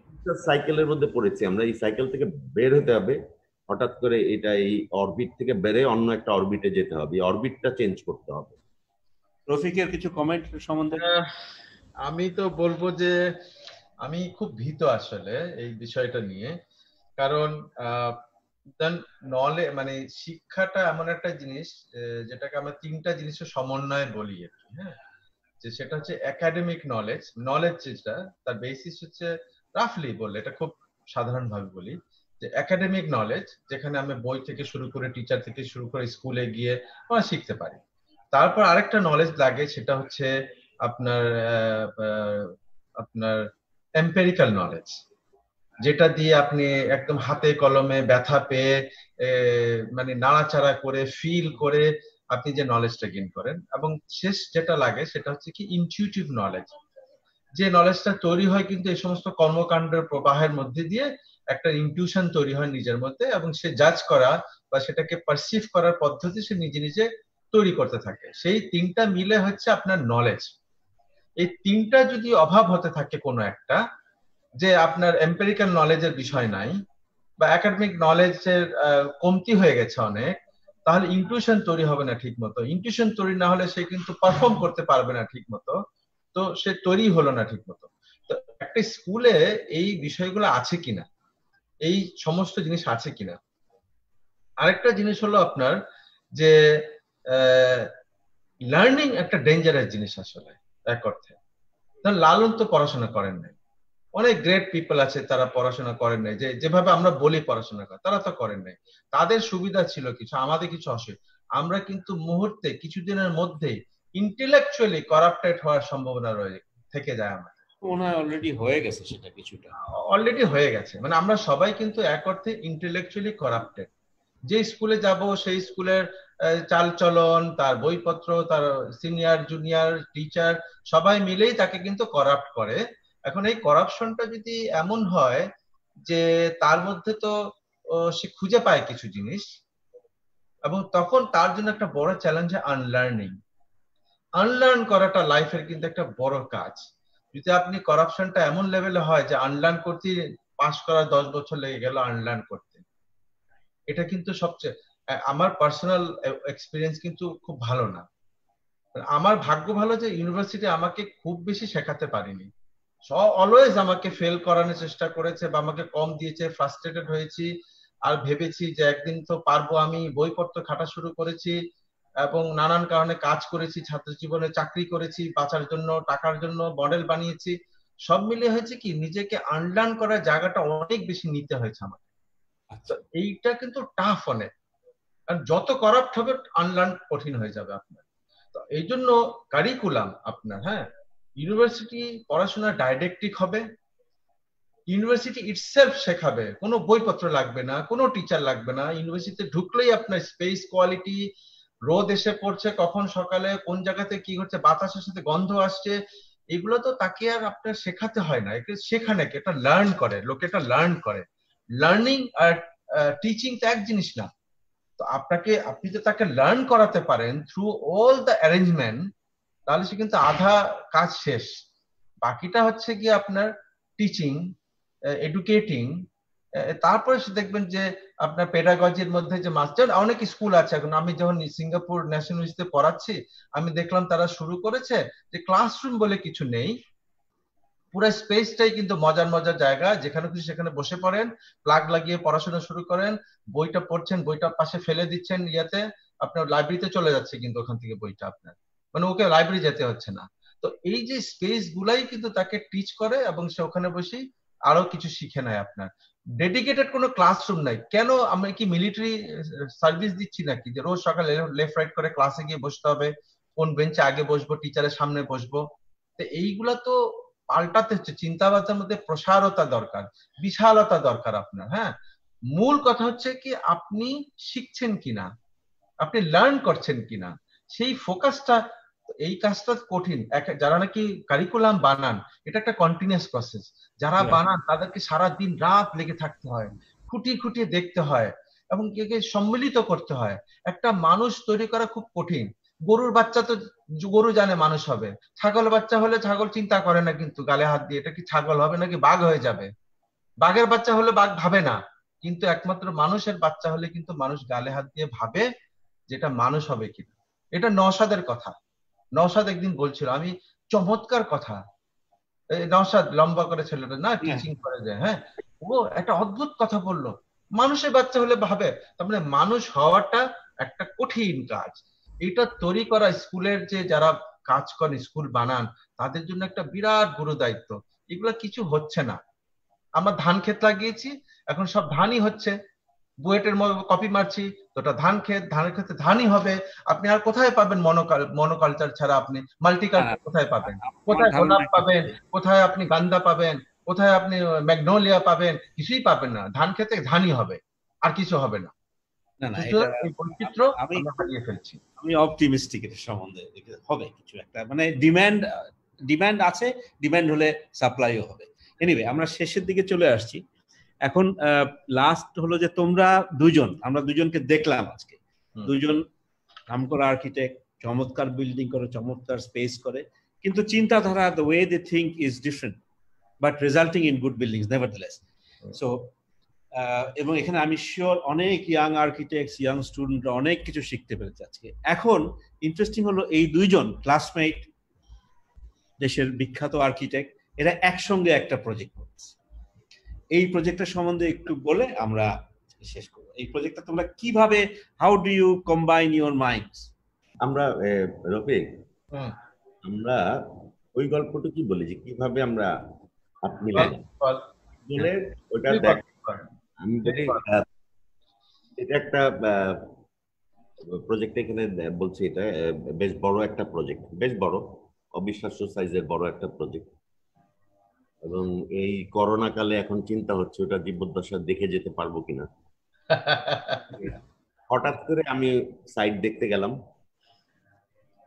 দুদিন পরে দেখি কি একই পোস্টে যে আর্কিটেক্ট ওই অফিসে আমাদেরকে নিয়ে গেছেন পোস্ট দিয়েছেন এখানে একটা ছবিতে আমি আছি আর একটা ছবিতে রফিক আজম। আমি ফোনটা উঠাইলাম, বললাম যে আমি তো তুই গেলি এখানে? বলে হ্যাঁ আমি তো গেলাম।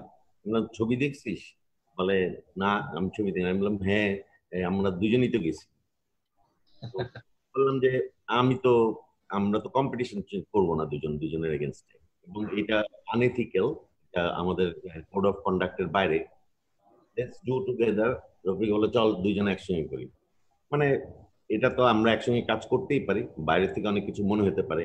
অনেক ডিফারেন্স মনে হতে পারে কাজের ধরনের। বাট আমি মনে করি the at the end of the day the essence of our works are similar and the variation it comes out of the project itself এখন একটা ধরেন একটা কমার্শিয়াল বিল্ডিং একটা গোরস্থানের মতন তো হবে না। আবার রফিক আজম যখন কমার্শিয়াল করবে আমি যখন কবর করব কবরেতে গিয়ে কমার্শিয়াল বিল্ডিং এর মতন বানাইতে পারব না। তো আবার এসেন্স আমরা যেই এলিমেন্টগুলা নিয়ে কাজ করি আর্কিটেকচারের ইট কংক্রিট প্রপার সিম্প্যাথি যেটাকে আমরা বলি যে ম্যাটেরিয়ালের যে কথা বলে এই জিনিসগুলো কিন্তু একই আমাদের।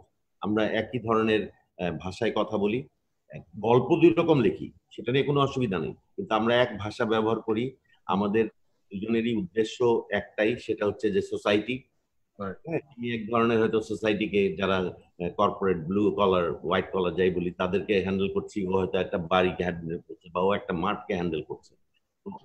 এই জিনিসগুলাতে our journey we are following the same same path our journey is in the same মানে destination towards the same destination we are having the same vehicle same vehicle একই, দুইজন দুই গাড়িতে যাচ্ছি, একই পথে যাচ্ছি। আমি হয়তো কোনো সময় জানলা খুলে দিচ্ছি, ও হয়তো কোনো সময় জানলা বন্ধ করছে। এইভাবে চলছে। কোনো সময় আগে যাচ্ছি পিছিয়ে যাচ্ছি। তো এই যে সময়টা তিরিশ বছর আমরা পার করেছি we had very good time আমরা কাজের চাপে দুজনেই হয়তো ওই যে বন্ধুত্ব যে জায়গাটা থেকে গলা ধরে বন্ধুত্ব সেরকম করে আমরা নড়ি নাই চড়ি নাই। কিন্তু যখন সুযোগ এসছে যে এই সুযোগটা আবার বলি যে নিমিত্ত বলে একটা কথা নিমিত্ত হচ্ছে যিনি উদ্যোগ নিচ্ছেন এন্টারপ্রেনিয়র সে হচ্ছে উদ্যোগ নিয়েছেন একটা প্রকল্প করবেন। কিন্তু যাদের জন্য প্রকল্প করবেন সেখানে ষোলো হাজার পরিবার থাকবে। ষোলো হাজার। Think of the whole thing আমার কথা হচ্ছে যে, আমার যদি ক্ষমতা থাকে দেশের জন্য, শহরের জন্য বা দেখায় দেওয়া উচিত what the housing the township to be এটা এই যেহেতু আমরা দুজন আছি, আমরা, আমি কিন্তু আপনাকে বারবার বলছি, আমরা যদি উল্টা পথের যাত্রী হইতাম, কোনোদিন আমরা এই হাত মিলাতাম না। হ্যাঁ আমরা হাত মিলাতে পেরেছি বিকজ উই আর একই গাড়িতে চলতে চলতে হাত মিলানো যে আমরা হাত মিলিয়েছি এবং we are destine to the same মানে এন্ড এই প্রজেক্টটা সেরকম একটা প্রজেক্ট আমরা মনে করেছি যে আমাদেরকে সোসাইটিকে দেওয়া এবং এমন একটা কিছু তৈরি করা যে যেই কিছু থেকে আবার হয়তো অনেক কিছু উৎসরিত হবে। হাউজিং টিপিক্যাল বা টাউনশিপ ওরকম কিছু না। তো আমার মনে হয় এই প্রজেক্টটা ছোট্ট করে অ্যানিমেশনটা একটা দেখালে দেখানো এবং ব্যাপার হচ্ছে ক্লায়েন্ট তো মহা খুশি। উনি চাইলেন উনি চাইলেন একটা একটা পাখি পাইলেন দুইটা পাখি। দুইটাই টপ আর্কিটেক্ট হ্যাঁ just because of the Facebook just because of the Facebook thanks to the Facebook যে আজকে সাড়ে পাঁচশো লোক এটা দেখছে তো ফেসবুকের ভালো আছে খারাপ আছে ওই ছবিটা না দিলে কিন্তু বুঝতে পারতাম না। তলে তলে আমরা কিন্তু প্রতিদ্বন্দ্বিতা করতাম ও জানতো না আমিও জানতাম না। তো এন্ড অফ দ্য ডে যা কিছু হয় ভালোর জন্য হয়। আমরা যে এই কাজটা যদি জীবদ্দশায় শেষ করতে পারি দেখে যেতে পারি তাহলে তো কোনো কথাই নেই কিন্তু ড্রয়িং ট্রয়িংগুলো শেষ করে গেলে আর শেষ বিষয় ওরকম তো হবে ওটা ধরেও নিয়েছি আমরা যে দুই এইখানের পয়সা পঞ্চাশ বছর পরে দেওয়ার ভাবনা চিন্তা করা হচ্ছে।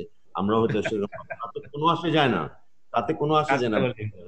The world the world has got parliament building তো সেই হিসাবে এখন অ্যানিমেশনটা চলুক আমরা অ্যানিমেশনটা দেখি। আওয়াজ হয়? আচ্ছা। হবে। তুমি ইয়ে করবে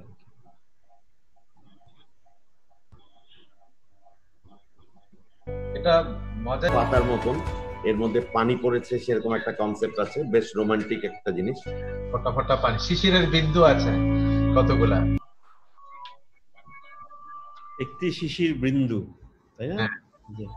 অনেকগুলি মানে আসলে তো দুইটা দুইটা বিল্ডিং যদি হয় দুইটা দুটা বিল্ডিং এর মাঝখানে একটা হচ্ছে রাস্তা অল্টারনেটটা হচ্ছে ওয়াটার বডি তার মানে ইউ ক্যান গো এনিওয়ের মানে ওয়াটার ওয়েও তৈরি করা হয়েছে ক্যানেল টাইপের আমাদেরকে এই প্রজেক্টের আশায় থাকলাম আমরা। শেষ করব এখন। তোমরা দুজনে একটু নতুন যারা আর্কিটেক্ট স্টুডেন্ট তাদের সম্বন্ধে কিছু বলার থাকলে অল্প কথা যদি একটু অ্যাডভাইস কিছু দিতে পারো। তোমরা তো স্টুডেন্ট ছিলে এক সময়। না সত্যিকার অর্থে আমরা স্টুডেন্ট ছিলাম না আমরা স্ট্রাগলার ছিলাম।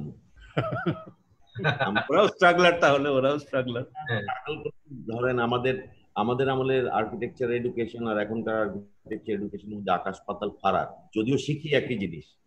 The way we have been taught হ্যাঁ সারা রাত মানে ক্লাসে পড়ে থাকা হ্যাঁ তারপর মিল্ক দুইটা দুধ ঝুলায় খাওয়া হ্যাঁ করা মানে দিনের রাতের পর রাত জেগে থাকা সেই জিনিসটা তো নাই। সারাদিন তো কাজ করতাম না। আর এখন হচ্ছে মেকানাইজড একেবারে নিয়ে বসে অটোক্যাড নিয়ে বসে। যেমন আমি মনে করি যে প্রচুর পরিমাণে স্কেচ করানো উচিত। একজন আর্কিটেক্ট কেন ওয়ার্কিং ড্রয়িং এর ড্রাফটিং করতে হবে?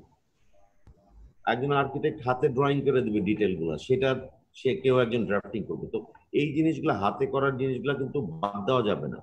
এটা বাদ দেওয়ার কোনো স্কোপ নেই। আঙ্গুলগুলাকে শুধুমাত্র ফোনের মানে প্যাডে ইউজ করার জন্য দেওয়া হয়নি। এই আঙ্গুলগুলো আসলে হচ্ছে সৃষ্টি করার জন্য দেওয়া হয়েছে। দ্য বেস্ট অর্থোপেডিক মানে অঙ্গ আমরা যদি বলি লিম হচ্ছে এই আঙ্গুল এই আঙ্গুল না থাকলে মানুষ জাতি অন্যরকম হতো। এই আঙ্গুল দিয়ে কিন্তু সবকিছু হচ্ছে, লেখা হচ্ছে, পড়া হচ্ছে মানে সব কিছুতেই কাজে লাগছে। তো এটা শুধুমাত্র ডিজিটাল কাজে ব্যবহার না করে, এটাকে আরও ক্রিয়েটিভ কাজে ব্যবহার করা উচিত। আর স্টুডেন্টদের ব্যাপারে অনেক কিছু বললাম আসলে যে একটা সাইকোলজিক্যাল চেঞ্জেস আনা উচিত। The stability you must bring in যে স্টেবিলিটিটা একজন কুল কুল কুল কুল কুল পার্সন হইতে সাহায্য করবে। তো সেই রকম কুল পার্সন না হলে এই, এইটা কিন্তু কম্পিটিটিভনেস আরও বাড়তে থাকবে। ভবিষ্যতে প্রচুর আর্কিটেক্ট আসছে এবং সবাই আর্কিটেকচার প্র্যাকটিস করতে চাবে, সিংহভাগ। সেইখানে, এই প্রতিযোগিতায় টিকে থাকা মুশকিল। আমরা কিন্তু তিরিশ বছর ধরে আছি। রফিক আর আমি তিরিশ বছর ধরে এই প্রফেশনে আছি। যেদিন বুঝতে পারব যে প্রতিযোগিতার থেকে পিছনে পড়ছি just I will quit from the lab থেকে বেড়ে যাব। তো কিন্তু তিরিশ বছরও কম সময় না। এটা করতে গেলে কিন্তু যে জিনিসটা লাগে বুঝতে হবে এটা এমনি এমনি হয়নি। এটা শুধুমাত্র সুন্দর ভালো স্থাপত্য দিয়েও হয়নি। এটার সঙ্গে অন্য অনেক বিষয় জড়িত। এই জড়িত বিষয়গুলোকেও রপ্ত করতে হবে। এটা হচ্ছে, আর কাউকে ফ্রাস্ট্রেটেড হওয়ার কিছু নেই। ফ্রাস্ট্রেটেড ওই রফিক বলল তো ফ্রাস্ট্রেশন অ্যান্ড হ্যাপিনেস বা মানে অ্যাচিভমেন্ট একসঙ্গে যায়। ফ্রাস্ট্রেশন না থাকলে তো অ্যাচিভ করা যাবে না। এই জিনিসটা বুঝতে হবে। মানুষের কার্ভ সবসময় একরকম যায় না। আপ ডাউন যেতে পারে, কোনো সময় নিচে নামতে পারে, আবার উপরে উঠতে পারে। So don't get frustrated and at least for first ten years struggle করতেই হবে। And you must understand your market could be more competitive এই যে ক্ষেত্রে আসছে, সেটা কম্পিটিটিভনেস আরও বেশি বাড়বে এবং স্থাপত্যকে প্রথমত শুধুমাত্র গাত্র নকশাকরণ এটা থেকে এটা থেকে বেরিয়ে আসতে হবে কিন্তু। Architecture is not all about elevations অনেকে হয়তো ওই যে একটা প্রশ্ন করে তখন ভুল বুঝেছে পুরো জিনিসটা। আমি বলছি ইট ইজ নট অ্যাবাউট এই যে আমরা যেটা দেখি সেটা হচ্ছে কভার অফ দ্য বুক আমরা যেটা দেখি আর্কিটেকচার হিসাবে ফাসাদ বলি এলিভেশন বলি, এগুলো it's the cover of the book story remains somewhere else story remains in its safety in its functionality in its philosophical মানে আসপেক্ট স্পেস এগুলোর মধ্যে। তো ওই জায়গাটাতে ঠিক থাকতে হবে। আর বিশেষ কিছু বলার নাই। এর মধ্যে দিয়ে আমরা অনেক কিছু বলেছি। আমাদের কথায় অনেক কিছু এখন পর্যন্ত আমাদের খুব একটা মতদ্বৈধতা দেখা দেয়নি রফিকের সাথে। কারণ আমি বললাম তো we are destined to the same location, same same direction. তো সেই জন্য রফিকা মানে অসংখ্য ধন্যবাদ কাজ করছে খুব কাজ করছে। শিক্ষা সম্বন্ধে একটু অল্প কিছু বলবে? শিক্ষা সম্বন্ধে আর্কিটেক্ট এই যে নতুন প্রজন্ম নতুন আর্কিটেক্ট সম্বন্ধে অ্যাডভাইস কিংবা কিছু? হ্যাঁ আমি আমি শুরু করে জালালউদ্দিন রুমির একটা কথা দিয়ে পলাশ দারুণ ভাবে বলেছে, হাতের ব্যবহার কি চমৎকার করে দেখিয়েছে শুধু এটা না, এটা অনেক কিছু করা যায়, এটার অনেক ক্ষমতা আসে তো রুমির একটা কথা বলে যে উনি বলছিলেন যে, তুমি সমুদ্র, বিশাল সমুদ্রের মাঝে তুমি এক বিন্দু নও আসলে। তোমার মধ্যে সমুদ্র মাত্র এক বিন্দু। সমুদ্রের সাইজ হচ্ছে তোমার ভিতরে মাত্র এক বিন্দু আসলে। মানে সে নিজেই এত বড় যে সমুদ্র তার মধ্যে একটা বিন্দু মাত্র। কারণ মানুষ সম্ভাবনাময়, যেটা লালন বলেছেন এক জায়গাতে, যে যা দেহে নাই, তা দেহের বাইরেও নাই। দেহ হচ্ছে পুরো বিশ্ব ব্রহ্মাণ্ড, মহাকাশ, সবকিছু মিলেই কিন্তু দেহ। তো দেহ এত বড়, ও কি ধারণ করতে পারে না? সে কি ধারণ করতে পারে না? সে সব কিছু ধারণ করতে পারে। মহাবিশ্ব, পুরো ব্রহ্মাণ্ড, বিশ্ব ব্রহ্মাণ্ড সব কিছু ধারণ করতে পারে সে তো এত বড় শরীর যেটা হ্যাঁ যা সব কিছু ধারণ করে, সেটা কি করে দুর্বল হয়? সেটা কি করে চিন্তা করতে পারে না? সেটা কি করে পারে না? এটা কি হয় নাকি? বাট লালন এটাও বলেছেন যে এটা বাতচিত করতে হবে। খাঁচার ভিতরে অচিন পাখি যখন আসে যায়, ও কিন্তু ওর মতো আসে যায়। ওকে ধরে ফেলা যায় না। ও আসে যায় আসে যায়। মানুষের বডি কি করতে পারে? ও বাতচিত করতে পারে, ওর সঙ্গে একটা নেগোসিয়েট করতে পারে, ওর সঙ্গে বন্ধুত্ব করতে পারে, তারপরে ভালো ভালো চিন্তাকে সে ধারণ করতে পারে। সেই ভালো ভালো চিন্তা ধারণ করে করে সমৃদ্ধ হয় এবং সে দারুণ দারুণ কাজ করতে পারে। তো কাজে এটা একটা চর্চা। তা নাহলে লালন কি সারা জীবন জঙ্গলে বসে বসে চর্চা করতো? তা নাহলে কি আপনার গৌতম বুদ্ধ কি সারা বছর জঙ্গলে গিয়ে বসে পড়ে থাকতো? কেন পড়ে থাকতো? কেন আমাদের নবীজি গুহা, পাহাড়ের চূড়ায় উঠে গুহার মধ্যে বসে থাকলেন? পনেরো বছরের মতো সময় ব্যয় করলেন। কেন? বিকজ এই স্ট্রাগলটা করতেই হবে। কারণ কেউ যদি মনে করে থাকে ফ্রাস্ট্রেট হয়ে যায় উইদাউট ডুইং নাথিং তার ফ্রাস্ট্রেশনে তো কোনো মূল্য নাই আসলে। তো প্রথম কথা হচ্ছে ফ্রাস্ট্রেশন ইজ ইউ লার্ন ফ্রাস্ট্রেশনকে সেলিব্রেট করা এবং স্ট্রাগল করা শিখতে হবে। এবং স্ট্রাগল করাটা যে একটা মজা, এটা বুঝে ফেলতে হবে। এখনও তো আমরা যে কাজ, পলাশ যে কাজ করে, ও কিসের ওর কষ্ট স্ট্রাগল কিসের স্ট্রাগল ও? এনজয় করে কাজগুলাকে। ওকে বললে পরে সে কত কিছু করে ফেলে। ওই গান করতে পারে, ও সেতার বাজায়, ও আর্কিটেকচার করে, ও ফটোগ্রাফি করতে পারে, ও কি না পারে। ও কি এই জন্য কষ্ট করে এখন? না, ও কষ্ট করেছে। করার পর এখন হয়েছে কি, এগুলা তার বন্ধু হয়েছে। এগুলাকে সে ধারণ করেছে এখন। এখন তার জন্য কিছুই না আসলে। তো কাজে অনেক বড় তোমরা আসলে, যারা ইয়াং তারা অনেক শক্তিশালী। আমাদের তো বয়সের কারণে একটা আসবে, এসেছে, আসবে আরও। কিন্তু তোমাদের তো ওইটাও বাধা না। কাজে তোমাদেরকে নলেজ গেইন করতে হবে। সবচেয়ে বড় হচ্ছে নলেজ মানে এনলাইটেনমেন্ট নট শুধু পড়াশোনা। আলোকিত হতে হবে, আর সৎ থাকতে হবে। আলোকিত হওয়ার সৎ থাকা, এই দুইটা জিনিস যার নেই, সে কিন্তু যত বড় হোক সে মানব সেবায় কোনোদিন আসতে পারবে না। তো কাজে তোমার স্ট্রাগল আসবে সবই। তোমার আমার ডক্টর ফুয়াদ মল্লিক, উনি কি স্ট্রাগল করে নাই? উনি বড় টিচার এখন হ্যাঁ? উনাকে জিজ্ঞেস করো, উনি কিন্তু এক ঘণ্টা বলতে পারে উনি কি কি কষ্ট করেছে। তোমার এরকম গল্প আছে। রাস্তা দিয়ে একটা লোক হেঁটে যে আমি তাকে চিনি না। তাকে যদি ডেকে জিজ্ঞেস করা হয়, ভাই, আপনার জীবনে কি স্ট্রাগল আছে? ও আপনাকে এক ঘণ্টা শুনিয়ে দিবে তার জীবনে স্ট্রাগল তো প্রত্যেক মানুষের স্ট্রাগল আছে, এটাই হচ্ছে মানুষের সৌন্দর্য। এবং ওখান থেকে সে কি করে বেরিয়ে আসে? তারাই সফল। এই সফলতা, এটা একটা আর্ট এটা একটা চ্যালেঞ্জ এটা একটা মজা। যারা এটাকে আত্মস্থ করে নিয়েছে, তারা মজা করে এটাকে নিয়ে আসলে হ্যাঁ? তো যাই হোক, আমার মনে হয় ইয়াংদেরকে বুঝতে হবে, তারা এক একজন শক্তিশালী মানুষ, তাদের ভিতরে সব এলিমেন্ট আছে শুধু তাদেরকে চর্চা করে সেইগুলোকে ধারণ করতে হবে, যেগুলো তাকে সাহায্য করে আর যেগুলা সাহায্য করে না, তাদেরকে শিকল বেঁধে, শিকল দিয়ে আটকে রাখতে হবে তার ভিতরে। যেটা তুমি বেরোতে পারবে না। শরীর তাই করে না? শরীর তো তাই করে। মানে রোগ শোককে ধরে রাখে তো, না? নাহলে তো আমরা মরে যাব এতদিন সকলে। তো এইটাই শেষ করব খালি সেই জালালউদ্দিন রুমি শেষ কথা দিয়ে, ওনার কথা দিয়ে শেষ করব যে আলো, যদি আমরা আলো হতে পারি, উনি বলছেন যে আলো যখন ফিরে যায় সন্ধ্যায়, তার গন্তব্যে, সে কিন্তু কিছুই নিয়ে যায় না তার কাছ থেকে, যাকে সে আলোকিত করেছিল। তা আমরা যখন ফিরে যাব আমরা আলোকিত করে যাব, কিন্তু কিছুই নিয়ে যাব না তার কাছ থেকে। সূর্য যখন ফেরত যায় আলো তার নিয়ে কিছুই নিয়ে যায় না আমাদের কাছ থেকে। সেটাই হচ্ছে আলোকিত হওয়া। ধন্যবাদ ধন্যবাদ, পলাশ। আমরা আজকে দুজন বাংলাদেশের টপ আর্কিটেক্টের কাছে কথা শুনলাম। তারা কীভাবে ডিজাইন করে তাদের চিন্তা ভাবনা কি সবই দেখলাম। এবং আমি, আমার আমার যেটা অবজারভেশন যে আর্কিটেক্ট তোমরা আর্কি তোমরা দুজনেই architect but at the same time you are both artist you are both philosopher you are both poets you are both sculptors অর্থাৎ এখানেই যেটা বলছে যে একটা আর্কিটেক্ট হলে অনেক কিছু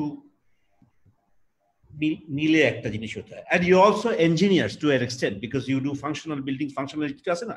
এফিসিয়েন্সি তো এগুলো কর। আমরা দেখলাম যে তোমাদের কাজের কিন্তু কাজের চিন্তা ভাবনা কিন্তু একই রকম না। বাট রেজাল্টটা সেই good quality building good quality space good quality environment so এটা আমি আজকাল যারা দেখছে, আমি তো পার্টিকুলারলি ইয়াঙ্গার জেনারেশনকে বলব, দেখো, তোমরাও তোমাদের নিজের রাস্তা বের করে নিতে পারবে। আজকে শুনলে ওর রুটটা কি, ওর রফিকের রুট কি, পলাশের রুটটা কি থিঙ্কিংটা কি? এবং তার মানে এই না যে তুমি আজকে পলাশ স্যার এটা করে, আমি পলাশ স্যারের মতো করব। রফিক স্যার এটা করে আমি রফিক স্যারের মতো করব। তুমি তোমার নিজেরটা খুঁজে বার করতে হবে। You have a uniqueness of your own which you'll have to find একটা জিনিস আমি লাস্টে বলব রফিক একটু আগে বলছে যে নলেজ পেতে হবে। ঠিক আছে?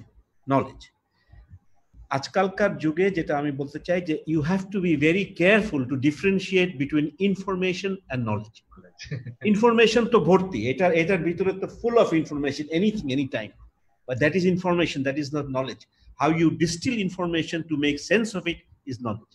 And that is what these two architects have done. তারা নানান থেকে এক্সপিরিয়েন্স গ্যাদার করে একটা প্রসেস বের করে they have made great buildings and you are inspiration to the younger generation thank you very much আসার জন্য অত্যন্ত খুবই ধন্যবাদ। আমরা টাইম অনেক ক্রস করে ফেলেছি। Never mind never mind it's okay it was a fruitful Palash অনেক ধন্যবাদ। সময় দিয়েছ রফিক অনেক We're Thank you. honored. We're honored that you asked us and we together first time. Well, So- I was I was actually very মানে worried যে আমি আনতে পারবো কিনা but thanks to this uh, age of I mean this lockdown and the age of um, e- uh, electronic communication যে তোমাদেরকে আজকে প্রায় নশোর উপরে লোক দেখেছে যেটা Wow. ফিজিক্যালি আমরা করতে পারতাম না Thank you very much, everybody.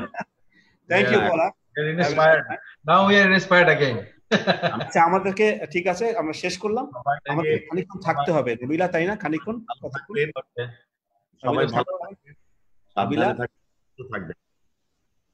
হ্যাঁ। আহ, আমি ধন্যবাদ তো দিচ্ছি ডিপার্টমেন্ট অফ আর্কিটেকচার ব্র্যাক ইউনিভার্সিটিকে আমাদের দুজনকে একসঙ্গে আনার জন্য। আমরা তো সবসময় কথা বলি একসঙ্গে। We share the same thoughts আমি বলছি যে আমরা একসঙ্গে কথা বলি আপনাদের ভয় পাওয়ার কিছু নাই। We are very good friends we are work together we studied together so এটা আছি আমরা একসাথে। আর সবার জন্য যারা আছেন সামনে শুনছেন সবাইকে বলছি যে আহ, সাবধানে থাকবেন সুস্থ থাকবেন। এই এই এই আহ, সংকটকাল মোকাবেলা করে এর থেকে দূরে থাকবেন যাতে আমরা আপনাদেরকে ভবিষ্যতে বড় বড় স্থপতি হিসেবে দেখতে পারি। ধন্যবাদ। Thank you.